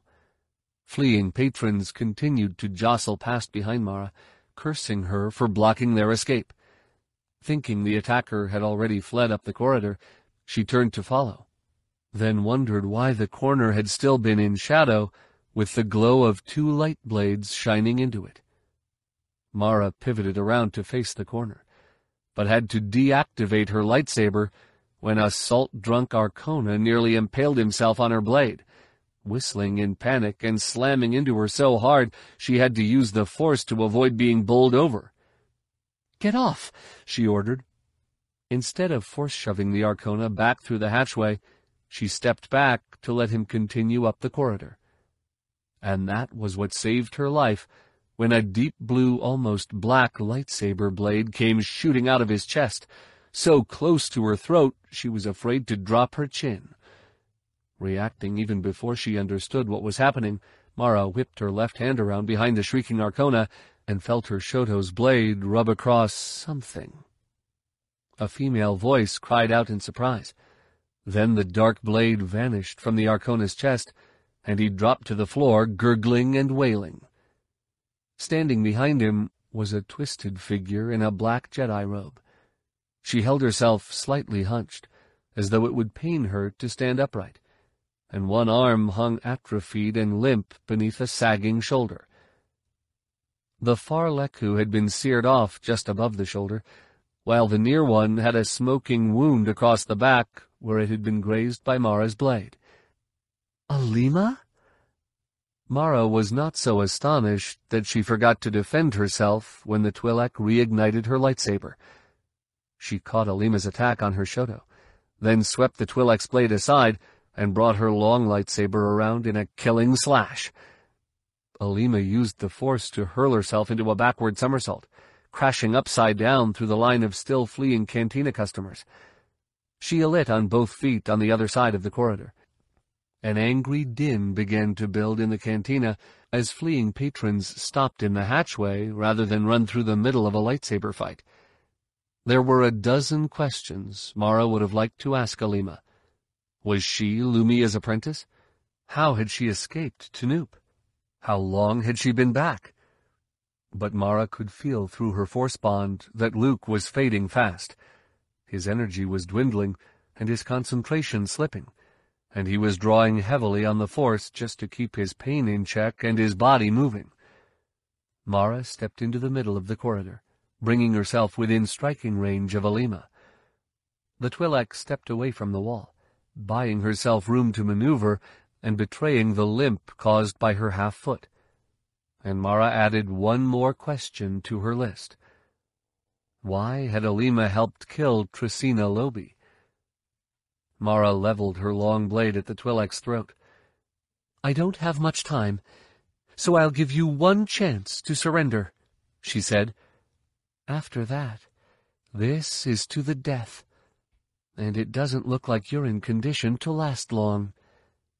Alema glanced toward the cantina, where the crackle of Lumiya's light whip was growing both louder and more frequent, and the sneer that came to her lip was surprisingly confident. You could let us limp away, she said. We promise to go. Mara grew cold and angry inside. That was your chance.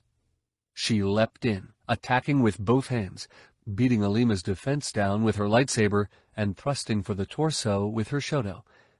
Normally, she would never have risked such an all-out attack, but Alema was not much of a challenge, and Luke was running out of... As overconfidence always does, Mara's proved costly. Alema dropped her lightsaber and stretched out her arm, driving her sharp Twi'lek finger talons into Mara's throat and twisting aside so that the short lightsaber slipped past without hitting anything. Mara's breath stopped instantly, and she felt herself choking on something wet and warm. She started to bring her arms together, intending to cross her blades through Alema's body, then realized they had dropped to her sides. She started to bring them up, but Alema's eyes had grown dark, and tiny forks of energy were crackling across her blue face. Mara did not have the half-second it would take to raise her arms again, so she simply threw herself backward, pulling her throat off the talons and bringing her legs up to either side of Alema's. A bolt of blue lightning crackled past above her face, so close she saw it even through closed eyes. Mara was already scissoring her feet, catching the Twi'lek below the knees with one leg and above the knees with the other. The two foes hit the floor in the same instant, Alema coming down hard on the back of her head. The Twi'lek went instantly limp, her arms and body flopping to the floor as though her robe were filled with warm gel meat. Mara sat up, already bringing her lightsaber around to lop off Alema's head, then stopped the blade just centimeters above the Twi'lek's throat. She could not kill an unconscious foe even one who had betrayed the Jedi Order, even when she was in a hurry to help Luke. Having knocked out enough beings to be certain Alema was not faking her unconsciousness, Mara put away her weapons and spun to her knees. She could sense that Luke's strength was continuing to fade, and that he was starting to doubt his ability to prevail. But leaving the Twi'lek armed and free, even when she was unconscious, was not an option. As the exodus of patrons resumed through the hatchway, Mara bound Alema's hands behind her back and collected her lightsaber and blowgun from where they had been dropped. Then she opened the Twi'lek's robe to check for concealed weapons, and was suddenly very glad she had stopped short of killing an unconscious enemy.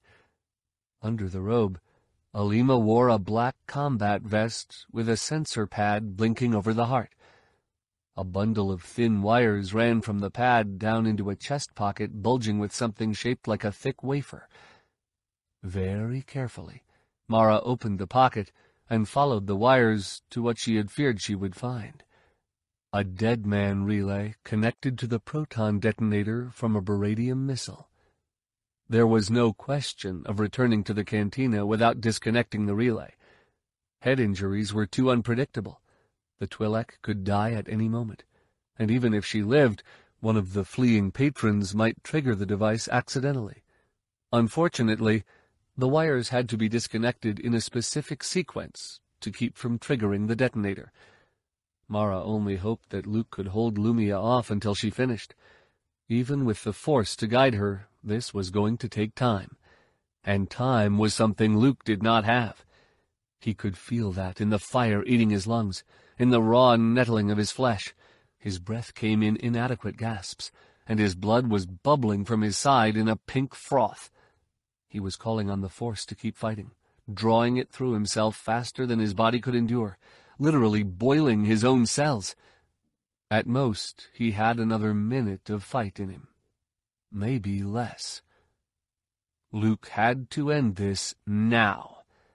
He blocked a pair of crackling energy strands with his lightsaber and flung them aside, then launched himself across a clackball table toward Lumiya. She countered by pivoting away, bringing between them a Twi'lek serving girl. He could have continued the attack, slicing through the chests of both shield and captor, but even desperate, he could not kill a hostage. He threw himself into an aerial cartwheel and came down on a slick, utensil-strewn floor, squarely facing Lumiya. Her hand flicked, and the light whip came arcing toward his head. Luke dropped to his haunches and let it crackle past overhead. Then, when Lumiya started to back away from the expected lunge at her midsection, he hit her hard with a force shove and spun her half around. She crashed into a drink table and nearly fell, but quickly brought her hostage around to protect her from an attack. Luke smiled and raised his arm, pointing his lightsaber toward the serving girl. Then, using the force to wrench her free of Lumiya's grasp, he sent her flying across the clackball table. She crashed down on the other side in a heap, screaming in terror, but far safer than she had been a moment earlier. By then Lumiya had recovered from her stumble, and the light whip was snaking back toward Luke. He sprang into a roundoff, wrapping the tip of his blade into the crackling strands as he passed over upside down. He landed on the clackball table's squishy surface and jerked backward with all his might. And that was when his mangled body failed him.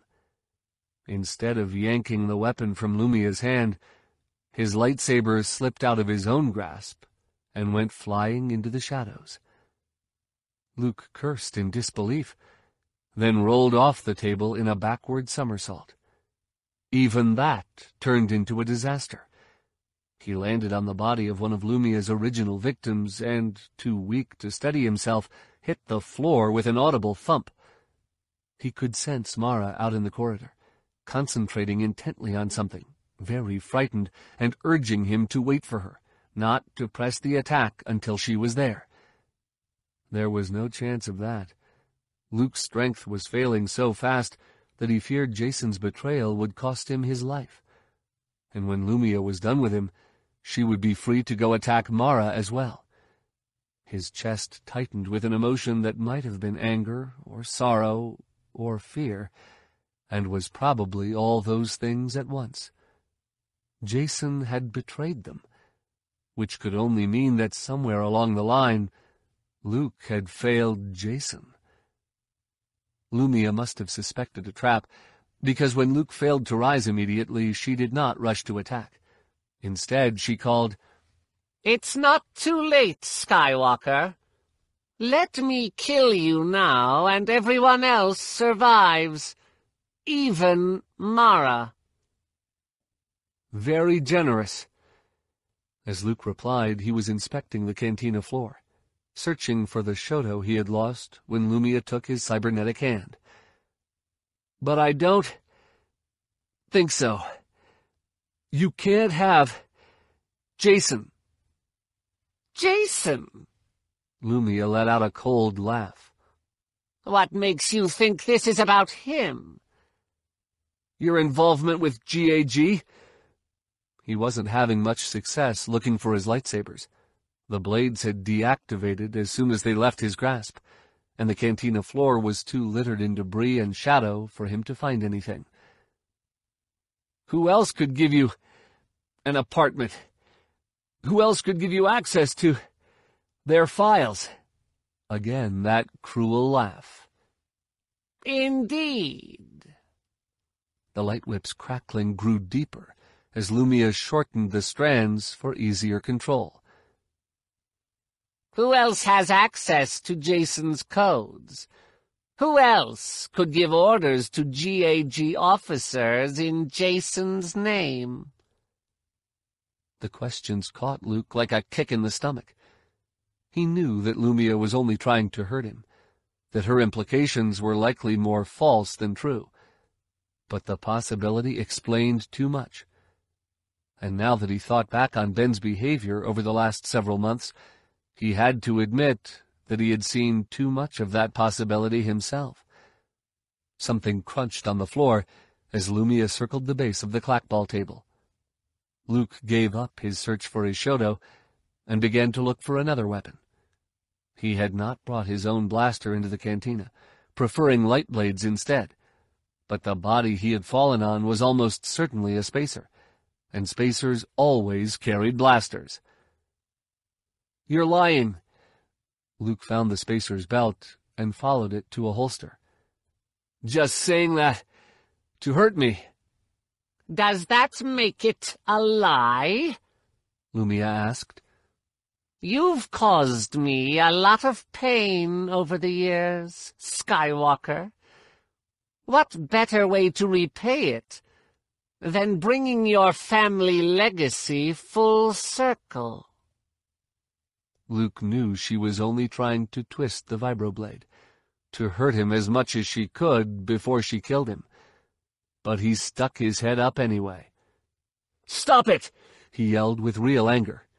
You'll never make a Sith of my— Luke never had a chance to say son.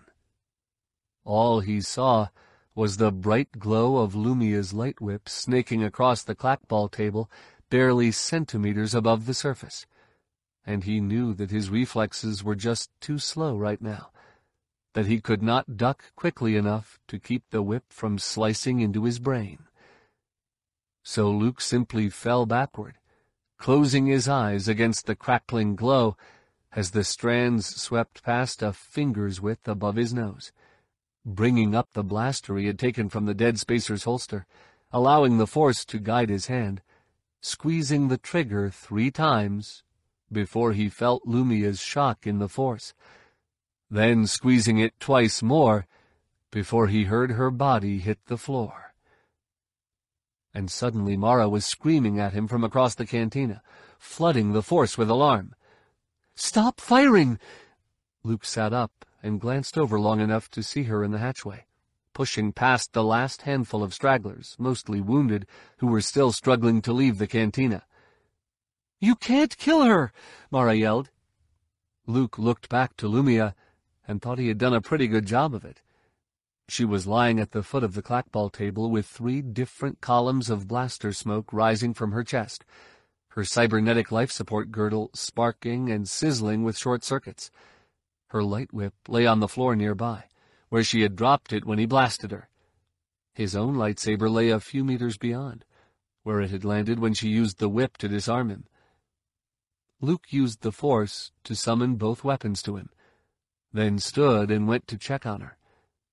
To his surprise, Lumiya's eyes were focused and alert, and horribly bugged out with pain. As soon as she saw him, they crinkled at the corners as though she were smiling. That tiny act made his spine ache with danger sense. But he tried not to let that show when he spoke. Mara's coming, he gasped. She'll try to save you. Maybe not. Mara came up behind him and took one look at Lumiya, then said, In fact, not a chance. She grabbed Luke and tried to pull him away, but, still fighting his pain, he pulled back and remained where he was. Mara, we can't leave her. Yes, Luke, we can. Mara leaned down and pulled open Lumiya's robe, revealing, aside from the blaster wounds and life support girdle, a black combat vest with a sensor pad over the heart. The diodes were blinking weakly and erratically. In fact, I think we'd better run. Chapter 22 With a swarm of pincer-winged Miy'tils nibbling at the forward shields and a Nova-class battlecruiser chewing on the stern, Leia was jerking the pilot's yoke around at random just trusting to the force and blind luck to get the Falcon through the storm of enemy fire. How Han had done this for forty years without getting them blasted to atoms, or at least developing a nervous stomach, was beyond her imagining. She only hoped she was a good enough pilot to see them through until the Alliance's rescue fleet arrived, and that she had not been wrong about it coming. Golden shimmers of dispersal energy began to appear a few meters ahead, a sign that the Falcon's shields were overloading. Leia ignored the flashing maelstrom long enough to glance at the co-pilot seat, where Han sat hunched over a disassembled shield adjustment panel. C-3PO stood next to him, trying to hold the panel steady against the control board while Han worked. How are those shield repairs coming? Even I can't splice a moving target, Han complained. Hold still, 3PO. It's not my fault, C-3PO replied. Holding still is quite impossible while Princess Leia continues to evade enemy fire. The Falcon's inertial compensators are simply inadequate for this kind of maneuvering. The Falcon lurched forward as a turbo laser struck the rear shields, and then an alarm chime sounded from the control board announcing a desperate need to redistribute the shield power.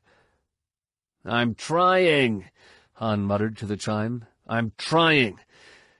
Leia swung wide to avoid a flight of concussion missiles. The Falcon shuddered as the Noghri, operating the cannon turrets, cut loose with the quad cannons. The Miy'til that had launched the attack erupted in a boiling sphere of flame. C-3PO squawked in alarm. That's my hand, Captain Solo. Stop whining, Han ordered. It didn't even burn through. I'm still going to require a new metacarpal covering, the droid complained. Perhaps we wouldn't need to evade so wildly if Princess Leia were to travel in a direction opposite the enemy. I can't, 3PO, Leia said. At the moment, she was flying away from the usurpers at a right angle, doing her best to keep the Falcon pointed toward the glowing yellow crescent of Hapes's third moon, Migos. We'll get caught in the crossfire. Crossfire? C-3PO asked. Between whom? I didn't see a friendly fleet exit hyperspace behind us. It will be here, Leia said. Sure, any day now, Han added. Leia could hardly blame Han for his skepticism the Alliance rescue fleet should already be attacking, and the brief brush of force contact she had felt earlier was hardly confirmation of its existence. But nothing else made sense. She had sensed Jaina and Zek watching as the Falcon departed the Kiris asteroid cluster, which could only mean that the Galactic Alliance had been waiting for the right opportunity to pounce on Corellia's secret assault fleet. So why weren't they pouncing? A turbo laser strike erupted close to port, throwing the Falcon sideways and slamming C-3PO into the back of Leia's seat. The droid bounced off and crashed to the deck, leaving a tangle of broken wires sparking in an empty control board socket. Oh dear, C-3PO said from behind Leia. I seem to have pulled the shield adjustment panel away from the control board. Now it's going to take Captain Solo twice as long to make repairs. Forget it, 3PO. The fusing pen gave a soft snap as Han deactivated it. We never had a chance. The resignation in Han's voice worried Leia more than any amount of yelling or cursing would have. It almost seemed as though he did not believe they would get out of this, as though he did not think she was a good enough pilot to save them. Sorry I missed your signal about the message thing. Han said to Leia. Getting the control board shot up is going to cost us. No, Han. I'm sorry, Leia replied.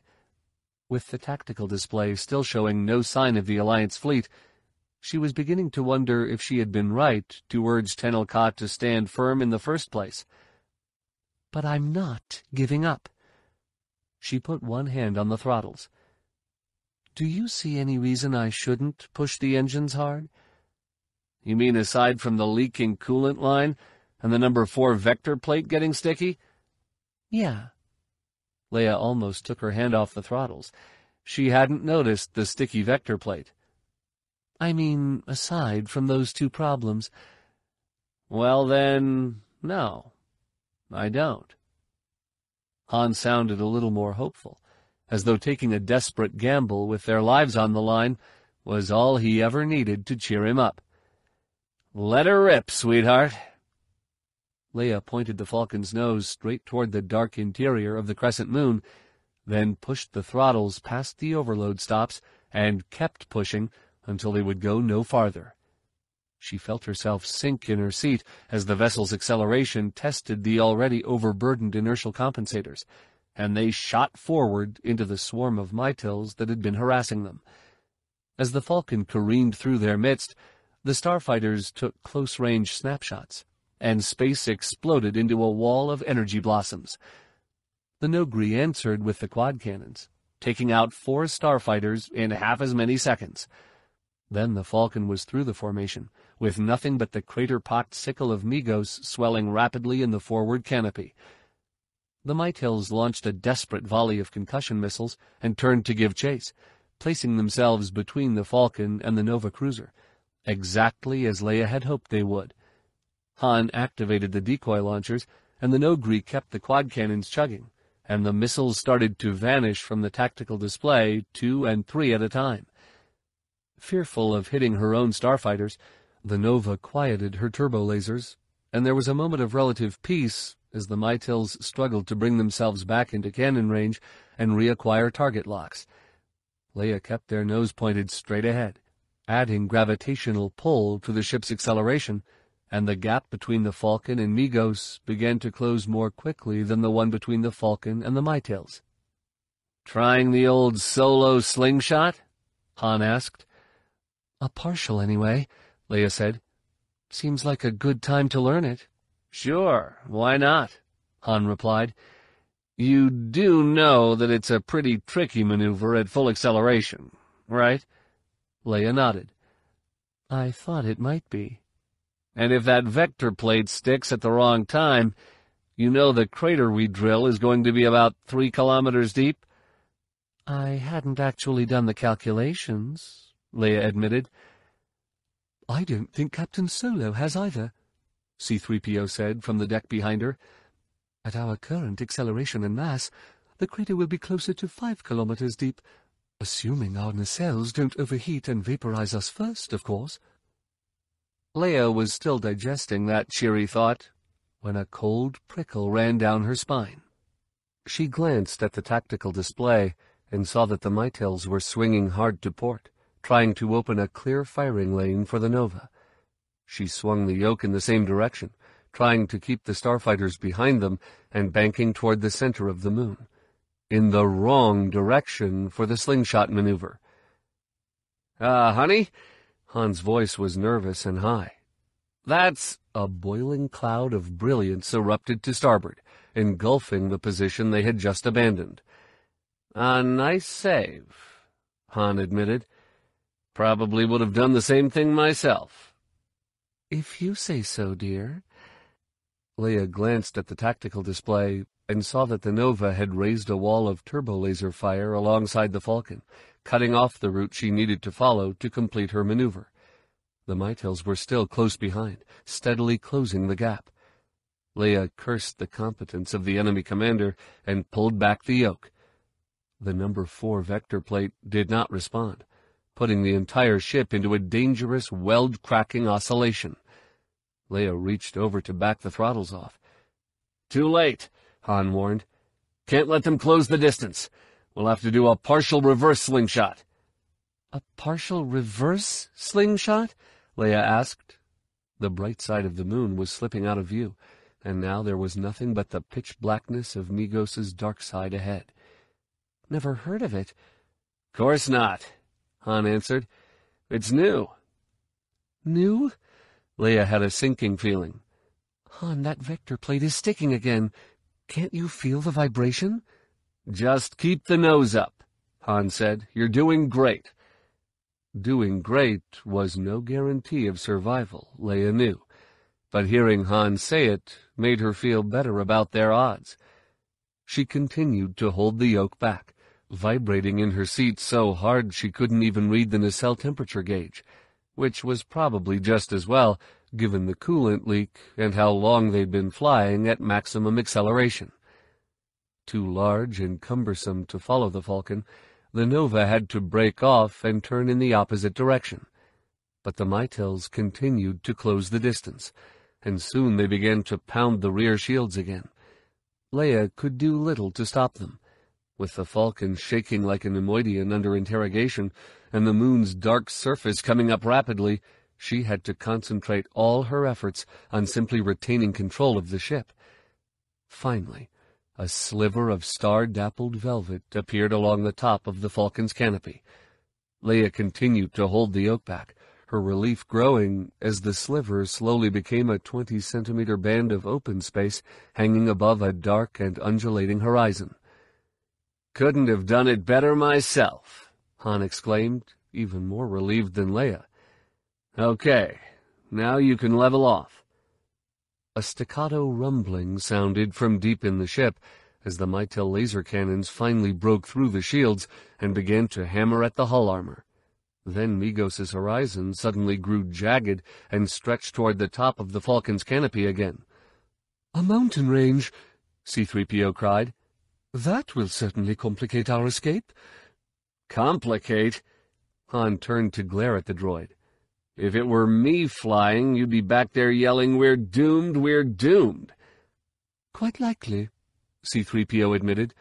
But Princess Leia is a Jedi. Leia would have thanked the droid for his vote of confidence, except she was pretty sure it would seem misplaced in about three seconds.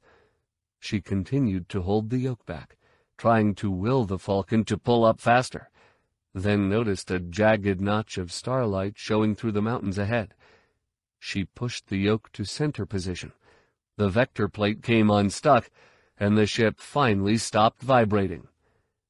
Ah, uh, Leia, Han said, that part about leveling off, you can forget. Too late. Leia swung the Falcon toward the notch, coming in at an angle so the nose pointed at the mountain on the far side. Launch missiles, Missiles? Han looked forward and saw the gap opening before them, then reached out and flipped an arming switch. Why not? He depressed a pair of launch buttons, and two blue circles appeared in front of the cockpit, then rapidly shrank as the missiles raced away. Leia rolled the Falcon up and banked into the notch, with their pursuers still close behind. She was too busy flying to see what happened next but by the time the Falcon reached the star-filled wedge at the other end of the gorge, the hammering on her stern had stopped. As they shot out of the canyon, the moon's surface fell away, and Leia finally had time to risk a glance at the tactical display. The Miy'tils were gone, either destroyed when the missiles filled the gorge mouth with debris, or momentarily outmaneuvered. Leia stayed within a kilometer of the surface for a few seconds to be certain no Miy'til survivors were going to pop up from behind the mountain range, then pulled the yoke back and pointed their nose away from the moon. They had just started to climb when space ahead broke into crooked snakes of iridescence. The proximity alarm blared to life, and the viewport was suddenly packed with blue halos, all growing steadily larger. What the blazes? Leia gasped. I think your fleet showed up, Han said, and in the wrong place. Leia glanced down and found her tactical display growing more crowded by the moment. Frigates, cruisers, and star destroyers were reverting from hyperspace at the rate of two or three per second, all pouring starfighters into space and accelerating toward Migos at full power. The name Admiral Ackbar appeared under a star destroyer at the rear of the formation and suddenly Leia understood why it had taken the Alliance so long to attack. That's Bwua'tu. Figures, Han grumbled. What Bothan makes a straightforward attack when he can try something tricky, like coming out from behind a moon instead? Well, at least they cared enough to send the best. Leia pushed the Falcon's nose down and started back toward the moon. Continuing to approach a reverting fleet at this velocity was not an option. Even if Bwua'tu realized they were not on an attack run, the chance of a head-on collision with one of his capital ships would still force him to blast them to atoms. What do you think? Find a crater to hide in? At this velocity, we'd make a crater, Han said. No time to decelerate. You mean... Yeah, Han said. We have to do the whole slingshot. Back through the battle? Leia asked. With no rear shields? Relax, Han said. At this speed, we'll be on the other side of the fighting before the gunners get a lock on us.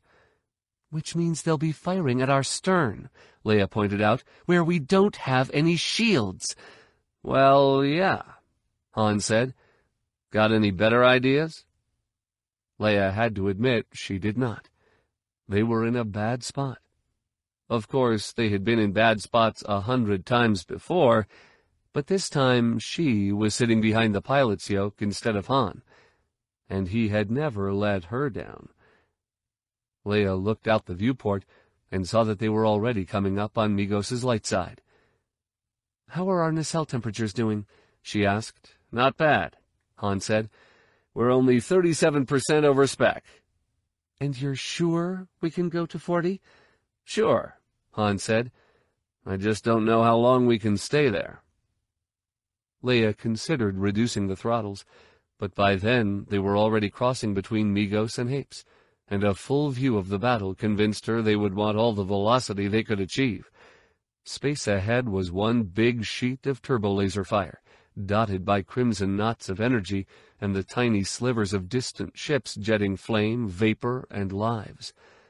As the Falcon left the moon behind, a tightly packed screen of battle dragons, looking like stacked dashes at this distance, began to appear inside the conflagration. They were clustered in front of two thumb-sized eggs, slowly falling back toward Hapes and putting up such a wall of fire that the Corellian dreadnoughts had been forced to abandon their penetration tactic and simply try to punch it out from short range. Looks like Tenel Ka trusted us.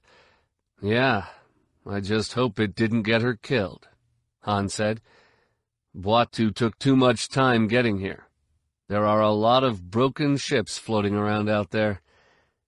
Leia was too busy flying to check the display, but she felt certain the Bothan would disagree with Han's assessment. From a strategic viewpoint, saving Tenel Ka would be a secondary goal to destroying the Corellian fleet, since the latter would be such a crippling blow that it might well end the revolt. But Leia did not point this out to Han. It would only make him feel angry and betrayed. And the truth was, she already felt angry enough for both of them. Seeing that it would be impossible to slip past the battle outside turbo-laser range, Leia swung the Falcon around behind the usurper fleet and watched in horror and fascination as the combat grew larger and brighter. Within seconds, the inferno filled Han's side of the canopy entirely, flashing and boiling so brilliantly that it was impossible to see the planet behind it. The brilliance began to slip toward the back of the canopy, and still no one fired on the Falcon. Leia began to hope the usurpers were simply too busy to notice one little transport zipping past behind them, until her entire spine began to prickle with danger sense, and she knew they weren't that lucky. Seal the hatches, she ordered. Leia rolled them up on their side, and the ship began to vibrate violently as the sticky vector plate caught again. A meter-wide shaft of blue fire stabbed past beneath the Falcon's belly. Then another shot by just an arm's length above the canopy. She pushed the yoke forward and felt it catch about halfway. The Falcon began to buck, then abruptly stopped when a turbo-laser bolt hit the stern with a deafening clang. Leia drew what she feared might be her last breath and turned to say goodbye to Han. Then felt the yoke obey and saw stars whirling in front of them. A flurry of turbo-laser bolts stabbed past harmlessly, growing thinner and more distant until they ceased altogether, and the sound of damage alarms filled the cockpit, which meant they still had air. Leia drew back the yoke again. It was a bit sluggish, but the Falcon had stopped vibrating, and she quickly brought the ship under control. Discovering that she was still looking at Han, she asked, What happened? Looks like a glancing strike to the starboard aft. His voice was steady but determined, and his gaze was fixed on the control board. I don't think we even have the number three and four vector plates anymore, and maybe you'd better back off those throttles. We lost another coolant line. Leia dutifully throttled back, then realized the turbo-laser attacks had stopped. Han, that's not what I mean. We're still alive. Han finally looked up, smirking at the surprise in her voice. Sure we are, he said. You're a Jedi, remember? Very funny, Leia replied. She checked the tactical display and saw the reason no one was shooting at them. Bwua'tu's fleet had finally rounded Migos and opened fire, ripping a hole in the flank of the usurper fleet that left no doubt about the final outcome of the battle. But true, we just might survive this thing. Of course, that was when the proximity alarm blared to life again. Ribbons of color danced across space ahead, then blue halos began to wink into existence and swell into the backlit forms of an oncoming fleet. Another one? Han gasped. What is this? A war? On the journey back from Terephon, the rover had managed to beat the Ducha to Hapes by shaving safety margins and pushing hard between jumps. But Ben was still bringing up the com systems when the Galney fleet slid out of hyperspace beside them and began to accelerate toward the battle. At this distance, the conflict was little more than a smudge of radiance flickering against the planet's jewel-colored face. But Ben could feel it tearing at him inside, could feel all those lives fluttering out. It reminded him of why he had tried to hide from the Force when he was younger, of the constant sensation of anguish that was all he remembered about the war with the Yuuzhan Vong. Except now Ben was older. He knew it was not the Force causing all that pain. It was people. He knew that people could be selfish and frightened and noble and brave. And when all those things got mixed up together, wars got started. That was why the galaxy needed someone like Jacen, to straighten things out so there wouldn't be so much suffering. The com system finally completed its post-jump diagnostics, and Ben started to set it to Tenel Ka's command channel. Jedi Skywalker, Ioli snapped. She turned her noseless face toward Ben. What are you doing? His hand hovered above the input pad. If Tenel Ka lets the Ducha come in behind her...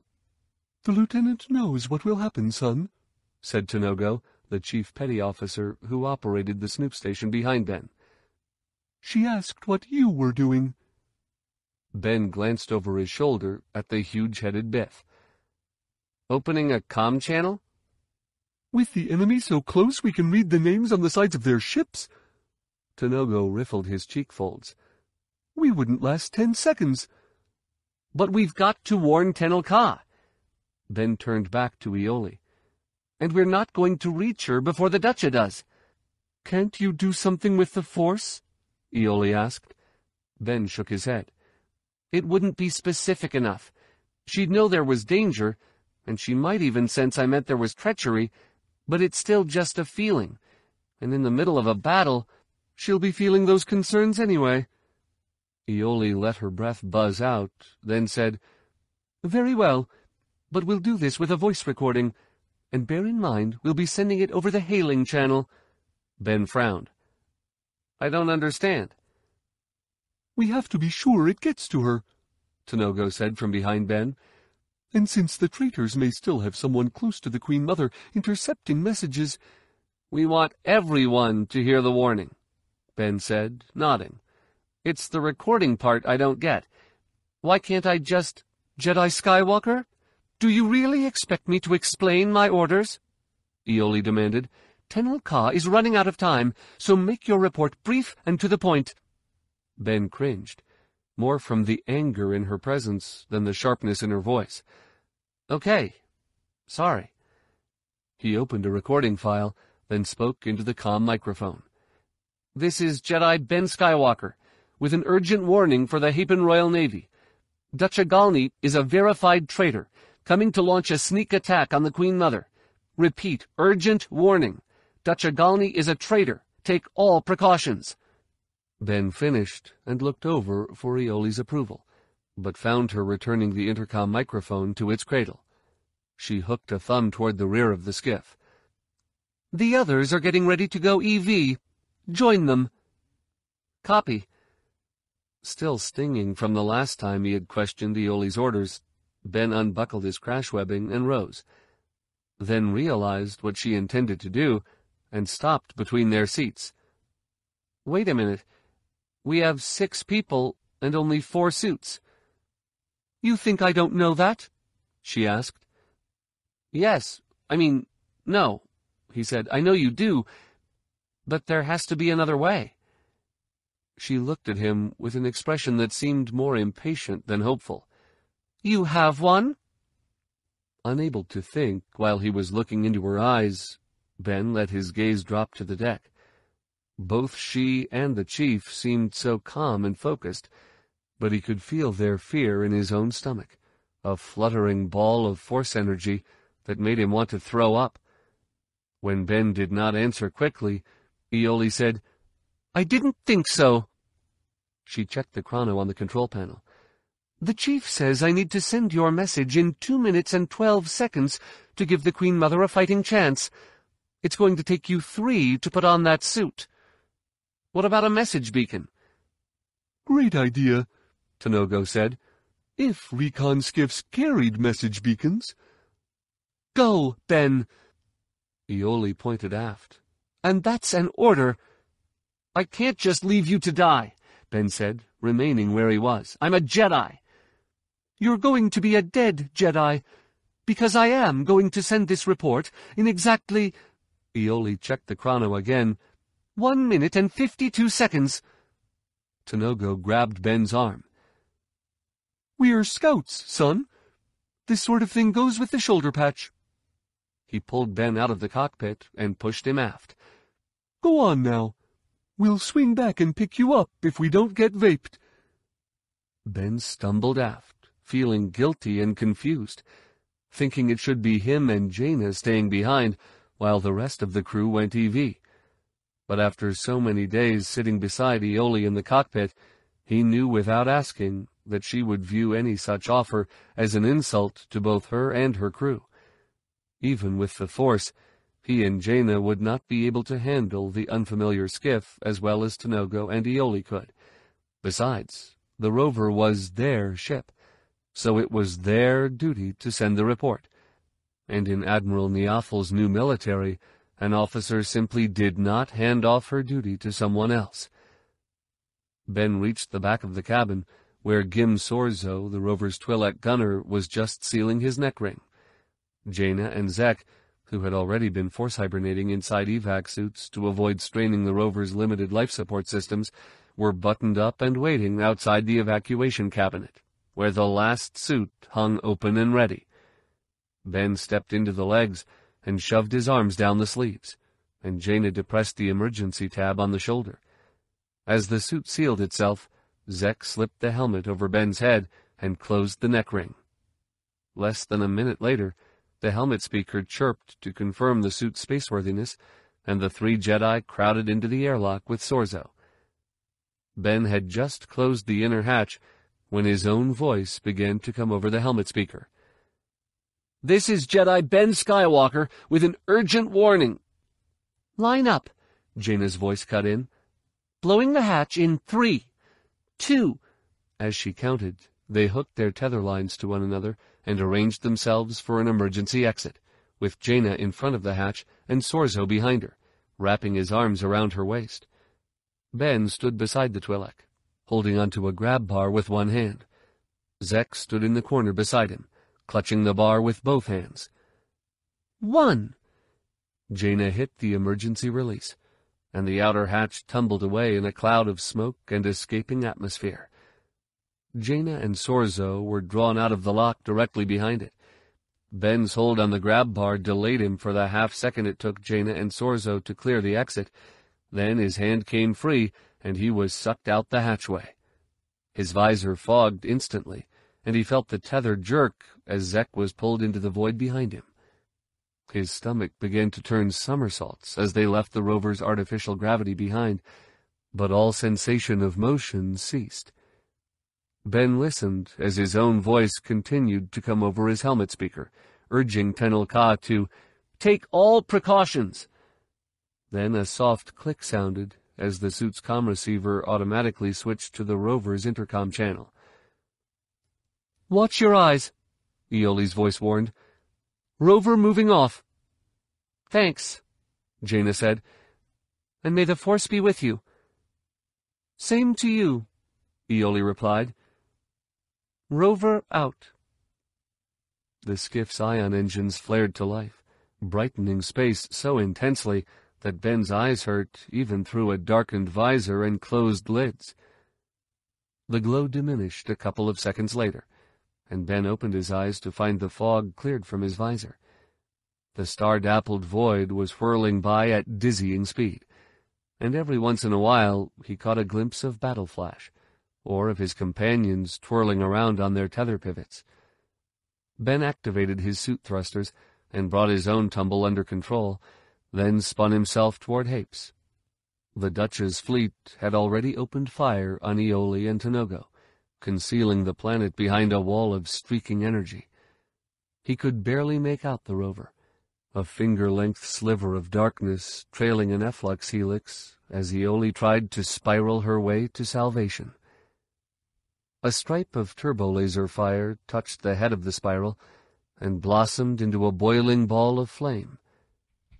Ben could not tell whether the anguish he felt was in the Force or in him. Chapter 23 In the command salon holodisplay, it all looked so neat and orderly. The planet Hapes loomed at the back of the projection, a bulging wall of light with dull green islands scattered across basic blue ocean. The battle itself was an arrow-headed column of blue, friendly symbols driving through a block of red hostiles. The friendlies were trying to reach an amorphous mass, identified in blue as the Hapan Royal Navy, that was swarming a pair of ovoid symbols designated unknown. A reinforcing fleet labeled Galney was racing in from the periphery of the Hapan gravity well, its designator colors changing from friendly blue to hostile red as it traveled. But Jacen knew what the battle was really like. He could feel it in the hundreds of life presences winking out every second, in the waves of anguish rolling through the Force ever more powerfully. Most of all, he could sense it in Tenel Ka, in the carefully controlled anger he perceived when he reached out to her, in the fear and sadness she felt over the outcome. Was this what he had been fighting to protect all his life? A civilization that devoured itself? Was this the higher purpose Vergere had shaped him to serve? A society that sent assassins to murder children? A subtle pressure in the force drew Jacen's attention to his aide, Orlop. He turned to find the Genet just looking up from the datapad in his hands. Yes? Jacen asked. Orlop's big snout twitched uneasily. It always disconcerted him to be anticipated. But Jacen didn't care. Orlop was monitoring two crucial situations on his datapad, and he had orders to interrupt immediately if the status of either changed. When Orlop took too long to compose his thoughts, Jacen snatched the datapad from his hands. I can't wait all day, Lieutenant. Jacen's eyes went first to the left corner of the display, which showed an image of his cabin, where Allana sat on the floor playing with a pair of simple rag dolls. Scattered around her was a GAG Special Assault Squad with orders to kill anyone attempting to enter the room. The other corner of the display showed Aurra Sing lying unconscious on the floor of a Durasteel cell, secured at the wrist and ankle by stun cuffs and fastened to the wall at three points by heavy chains. Only then, once he was sure that his daughter was safe and her attacker was still incapacitated, did Jacen read the message on the lower part of the display. What's this about Alliance rescue beacons, Lieutenant? The signals deck started to pick them up as soon as we reverted, sir. They're about... here. Orlop extended a finger into the holodisplay, indicating a position on the far side of Galney's reinforcement fleet. But Jacen's mind had wandered again, his gaze drifting back to the fight above Hapes. After the attack on his daughter, and with her mother in danger now, He was finding it hard to concentrate on his command duties. He wanted to be in a starfighter whisking Allana to safety on some anonymous world where this kind of danger could never find her. But that would not save Tenel Ka. She was down there in battle, probably aboard one of the five battle dragons, fighting from a standoff position at the rear of the Royal Navy. Colonel? Orlop flicked his finger, drawing Jacen's attention back to the question of the rescue beacons, which were located squarely on the opposite side of the Galney reinforcement fleet from the Anakin Solo. I was debating whether to bother you with this at all since any rescue vessel we dispatch will probably be destroyed. To retrieve the stranded personnel, we'd have to divert the entire fleet. Obviously. Jacen continued to study the hologram, wondering what could have caused an Alliance crew to go EV so far from the main battle. Any idea who? Colonel Solo. The interruption came from Major Aspara the pale-skinned woman Tenel Ka had sent along to serve as a liaison officer to the Royal Battle Dragons in his task force. I hope you're not even going to consider diverting this fleet to rescue a handful of your people. The Queen Mother is already in danger, and if you allow Ducha Galney's reinforcements, I assure you, my understanding of the Queen Mother's danger is far clearer than yours, Jacen replied rather sharply he returned his attention to Orlop. Have the signals deck place a tracking lock on the beacons. We'll attend to them after the Queen Mother is safe. Orlop punched a button on his datapad, sending an order that he had obviously prepared in anticipation of Jacen's decision. When the Genet did not look away, Jacen asked, Is there something else, Lieutenant? There is, Orlop replied. The message dinghy you dispatched to Roqoo Depot was waiting to be taken aboard when we reverted from hyperspace. Jacen frowned. And? And the hangar chief is suspicious, Colonel. Orlop said. The pilot is requesting an immediate audience with you, and there's some question as to how she could have known our reversion coordinates. Commend the chief on his caution, Jacen said and tell him to get that pilot up here now. For someone like Lumiya, foreseeing the Anakin's reversion coordinates would have required only a little guesswork and some force meditation. Jacen was far more surprised that she had returned at all, since he had felt nothing in the force to suggest that either Luke or Mara had been killed. It occurred to him that Lumiya might have foreseen his trap and avoided the confrontation entirely. He wondered briefly if her return ought to worry him, but despite the reservations she had expressed recently about his ability to make the necessary sacrifices to bring order to the galaxy, he was well aware that Lumiya needed him more than he needed her. In the holodisplay, the Galney fleet began to glow more brightly as the Anakin Solo closed to within range of its new long-distance turbo lasers. The usurper reinforcements continued toward Hapes at maximum acceleration, clearly convinced they could reach the battle and kill Tenel Ka before Jacen's task force caught up to them. Jacen used the force to depress a button on the wall, activating an intercom microphone. Commander Twizzle, time to grab their attention. Attack at your discretion. Twizzle's voice came over the speaker. Very good, Colonel, a few moments later, the Anakin's long-range turbo-laser batteries unleashed a salvo, causing the lights to flicker and the ventilation fans to slow. In less critical parts of the ship, the effects would be even worse, plunging corridors into temporary darkness and forcing electronic systems to switch to battery power. The new turbo lasers were cutting-edge technology, but they required so much power that they were unlikely to become standard armament any time soon. A moment after the first volley, one of the Galney battle dragons started to flash with damage. The lights in the command salon flickered again, and then the vessel vanished from the holodisplay. Apparently, the Anakin had caught the target with her shields still balanced forward. Well done, Jacen said. He turned to Aspara. Would you give the Queen Mother's battle dragons clearance to open fire as soon as they're within range? Of course, Colonel. As Aspara spoke into her comlink, Jacen took the opportunity to glance over Orlop's shoulder and confirm that Sing was still in her cell. Her door had been welded shut, she had not been given the antidote to Allana's paralyzing drug, and a constant stream of sleep-inducing coma gas was being piped into her cell. But Jacen had to be sure. She had already demonstrated that she understood the value of timing an attack, so if she was going to attempt an escape, it would be soon. Sir? Orlop asked. Just checking. Jacen glanced at the image of his cabin and found Allana still playing on the floor. You can't be too careful. No, sir, you can't. Orlop's tone was routine, but he was pouring concern into the force. I'm keeping a very close eye on the situation, Colonel. You don't have to worry about that. Good, Jacen said, realizing that he was drawing concern from more people in the cabin than just Orlop. Thank you. He returned his gaze to the holodisplay.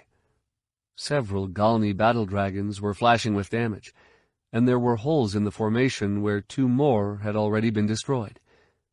It was far more damage than the Anakin could do with three long-range turbolaser batteries. Jacen turned to Aspara. I didn't know the Queen Mother's battle dragons had been equipped with long-range turbolasers. Aspara granted him a rare smile. I'm sorry, Colonel. Admiral Pellaeon was kind enough to share the technology after the Queen Mother assigned two fleets to the Galactic Alliance. The Royal High Commander instructed me to reveal the upgrade only on a need-to-know basis. I see. Jacen was irritated, but not surprised. Even among allies, secrets were not shared easily. And how widespread is this technology in the consortium? It's not. So far, the only battle dragons carrying the new turbo lasers are in our task force. Aspara turned back to the holodisplay, where several more of the usurper's vessels were blinking. Perhaps that will change after the Queen Mother sees how effective they are. Don't count on it. Jacen nodded toward the holodisplay. The rear elements of Galney's reinforcement fleet were splitting off to meet the Anakin and her task force. Now that the element of surprise is gone, the new turbo lasers will lose effectiveness fast. Galney's ships were already pouring clouds of starfighters into space, trying to set up a defensive screen so the leading elements of the traitor fleet could continue the attack on Tenel Ka. Jacen's task force began to decelerate and spread out, preparing to launch its own starfighters and take advantage of their long-range turbo lasers to soften up the enemy before fully engaging. Colonel Solo, we can't stop to fight, Aspara said. She pointed at Tenel Ka's small flotilla. The Queen Mother will be pinned against the planetary shields. I see that, Major. Jacen knew better than to suggest Tenel Ka could retreat planetside. There were too many enemy vessels nearby. If she had the planetary shields lowered, they would simply follow her through and take out the generator stations. Are you suggesting a breakthrough attempt? Aspara nodded. We have no choice. If we slow down to fight here, by the time we reach the Queen Mother, she'll be in an escape pod trying to dodge Miy'tils. Aspara was right, and Jacen knew it. Even with half the Galney fleet hanging back to fight his task force, the Queen Mother's flotilla would still be outnumbered nearly three to one. What Aspara did not know was that any breakthrough attempt would also put at risk the life of the consortium's Chume'da, Allana, and Jacen felt certain Tenel Ka would not want that any more than he did. Aspara frowned. Colonel Solo, you are wasting valuable— Jacen silenced her with a raised hand. Thinking is not a waste of time. He activated the intercom microphone again. Commander Twizzle, how many battle dragons would be required to have a reasonable chance of breaking through that screen? And bear in mind they'll need to have enough strength left to continue pursuit. Twizzle's answer came immediately. It would be better to send us all. That's our best chance. I didn't ask for our best chance, Jacen countered. I need a reasonable chance. Twizzle was silent for an instant, then said, Eighteen, sir. Berta believes that strength would give the task force a 63% chance of disrupting the Galney attack on the Queen Mother. Then that's what we'll do, Captain, Jacen said. Berta was the Anakin's tactical computer, a powerful mainframe operated by a squad of Bith programmers. Have the other two battle dragons stand off with the Anakin. Stand off? Aspara echoed. Colonel Solo, a 63% chance of saving the Queen Mother's life is not good enough. You may be too much of a coward to send in the Anakin, but I assure you every Hapan— That's quite enough, Major. Jacen made a pinching motion with his fingers, and Aspara was suddenly too busy gasping for breath to continue speaking. Her accusation stung more than he cared to admit, in part because it was so true, at least when it came to Allana. He was too afraid of losing his daughter to risk her life in the middle of a pitched starship battle, and it really didn't matter that Tenel Ka would want him to make this decision.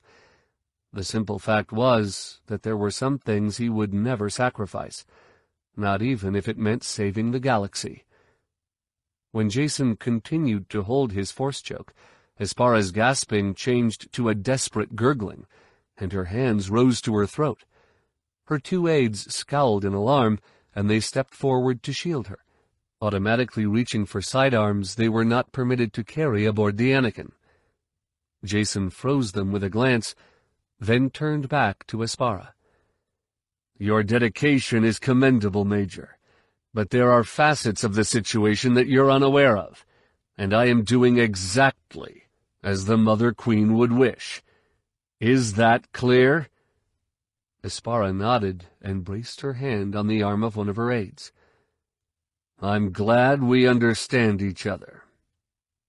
Jacen released his force choke and allowed her to gulp down a long breath, then held out his hand. I doubt it will be necessary for you to communicate with Her Majesty's battle dragons until after the battle. I'll take your comlinks now. Aspara reluctantly passed over her own comlink and nodded to her aides to do the same. Thank you. Jacen slipped the devices into his uniform pocket, then turned back to the holodisplay, feeling worried and useless. The eighteen battle dragons he had dispatched to save Tenel Ka were already closing on Galney's defensive screen. Clouds of starfighters were pouring into space between them, and vessels on both sides were already blinking and starting to fall out of formation. Jacen could not help thinking that the intelligence provided by his parents had so far been more of a curse than a blessing. It had not prevented Aurra Sing's attack on Allana, but it had sent him to Relephon with a sizable piece of the Royal Navy at exactly the wrong time, a blunder that might well end up costing Hapes her queen and Allana her mother. The Anakin and its two escorts were concentrating their fire along one flank, trying to help open a hole through the screen. But the usurpers adjusted quickly, sliding a fresh vessel into place each time an old one was destroyed, compressing their formation as their attackers drew closer.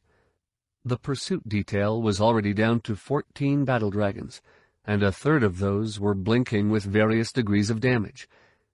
Jacen felt Orlopp's attention. He looked over and waited until the Jenet was actually looking at him, then cast a meaningful glance at the datapad. Everything all right there? Nothing has changed. Orlopp's voice held a note of distress over Jacen's apparent obsession with monitoring the assassin and the girl in his cabin. The pilot you asked to see has arrived. Good, Jacen said. We'll need a few moments of privacy.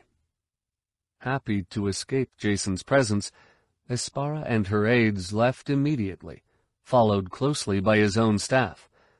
Only Orlopp lingered. Is there something else, Lieutenant? There is, Orlopp said.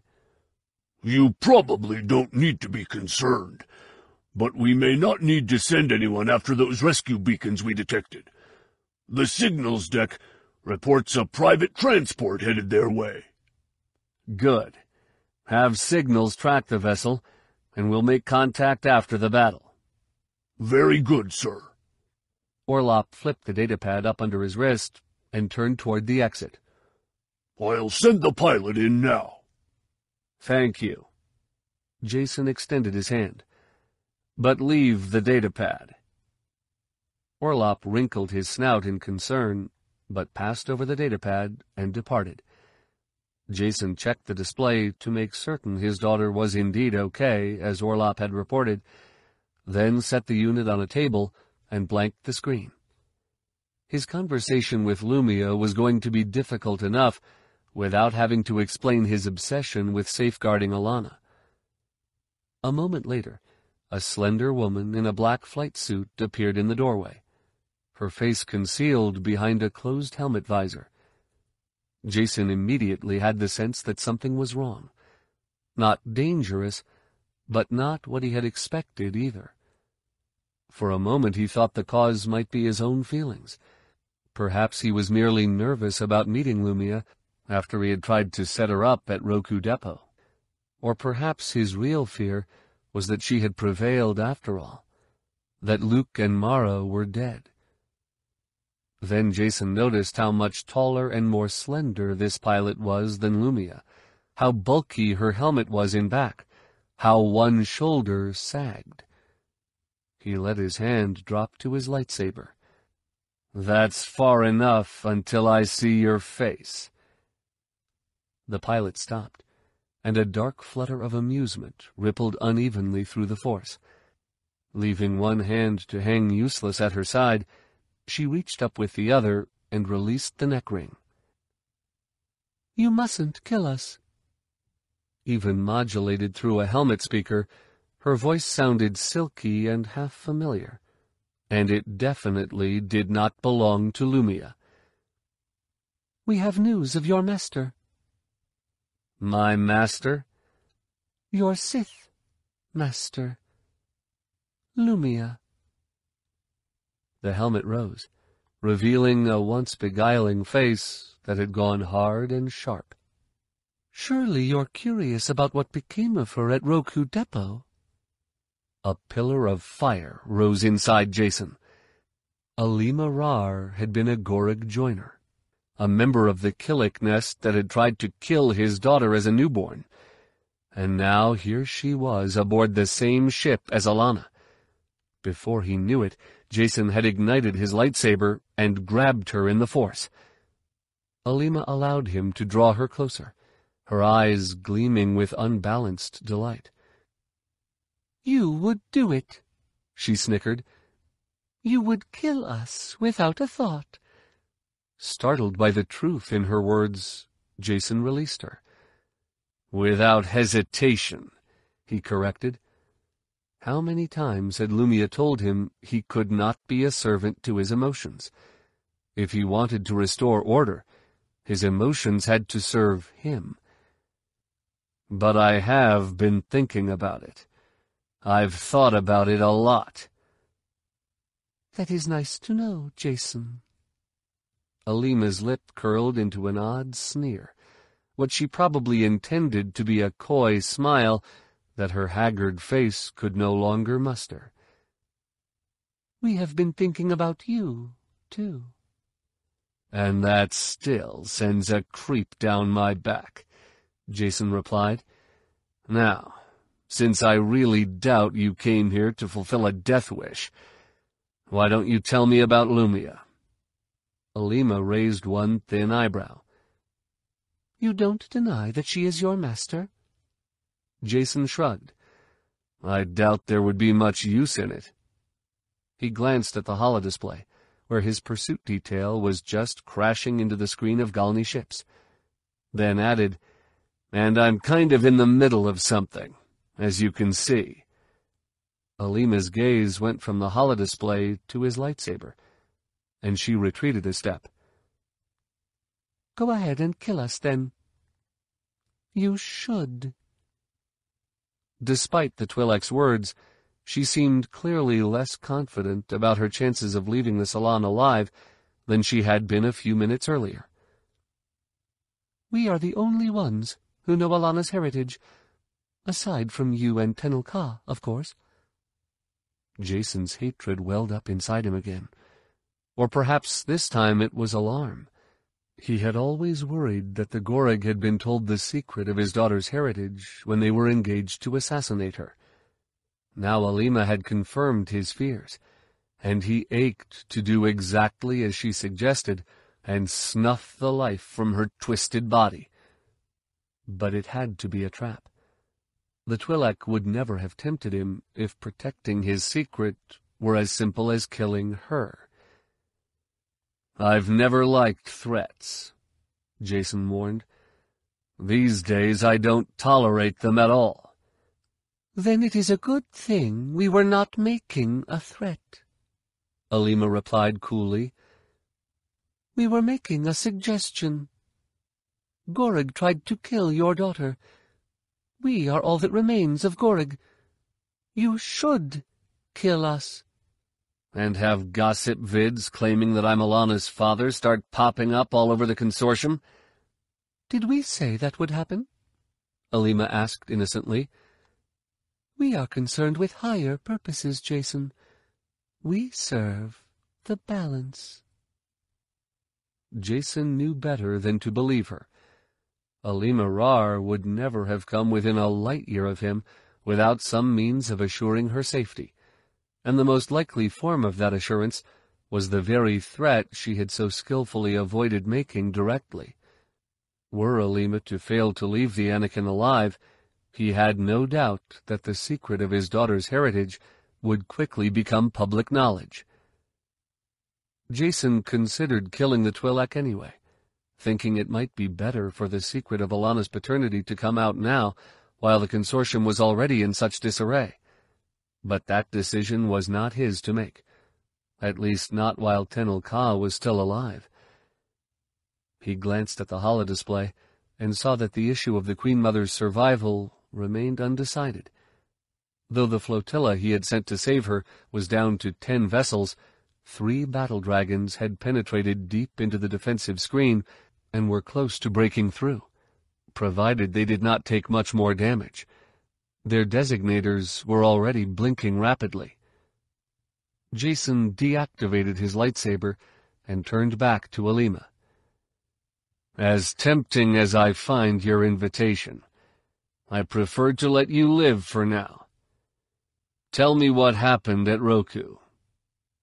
Alema's face relaxed, and she said simply, We failed. We? Jacen asked. Who is we? You?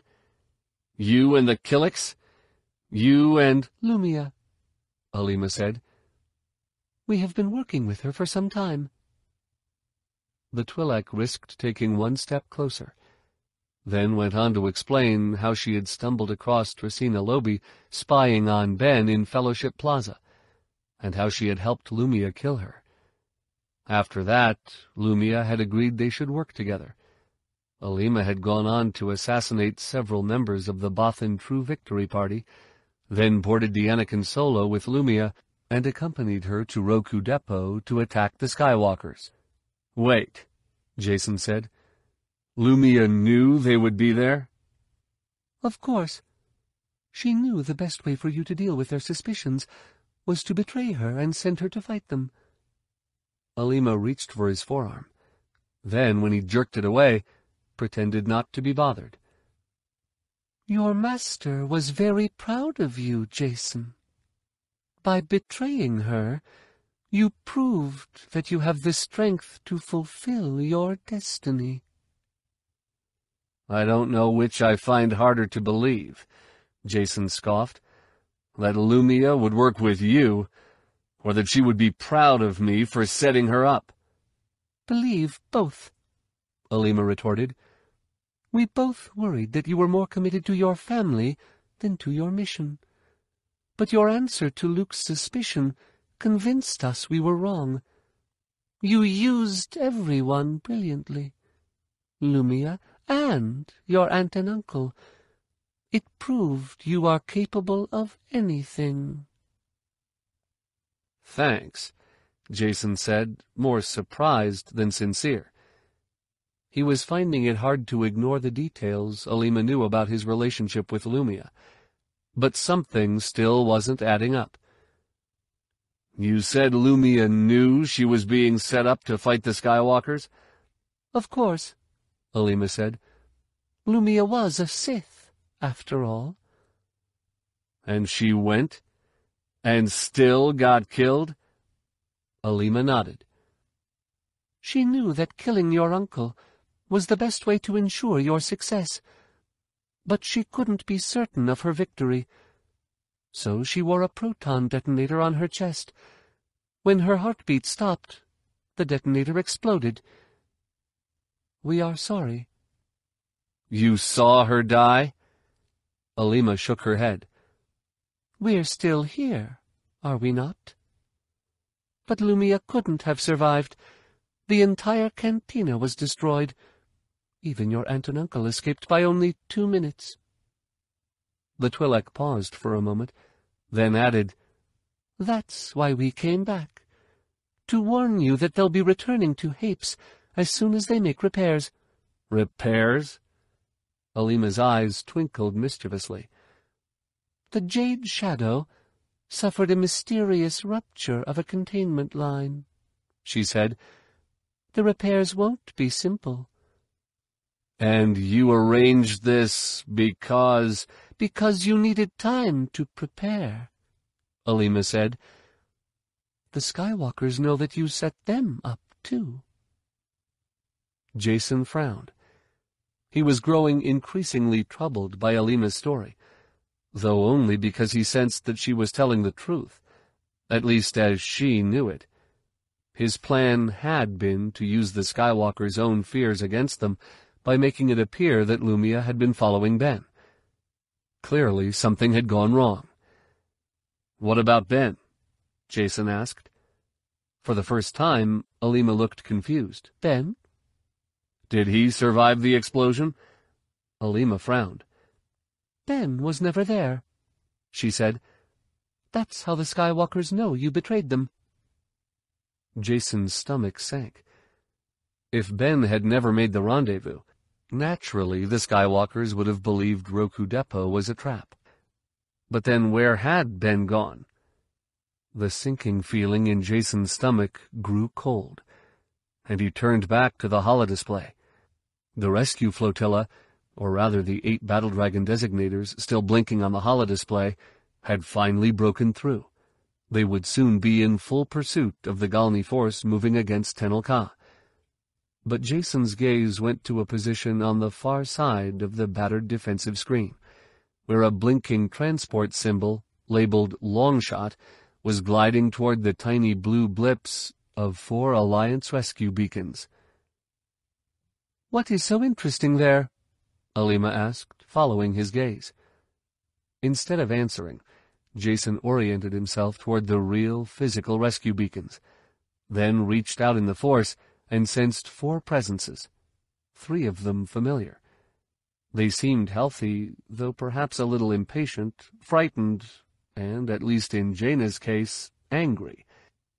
Jacen didn't bother even trying to guess why the three Jedi had returned the rover to Hapes instead of obeying their orders to rendezvous at Roqoo Depot, or how they had gotten themselves blasted out of their skiff. He simply flooded his presence with reassurance and tried to project that to them, so they would know help was on the way. Zek and Ben responded by projecting feelings of gratitude toward him. Jaina simply shut down. Isn't the long shot one of the Falcon's false transponder codes? Alema asked. Jacen turned and found her frowning at the long shot's designator symbol. It might be. If Alema noticed the suspicion and hostility in his tone, she ignored it. Do you think that is a good idea? Do I think what is a good idea? Jacen asked allowing your parents to take your apprentice hostage. she said. Don't try that on me, Alema, Jacen said, scowling. I know how the Dark Nest worked. Remember? How could we forget? Alema turned to him, the hatred in her eyes now open and honest. We would never try to use our powers on you, Jacen. You have already proved that you are too powerful and smart for us. Just so we understand each other. Jacen waved her toward the door. My parents are going to help Ben and the others, not take them hostage. If that's what you believe, then we're sure we are wrong, Alema said. We are hardly as well informed as you are. Wrong about what? Jacen asked. He knew this was how the Dark Nest had worked, by using a victim's own doubts against him. But Jacen would have known if Alema was using the Force. You don't expect me to believe my parents would harm Jaina or Ben. They would never do that, Alema agreed. Only we thought they had taken Corellia's side in this war. They have, Jacen admitted. That doesn't mean they're terrorists. Then we must have heard wrong, Alema said. We thought they had been involved in the assassination attempt on your daughter. They weren't, Jacen said tersely. That was a misunderstanding. No doubt, Alema said. After Roqoo Depot, we know you would never let a personal attachment prevent you from making a necessary sacrifice. I wouldn't, Jacen said. We believe you. Alema used the force to retrieve her helmet, then turned toward the door. Perhaps we should be going, if you are going to permit us to leave. Jacen nodded. Lieutenant Orlopp will arrange an escort for you. His hands ached to kill the Twi'lek, but he did not dare. Not while he suspected it would expose the secret of Allana's paternity. You may consider the message dinghy a gift from the Galactic Alliance. Alema lifted her brow in surprise. Thank you. But if my relationship to Allana is ever exposed, I'll hunt you down myself. Have no fear, Colonel Solo, Alema said. Your secret is safe with us. We know it is the only reason we are leaving here alive. Jacen nodded. I'm glad we understand each other. He waited until she reached the door, then added, There's just one more thing, Alema. If you ever come within a light year of my family again, I won't be so forgiving. Alema smiled and nodded. Of course. We understand. She used one hand and the force to lift the helmet onto her head. The balance must be served. The Twi'lek lowered the visor and went out the door. Jacen activated the intercom and asked Orlopp to arrange an escort for her, then retrieved his datapad and checked to see that his daughter was still safe, and her assassin still locked away. Orlopp's voice sounded from the door. I've arranged the escort, Colonel. Would you like us to return now? In a minute, Lieutenant. I need to think. Jacen went to the holodisplay, where the six surviving battle dragons of his rescue flotilla were in full pursuit of the Galney attackers. The remains of the defensive screen, seven rapidly blinking battle dragons, and a like number of Nova cruisers were gathering to give chase. But Jacen had anticipated that possibility and had a plan to stop them. Tenel Ka's small force was already laying fire on the leading elements of the Galney fleet, and he thought it more likely than not that the Queen Mother would survive. Jacen's gaze shifted to the tiny blue blips that represented Ben's and Jaina's and Zek's rescue beacons. The Longshot's designator was only a couple of centimeters away from them now. He knew Alema had been trying to make him doubt his parents' intentions, but she was gone and those doubts remained. There were too many unanswered questions about his parents' role in the attempt on Tenel Ka's life, and the intelligence they had provided had been more harmful than useful. The fact was, Jacen had begun to question his parents' motives before Alema ever boarded the Anakin, when he returned from Relephon to find Tenel Ka already under attack. Of course, he knew that the great Han and Leia Solo were capable of playing double agents, he had simply refused to believe they would participate in a cold-blooded assassination attempt against a friend. Lumiya had been right. Jacen had put loyalty to family above his mission. He had balked at the necessary sacrifices, and that hesitation had nearly cost Allana her mother and Hapes a queen mother, had come close to costing the Alliance one of her most important member states and maybe even the war. Jacen motioned Orlopp and the others back into the salon, then activated the intercom. Commander Twizzle, the time has come to smash the usurpers. Order the Anakin and her escorts to advance and engage. We need to wipe those Galney battle dragons off the tail of our rescue flotilla. Very good, sir. Twizzle's voice was happy. And nicely done, if I may say so. You may, Commander, Jacen said. And I have one other order. Have one of our long-range batteries target the long shot. There was a moment of silence. Then Twizzle said, But, Colonel, the long shot is a false transponder code. That transport is really— Stop wasting time, Jacen said. I'd like the vessel destroyed before it reaches those rescue beacons. There was a moment of stunned silence. Then Twizzle said, Colonel Solo, the long shot is almost on them now. I understand the risks, Commander. Jacen checked the datapad one more time and found Allana smiling up into the cam. Her eyes were sparkling with confidence and trust, and he knew he was doing the right thing for her and for all the children of the galaxy. Assign our best gunnery team, and fire away.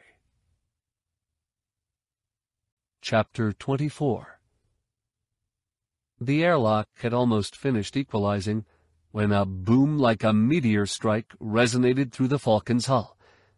The corridor dropped away, and Han hit the ceiling. Or rather, it hit him. An instant later he found himself plastered to the deck, with no memory of leaving the ceiling. His head was aching, and his shoulder was throbbing, and his ears weren't ringing, they were blaring. Han rolled to his side and lay there suffering, trying to sort out what had happened, trying to sort out the whole last couple of months, as a matter of fact.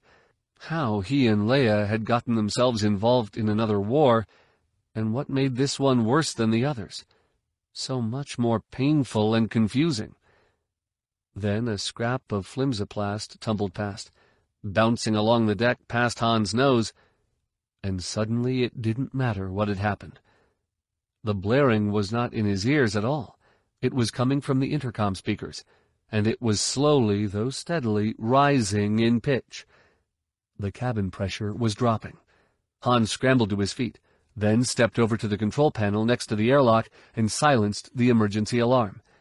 Leia's voice came over the ship intercom instantly, backed by a chorus of chimes and buzzers that suggested the Falcon systems were sinking faster than a comet down a black hole. Han, you okay? Yeah, so far. Realizing he would need both hands to make repairs, Han tried to pull his arm out of the sling and nearly collapsed with pain. He was going to need help. But I can't waste time talking about it.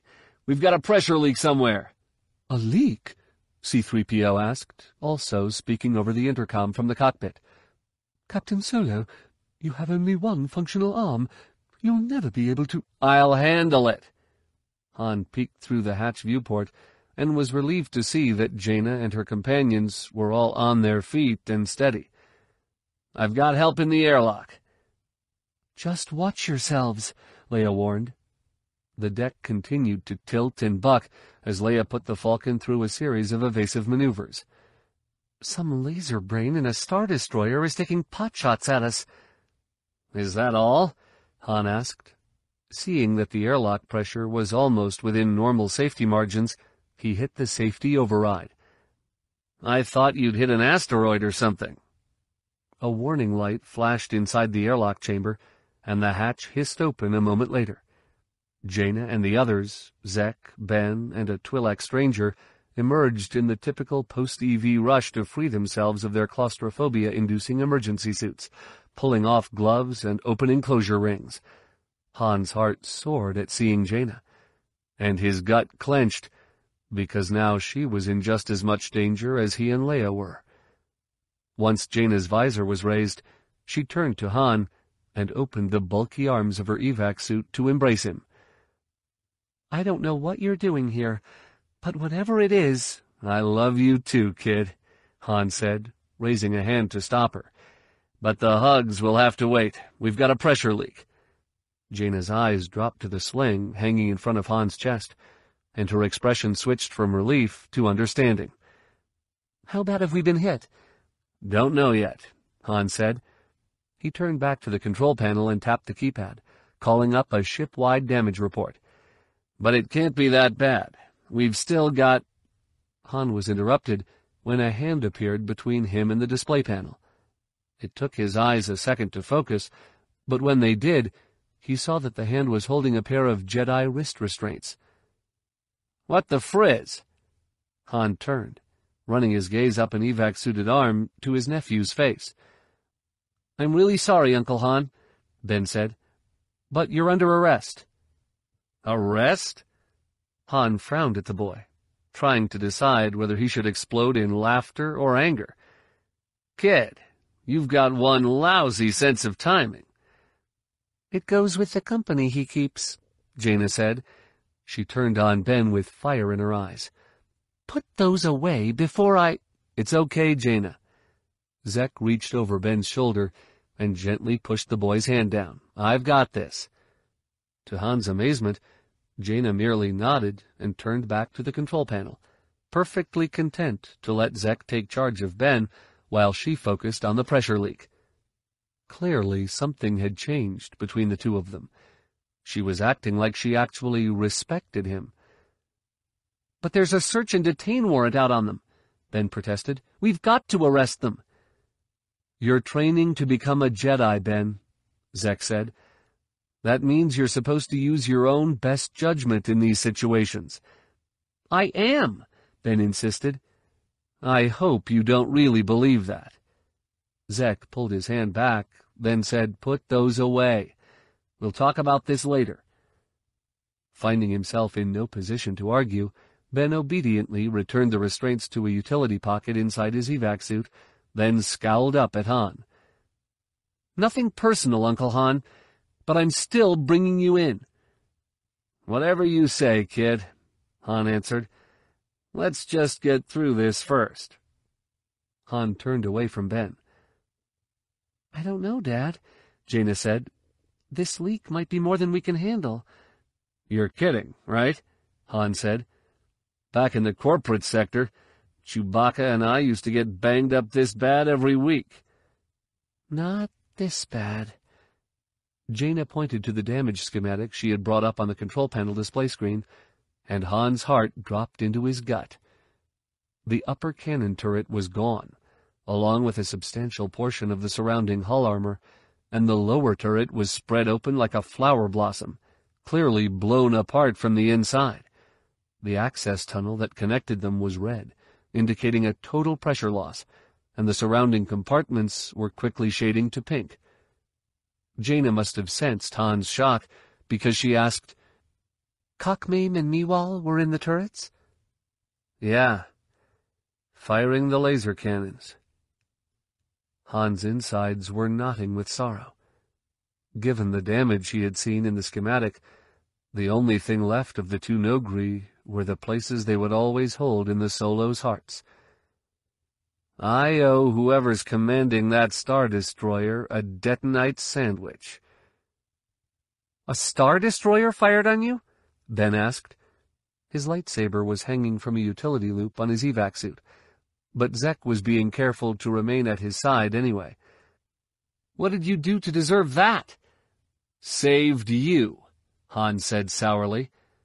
We can always throw you back if you think it was a bad idea. We'll take care of Ben later. Jaina took Han's arm and started forward. Right now, we need to get you and Mom into evac suits. Evac suits? No way. Han started aft. By then, the Falcon won't have any cabin pressure left. Dad, you took a turbo laser strike straight down your access core. Jaina waddled up beside him in her suit. We might not be able to patch things up. Sure we will, Han replied. This is a YT-1300. The access core isn't that important.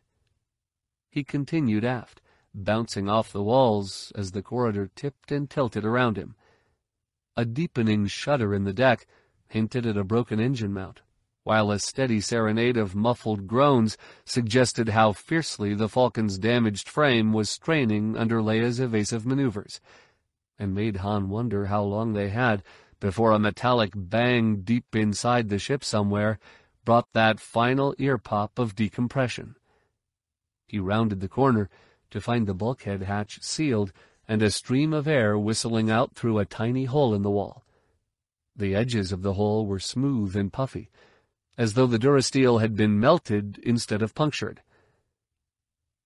That's bad news, Ben commented from a couple of meters behind Han. It's a spatter breach. No big deal, Han said. Spatter breaches happened when a metal mass erupted in a molten spray, usually after being hit by a turbo laser strike. They were notoriously dangerous and difficult to repair because they caused so much damage in so many different places. It didn't hit anything important, or we'd be dead already. Han activated the control panel, then checked the pressure on the other side of the bulkhead, and entered a safety override code.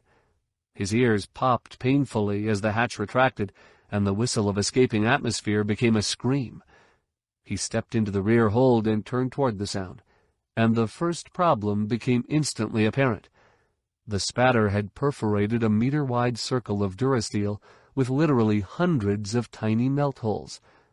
The metal was so weak that the air pressure was bowing the wall outward, and Han knew it wouldn't be long before the area simply tore free and sucked the atmosphere from the hold in a deadly whoosh. Okay, so it's kind of a big deal, he said, Jaina, you and Zekk go to the repair locker and break out the patches and reinforcement strips. Ben, take your Twi'lek friend and— We're not really friends, Ben interrupted, sounding as petulant as only young teenagers could at a time like this. And his name is Spacer First Class Sorzo. Fine. Han looked over Ben to the Twi'lek. Just take a look around the access core and see if there are any other spots this bad. The Twi'lek, Sorzo, acknowledged the order with a salute and started off with Ben in tow. Han spent the next twenty seconds searching the immediate area for less obvious punctures, and finding plenty. Even if they did manage to patch this cluster, they would still have to track down dozens of tiny melt holes concealed behind places like the engineering station and medbay. It was going to mean sealing off the cockpit and spending hours in evac suits, but what else could he do? Abandon the Falcon? A tremendous bang rumbled up from somewhere below decks, and an odd chugging sensation began to accompany the ship's shuddering and bucking.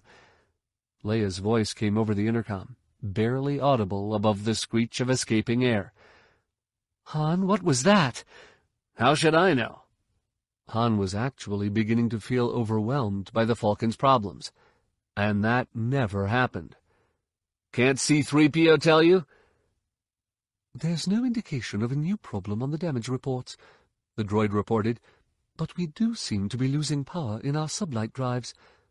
Blast! Han started to bang a fist against the wall, then took another look at the circle of spatter perforations and decided not to risk it. Something must be pinching a feed line. Perhaps you could free it, C-3PO suggested, I'm kind of busy patching pressure leaks back here, Han responded, That won't matter if we take another hit, Leia said. And if we can't maneuver... We're going to take another hit, Han finished. I know. Okay, let me get a flow report and see if I can locate the problem. He stepped around the corner and found Ben already standing in front of the aft engineering station, eyes glued to the display and fingers on the keypad.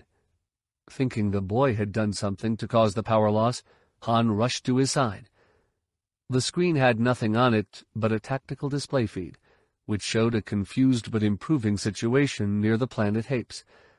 Admiral Bwua'tu's fleet was already starting to hammer the Corellian dreadnoughts, and a task force of Royal Battle Dragons was tearing through the second usurper fleet from behind. With the Royal Battle Dragons was an Imperial-class Star Destroyer with a designator symbol reading Unknown. While the vessel was directing most of her fire toward the usurpers, she had dedicated a single long-range turbo laser battery to attacking the Falcon. I thought I told you to look for pressure leaks, Han said, relieved he hadn't caught Ben actually trying to sabotage the Falcon. I'm still captain of this tub, and that means you do what I say. I'm using my own best judgment, Ben retorted. He put a finger on the display, indicating the mysterious Star Destroyer and it tells me we're in big trouble. Our only chance of surviving is to make for that Star Destroyer. Are you crazy? Han asked. She's already firing on us.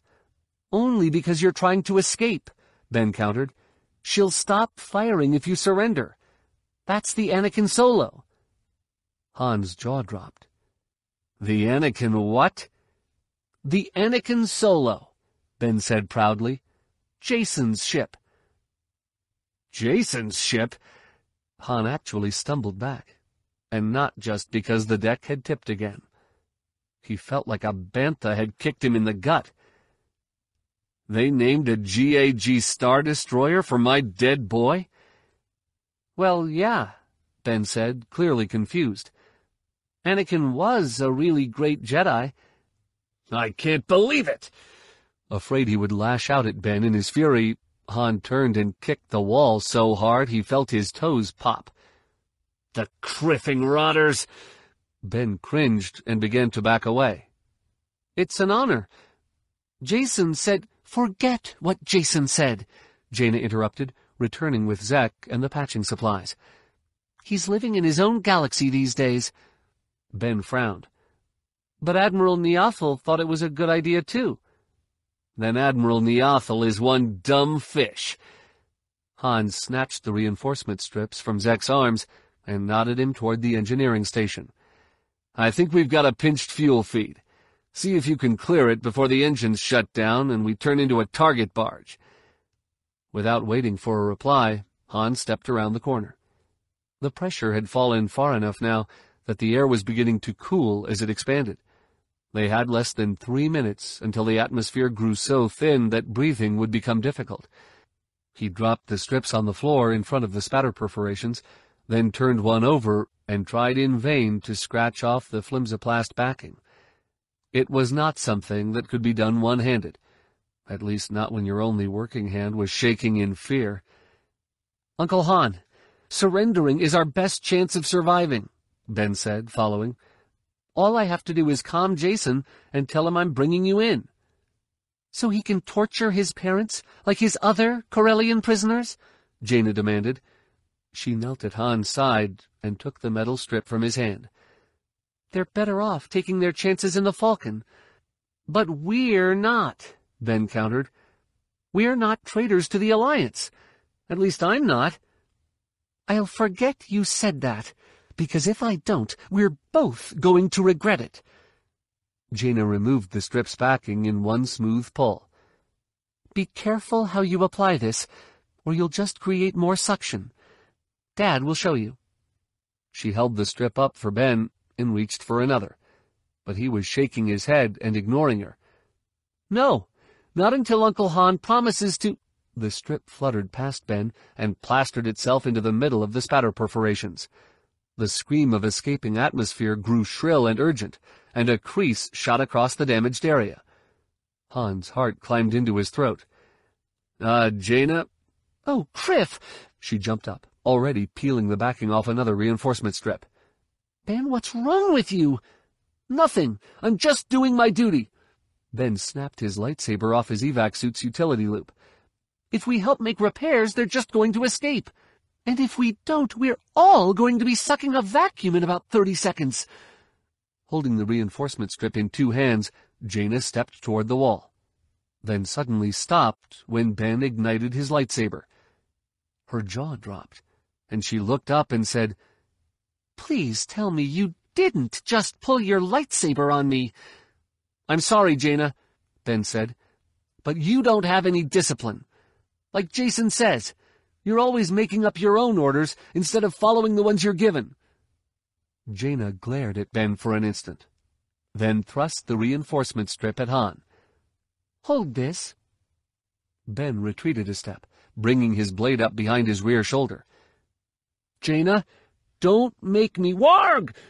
Ben's threat came to a surprised end as Zekk slipped around the corner and caught hold of his hands from behind, twisting his wrists forward and forcing the lightsaber blade down toward the deck. And that was when the shock wave of a nearby turbo laser strike slammed the Falcon.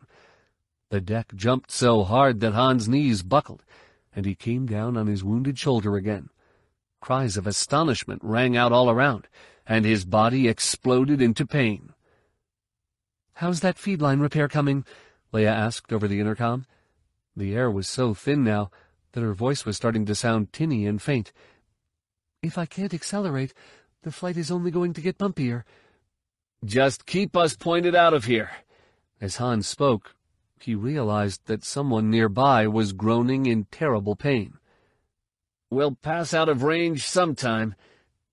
He rolled to his knees and saw Zekk curled on the deck his hands clutched to a blackened slash in the side of his evac suit.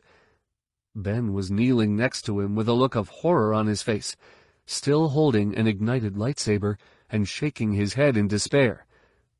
You shouldn't have grabbed me, he said. Why'd you have to grab me, Zekk? Because you were acting like a Jedi wannabe, Jaina said, coming up behind him. Give me that. She snatched the lightsaber from Ben's hand. He looked up at her. It wasn't my fault. Then whose fault was it, laser brain? She switched the lightsaber off. I just hope you haven't killed us all. Now grow up, go help your uncle, and I'll— No, Jaina. Han stuck a handful of reinforcement strips into his sling and turned to the damaged area. You've got to get Zekk and Ben out of here. Out of here? Jaina asked. Get into the escape pods. Without removing the strip's backing, he held it up to the edge of the perforation circle and allowed the vacuum to suck it into place. Zekk needs medical help, and I really don't want you sticking us with the brat. But what about— The Falcon's only carrying a four-person pod capacity right now, Han interrupted. And even if we had more, Leia and I are not surrendering. He shot a look at Ben that could have melted Frasium, then added, not to Jacen, Or anyone else. He held another strip to the edge of the circle and let the vacuum suck it into place. It would be a temporary patch at best, but it might hold long enough to save them. He placed another strip, then looked back to find Jaina kneeling beside Zekk. She had the fingers of one hand pressed to his throat, taking his pulse, but her eyes were fixed on Han, and there were tears running down her cheeks. She nodded, then chinned a toggle switch in her collar and spoke into the microphone of her suit's comm unit. Sorzo, get back here. We're abandoning ship again. Good. Han had never been more proud of his daughter. He could see in Jaina's face how much she wanted to stay aboard the Falcon with him and Leia, but she was a seasoned spacer who knew better than to question a captain's orders aboard his own ship. Don't worry about your mother and me. Until we get the Falcon patched up, it'll be good not to have so many noses breathing the air. But we'll be okay. We've been in a lot of fixes tougher than this one. Jaina managed to smile, though her fear for her parents remained obvious. I know, Dad. I've seen the holovids. She motioned Ben toward the rear hatch and used the force to lift Zekk off the deck. then stepped to Han's side and gave him a little kiss on the cheek. Let me know how it goes. And may the Force be with you. Yeah. Not wanting her to see the tears welling in his eyes, and to realize that he was afraid this might be their final goodbye, Han didn't look as she started after Ben. You too, kid. He turned back to the damaged area and started to lay the rest of the reinforcing strips in place. By the time he had finished, Jaina had everyone loaded into the escape pods and was sounding the departure alarm. The turbo laser strikes just kept coming. The Falcon was bucking and leaping like a wild Ronto, and the cabin pressure had fallen to the point that Han was shivering and starting to lose his breath. He didn't feel the escape pods go. The launch alarm simply fell silent, and he had a feeling like something had torn loose inside him. Han? Even over the intercom, Leia's voice sounded as though it was cracking. You still there? Course I am. He started forward, sealing the bulkhead behind him. You're not getting rid of me that easy. Nothing's easy with you, flyboy. Leia's tone was joking, but a little forced and frightened. I just wanted to let you know we're ready to jump. Another shockwave slammed into the Falcon, bouncing Han off the wall and eliciting a metallic screech of pain from the old ship. He gulped down a deep breath, thinking it might be his last, then was amazed to still be in one piece when he reached the corridor's forward bulkhead. What are you waiting for? He punched a safety override code into the control panel, then felt a blast of pressure as the hatch irised open. The sooner we jump, the better. What about poor Lady Morwan? C-3PO asked. She's still locked in the forward hold. And safer than we are, Han replied, stepping through the bulkhead. He closed the hatch behind him and hurried across the main cabin into the flight deck access corridor. The jump alarm chimed, sounding higher pitched than usual in the thin air then the lights dimmed, and an alarming purr rose from the engine compartments in the back of the ship. The Falcon began to chug and slow, and Leia's voice rolled down the corridor, cursing and yelling like an Aqualish spice smuggler on a bad day. Han leaned close to the wall. Come on, old girl, he whispered. You're not ready for the scrap heap yet, are you? The purring intensified into a high-pitched whine then the lights came back up, and Han was nearly knocked off his feet again as the Falcon leapt into a hard acceleration.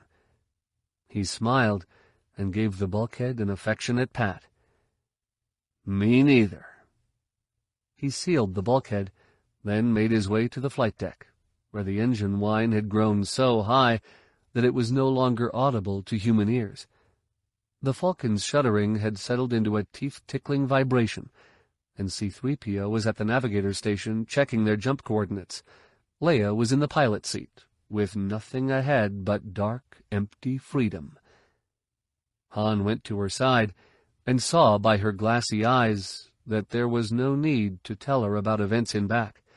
She had probably sensed Meewalh and Cakhmaim's deaths through the Force, and Jaina would have calmed her to clear the escape pod launches.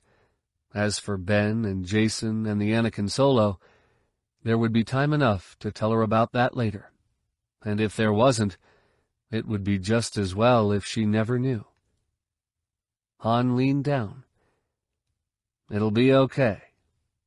He kissed her cheek, then slipped into the co-pilot seat. You've still got me. Leia let out a shocked snort, then smiled and looked over. I guess so. She reached across and squeezed his arm. You'll do. The hyperdrive finally kicked in, and the stars stretched to lines one more time. Epilogue A lively murmur rose near the mouth of the Dragon Queen's royal hangar, then built to a rousing cheer. Tenel Ka, Queen Mother of the Hapes Consortium, and uncontested monarch of sixty-three worlds, turned from the newly arrived Jade Shadow toward the sound. Dozens of crew persons in fireproof refueling suits and tool-draped utilities were looking out through the containment field, pumping their arms and shouting in joy. But all Tenel Ka saw beyond the hangar mouth was the star-flecked darkness of the realm she ruled. It was strewn with the hulks of wrecked warships and laced with the ion trails of hundreds of rescue vessels, and she saw nothing joyful in that. She had retained her throne, but too many Hapans had died on both sides, and too much of the consortium's strength had been squandered on someone else's fight. And the ordeal was far from over. Soon, Tenel Ka's intelligence service would start bringing her names and prisoners, and she would be forced to deal the Queen's justice. Her advisers would recommend that it be brutal and swift, and her remaining nobles would expect their loyalty to be rewarded with a redistribution of the usurper's holdings. Tenel Ka would consider all their suggestions carefully, of course, but in the end she would keep her own counsel and that was bound to disappoint everyone. After a moment, a GAG black shuttle slid into view and began to nose through the containment field. The cheering grew even louder, and a marshalling officer stepped forward with a pair of signal batons to direct the pilot to a nearby berth. Tenel Ka reached out in the force and was alarmed to feel the familiar presence of her daughter. Jacen was returning Allana, and his timing could not have been worse. Tenel Ka turned back to the Jade Shadow and saw Mara and Jaina already carrying a stretcher down the boarding ramp toward her. It was too late to calm Jacen and warn him. Instead, Tenel Ka reached out in the Force, counting on him to sense her anxiety and figure out the reason. She felt a brief touch of warmth, then had to break off contact as Mara and Jaina reached the bottom of the ramp with their burden. Lying on the stretcher was Zekk, pale, unconscious, and heavily bandaged around the middle. Tenel Ka's heart ached to see her old comrade in arms wounded so severely, but she forced herself to keep a blank face. It would not do for her ever-present retinue of loyal nobles to notice an arched brow or a quivering lip when she had just watched so many Hapans perish in stoic composure. Master Skywalker, Jedi Solo, welcome aboard. Tenel Ka stepped forward to greet them, followed closely by the medical team she had brought to meet the Shadow. My surgeon is waiting in an operating theater. If you would entrust Zekk to the transport team, they will take him up immediately. That's very kind, Mara said. We appreciate it. Yeah, thanks, Jaina added. It means a lot. They passed the stretcher to a pair of red-uniformed medics, who quickly placed Zekk aboard a small hover sled, then zipped away toward the back of the hangar. Noticing how Jaina's gaze followed the sled all the way to the lift tubes, Tenel Ka stepped to her side. They'll take good care of him, Jaina. Tenel Ka could sense that Jaina was a little irritated by all the cheering going on behind them, but there was nothing to be done about it. Even if the Queen Mother called for silence, she doubted the order could be carried out any time soon. Once they have prepared Zekk for the operation, we can go up to wait in the infirmary. That'd be great, Jaina said. But don't worry. Zekk's as strong as a bantha these days. Tenel Ka smiled. I'm glad to hear that. But I am a little confused. My surgeon said he had been told it was a lightsaber injury. Jaina glanced at Mara, then said, it's a long story. Ben made a mistake, Mara said. Ben? Tenel Ka gasped. It wasn't an attack. Mara's tone suggested she did not want to discuss Ben's mistake any further. There was some confusion aboard the Falcon. The Falcon? Growing more confused herself by the moment, Tenel Ka turned to Jaina. But I thought the Master Skywalker found you in escape pods. The Falcon's pods, Luke answered from the top of the boarding ramp. His cybernetic hand was missing, and his robes looked bulky around the middle, as though he too had a bandage wrapped around his chest. We're still trying to figure that out ourselves. Master Skywalker, you're hurt too, Tenel Ka cried.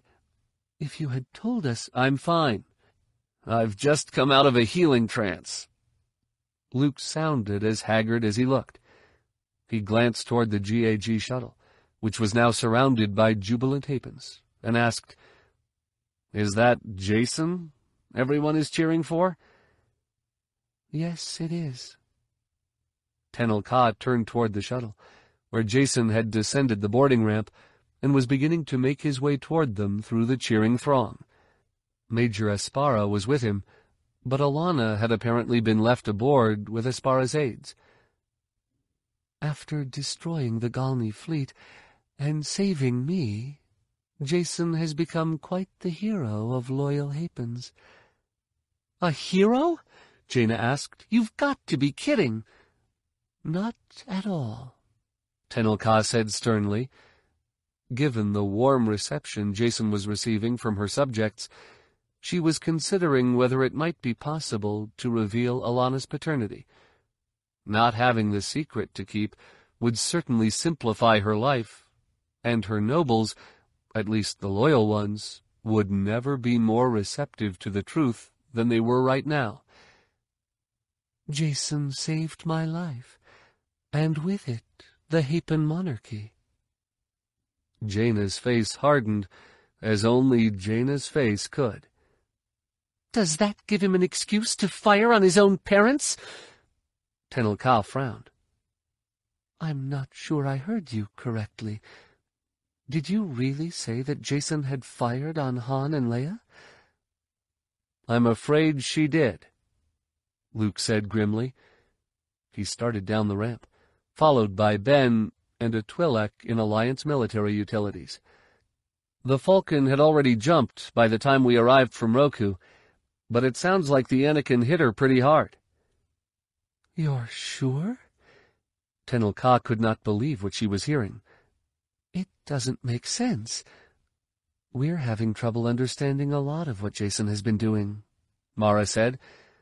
As Luke reached the bottom of the ramp, she stepped to his side. Now that matters are settling down in the consortium, we're hoping to have a chance to work some of those things out. The disapproving undertone in Mara's voice and the bitterness in Luke's made Tenel Ka's heart fall. After their meeting aboard the Anakin Solo, Jacen had told her that the Skywalkers were losing faith in him, that they even suspected him of working with Lumiya. And now she could see how right he was. Tenel Ka turned to Ben. What do you know about this? I find it difficult to believe Jacen would open fire on his own parents. He didn't have a choice, Ben said. They're terrorists, and they were trying to escape. Terrorists? Tenel Ka was crushed to hear the boy say such a thing. Ben, that's just not true. I'm afraid it is, Jacen said, emerging from his throng of admirers. The suspicions Aunt Mara voiced during our meeting aboard the Anakin were right after all. Mara scowled. They were? Yes, and I apologize for not considering your point more carefully, Jacen said. But events have certainly proven you correct. The intelligence my parents provided regarding Ducha Algre did us more harm than good and they were certainly involved in the attack on Her Majesty. The cold anger in Jacen's voice made Tenel Ka even sadder. But she was beginning to understand what had happened, to see how he had misinterpreted events to reach a terrible conclusion. Jacen, you can't believe your parents would do such a thing. Tenel Ka realized the crowd had quieted around them straining to hear, and she knew that whatever she said next might determine how the Solos would be viewed in galactic histories, whether they would be remembered as idealistic heroes or amoral terrorists. Han and Leia Solo had as much to do with saving the crown as you did, she said, speaking evenly and clearly. They risked their lives to provide me with the reversion coordinates of the Algrave fleet. Jacen's eyes widened. They did? Yes, Tenel Ka said. Furthermore, the Solos placed themselves at even greater risk to make sure the Royal Navy stood firm until Admiral Bwua'tu attacked. Jacen's expression changed from shock to shame, and Tenel Ka's sadness began to lift. Clearly, the attack on the Falcon had been the result of a terrible misunderstanding. Jacen had made a grave mistake, but only because he was overcompensating, trying too hard to avoid letting his personal feelings influence his judgment. That was certainly what Tenel Ka hoped, and what she chose to believe. I am sure your parents will be fine. Tenel Ka addressed this to both Jacen and Jaina, but in her heart she was speaking more to Jacen. He was the one who had made the mistake, and she knew how he would blame himself if any harm came to them because of it. No one is more capable of taking care of themselves under difficult circumstances, and I'll issue orders for all Hapan vessels to aid them in every way possible. That can't hurt, Mara said. But nobody's going to see them until they're a long way from here. They'll go stealth until they find some place safe to land. Luke nodded. That's right. I'll reach out to Leia in the Force. Try to let her know that help is available if they need it. He turned to Jacen, his brow lowered in disapproval. But we need to talk. You're very quick to believe the worst about someone you love. That's a problem. Jacen's eyes burned with resentment, and Tenel Ka understood why. After all, wasn't Luke assuming the worst about Jacen and Lumiya? That's not fair, Master Skywalker, Tenel Ka said. Jacen's suspicions were based on the information available to him at the time. The difference is, our suspicions haven't harmed anyone. Jacen has put his parents in mortal danger. Luke cast a meaningful glance at Tenel Ka's retinue, then added, Perhaps we could talk about this aboard the Shadow? As you wish. Though Tenel Ka made it sound as though she were granting a favor, she was relieved to have any excuse to get the Skywalkers and Jaina off the hangar deck so she could sneak Allana away from the shuttle. Given the schism of mistrust that had opened between Jacen and everyone else, revealing her daughter's paternity no longer seemed like a good idea. I'll be along in a moment. There are a few things I need to attend to here. Of course. Luke bowed and led the others back aboard the Shadow. Tenel Ka waited until they were gone, then turned to the crowd of crew persons that had gathered around the confrontation. And you thought Hapan politics were treacherous, she said in a light, if rather forced, tone. A self-conscious laugh rustled through the crowd, more in acknowledgement of the Queen Mother's attempt at humor than because Tenel Ka had finally learned to tell a joke. But now your fun is over. Back to work with you. She made a shooing motion, and the crowd began to disperse. Tenel Ka turned to the nobles who always accumulated around her when she permitted it. She motioned Major Aspara forward, then frowned at the absence of one of the most familiar faces in her retinue. "'Where is Lady Galney?' she asked, frowning. "'I asked her to stay close.' A nervous voice sounded from the back of the flock. "'Here, Majesty.' As if by magic, an aisle opened through Tenel Ka's retinue. At the other end stood Lady Galney, her eyes fixed on the deck, and her chin tucked to her chest. The force grew electric with anticipation, and Tenel Ka knew that these raptors she called nobles smelled blood. Would you come forward, please? There's something I need you and Major Aspara to do for me. Of course, Majesty. Galney shuffled forward, her legs shaking so hard they nearly buckled twice. Of course, her fellow nobles only watched and smirked, convinced their peer was going to receive the punishment she so richly deserved for having had the misfortune to be sister to the sneakiest of the Heritage Council's many traitors. Galney stopped in front of Tenel Ka, then found the strength to look up. If I may, Majesty, I would like to be heard before you speak. Very well, Tenel Ka said, but we don't have much time. You know how pushy those Jedi can be. This drew a genuine chuckle from the nobles, but Galney remained nervous and somber. I... I know it won't change your decision, but I want to apologize. Tenel Ka met the woman's gaze and frowned. For what, Lady Galney? For my role in all this, she said. I never would have... Milady Galney, Tenel Ka interrupted. I may not be a member of the Jedi Order any longer, but I assure you I still retain the skills of a Jedi Knight.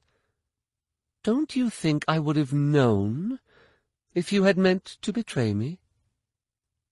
Of... of course, Galney answered, confused. Nevertheless, I did. My tongue was too free with my consort, and he was reporting everything I told him to your sister. Tenel Ka interrupted. I know, and I'm quite sure that is a mistake you will never make again.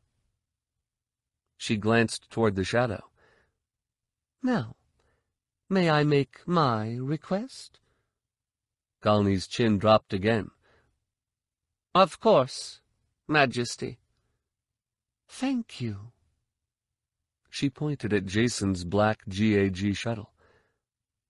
Allana is aboard that shuttle, and you are a familiar face to her. I'd like you and Major Aspara to retrieve her and take her to your cabin. Galney's eyes widened. My cabin, Majesty? Yes, and allow no one inside until I arrive. Tenel Ka turned to Aspara. Is that clear, Major? Aspara looked as confused as Galney but she was too accustomed to taking orders to question them now. Yes, Majesty. Good. Tenel Ka turned back to Galney. I'll join you as soon as I'm able. Galney continued to look bewildered. Majesty, if you're trying to spare me the pain of knowing— Lady Galney, I am not my grandmother. Tenel Ka interrupted.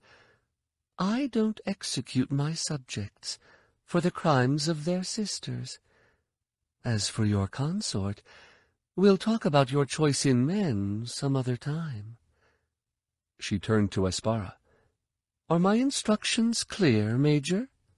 Yes, Majesty. Then carry on. Tenel Ka started up the Shadow's boarding ramp but when her retinue broke into a drone of shocked voices, she stopped and turned around. If you're aboard the Dragon Queen, there's supposed to be a reason. My advice to you all is to figure out what that reason is, and start attending to it. The retinue fell into stunned silence, then suddenly dissolved as noblewomen scurried for the hangar exits. Tenel Ka smiled to herself, and thinking she just might stand a chance of bringing Hapes into the modern galaxy, ascended the boarding ramp. She entered the opulent passenger salon of the Jade Shadow to find the discussion already in full swing.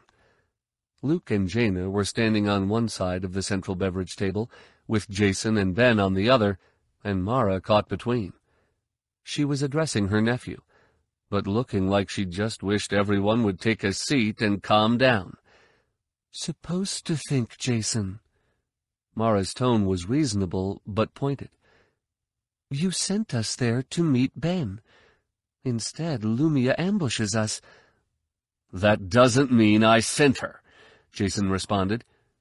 Tenel Ka knew how upset he was by the fact that she could not feel him in the Force. He always closed himself off when he grew angry. You said yourself that you were worried she was after Ben. Ben wasn't there, Luke said. I was supposed to be, Ben interrupted. Jacen dropped a message beacon ordering the rover to go to Roqoo Depot, but we ignored it. You what? Mara asked, facing Ben. We ignored the order. Ben turned to Jaina. Ask Jaina. It was her idea. All eyes turned to Jaina, who reluctantly nodded. I pretty much insisted on it. We needed to warn Ten... er... the Queen Mother about the Ducha. Ben turned back to Luke. You see? It wasn't Jacen's fault. You ignoring an order doesn't explain how Lumiya knew we would be there, Mara pointed out, or why she's been working with GAG. And I wish I had the answer to that, Jacen said.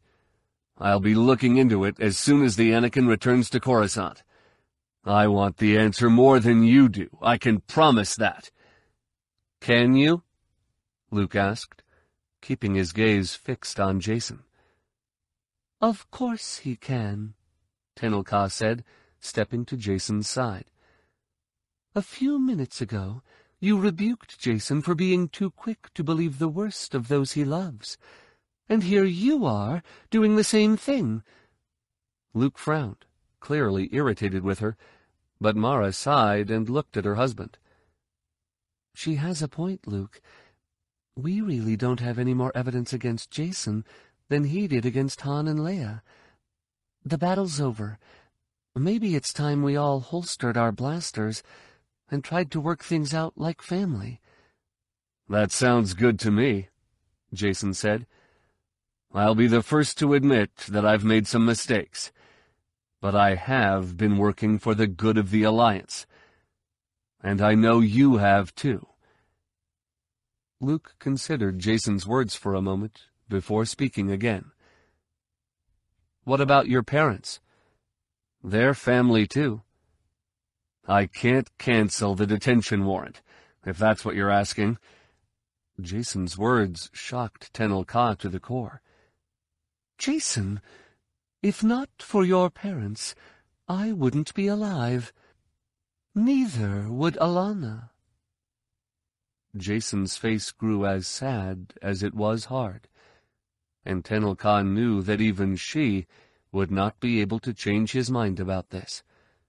He was convinced that his duty compelled him to ignore his feelings for his family, and she found that terribly painful. And when she remembered that she and Allana were his family too, just a little frightening.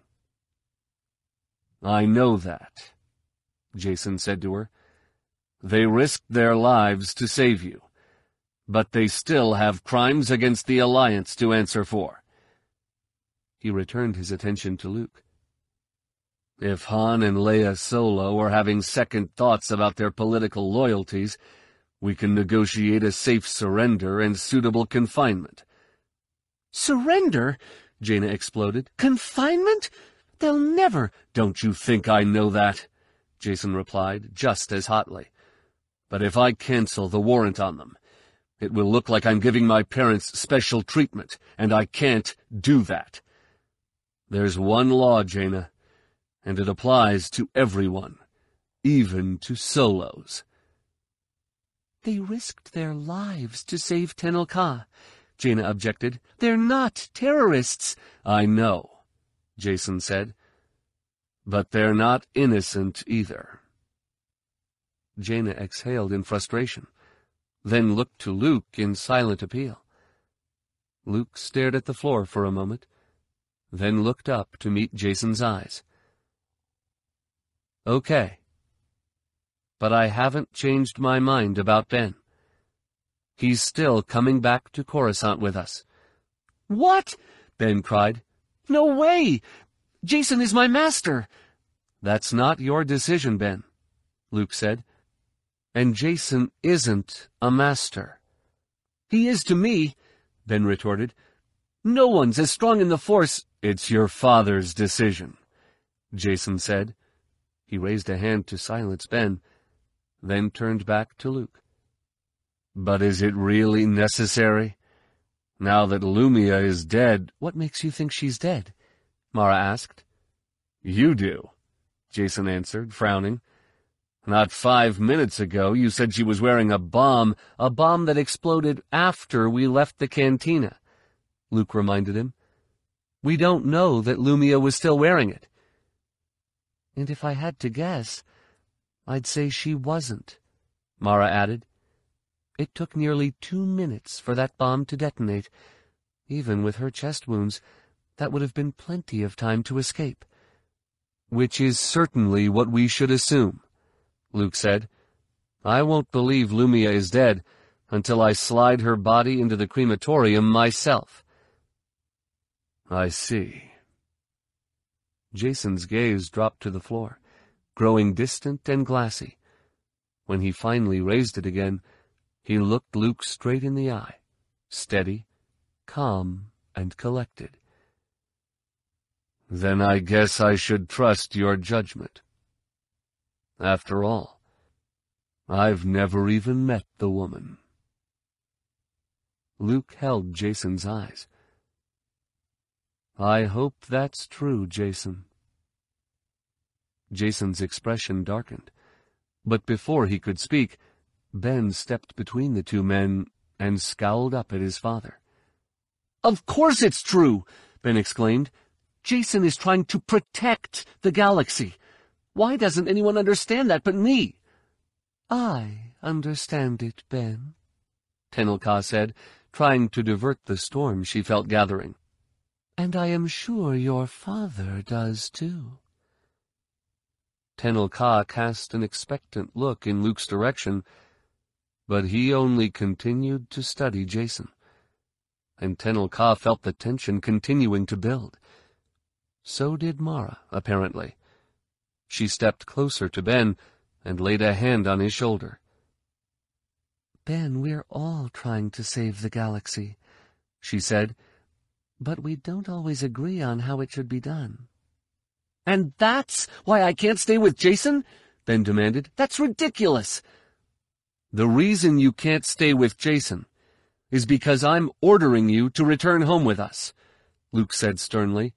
And the reason I'm doing that is because Lumiya told me you were the one helping her in GAG. What? Tenel Ka exclaimed the word at the same time Jacen and Ben did, then watched Jacen's expression turn from shocked to angry to enigmatic. Ben merely seemed confused. And you believe her? he demanded. No, Luke answered. He glanced back toward Jacen. But somebody has been helping her. And until I know who that is, you need to stay away from GAG, Jacen finished. Your father is right to be cautious, Ben. But you're my master, Ben objected. And I'm asking you to stay with your parents until I've sorted this out. Jacen looked up at Luke, then added, I'm sure we'll be working together again much sooner than you expect. Tenel Ka's heart fell at the challenging tone of Jacen's voice, but Luke seemed to accept the statement without animosity. I hope we'll all be working together again soon. Luke reached across and clasped Jacen's arm. I know better than to think you'll accept my help. But let me know how the investigation goes.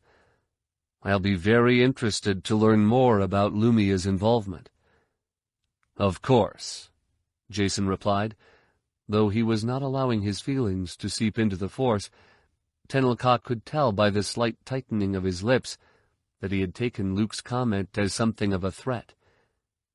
And now, if you'll excuse me, I really should return to the Anakin and get started on that.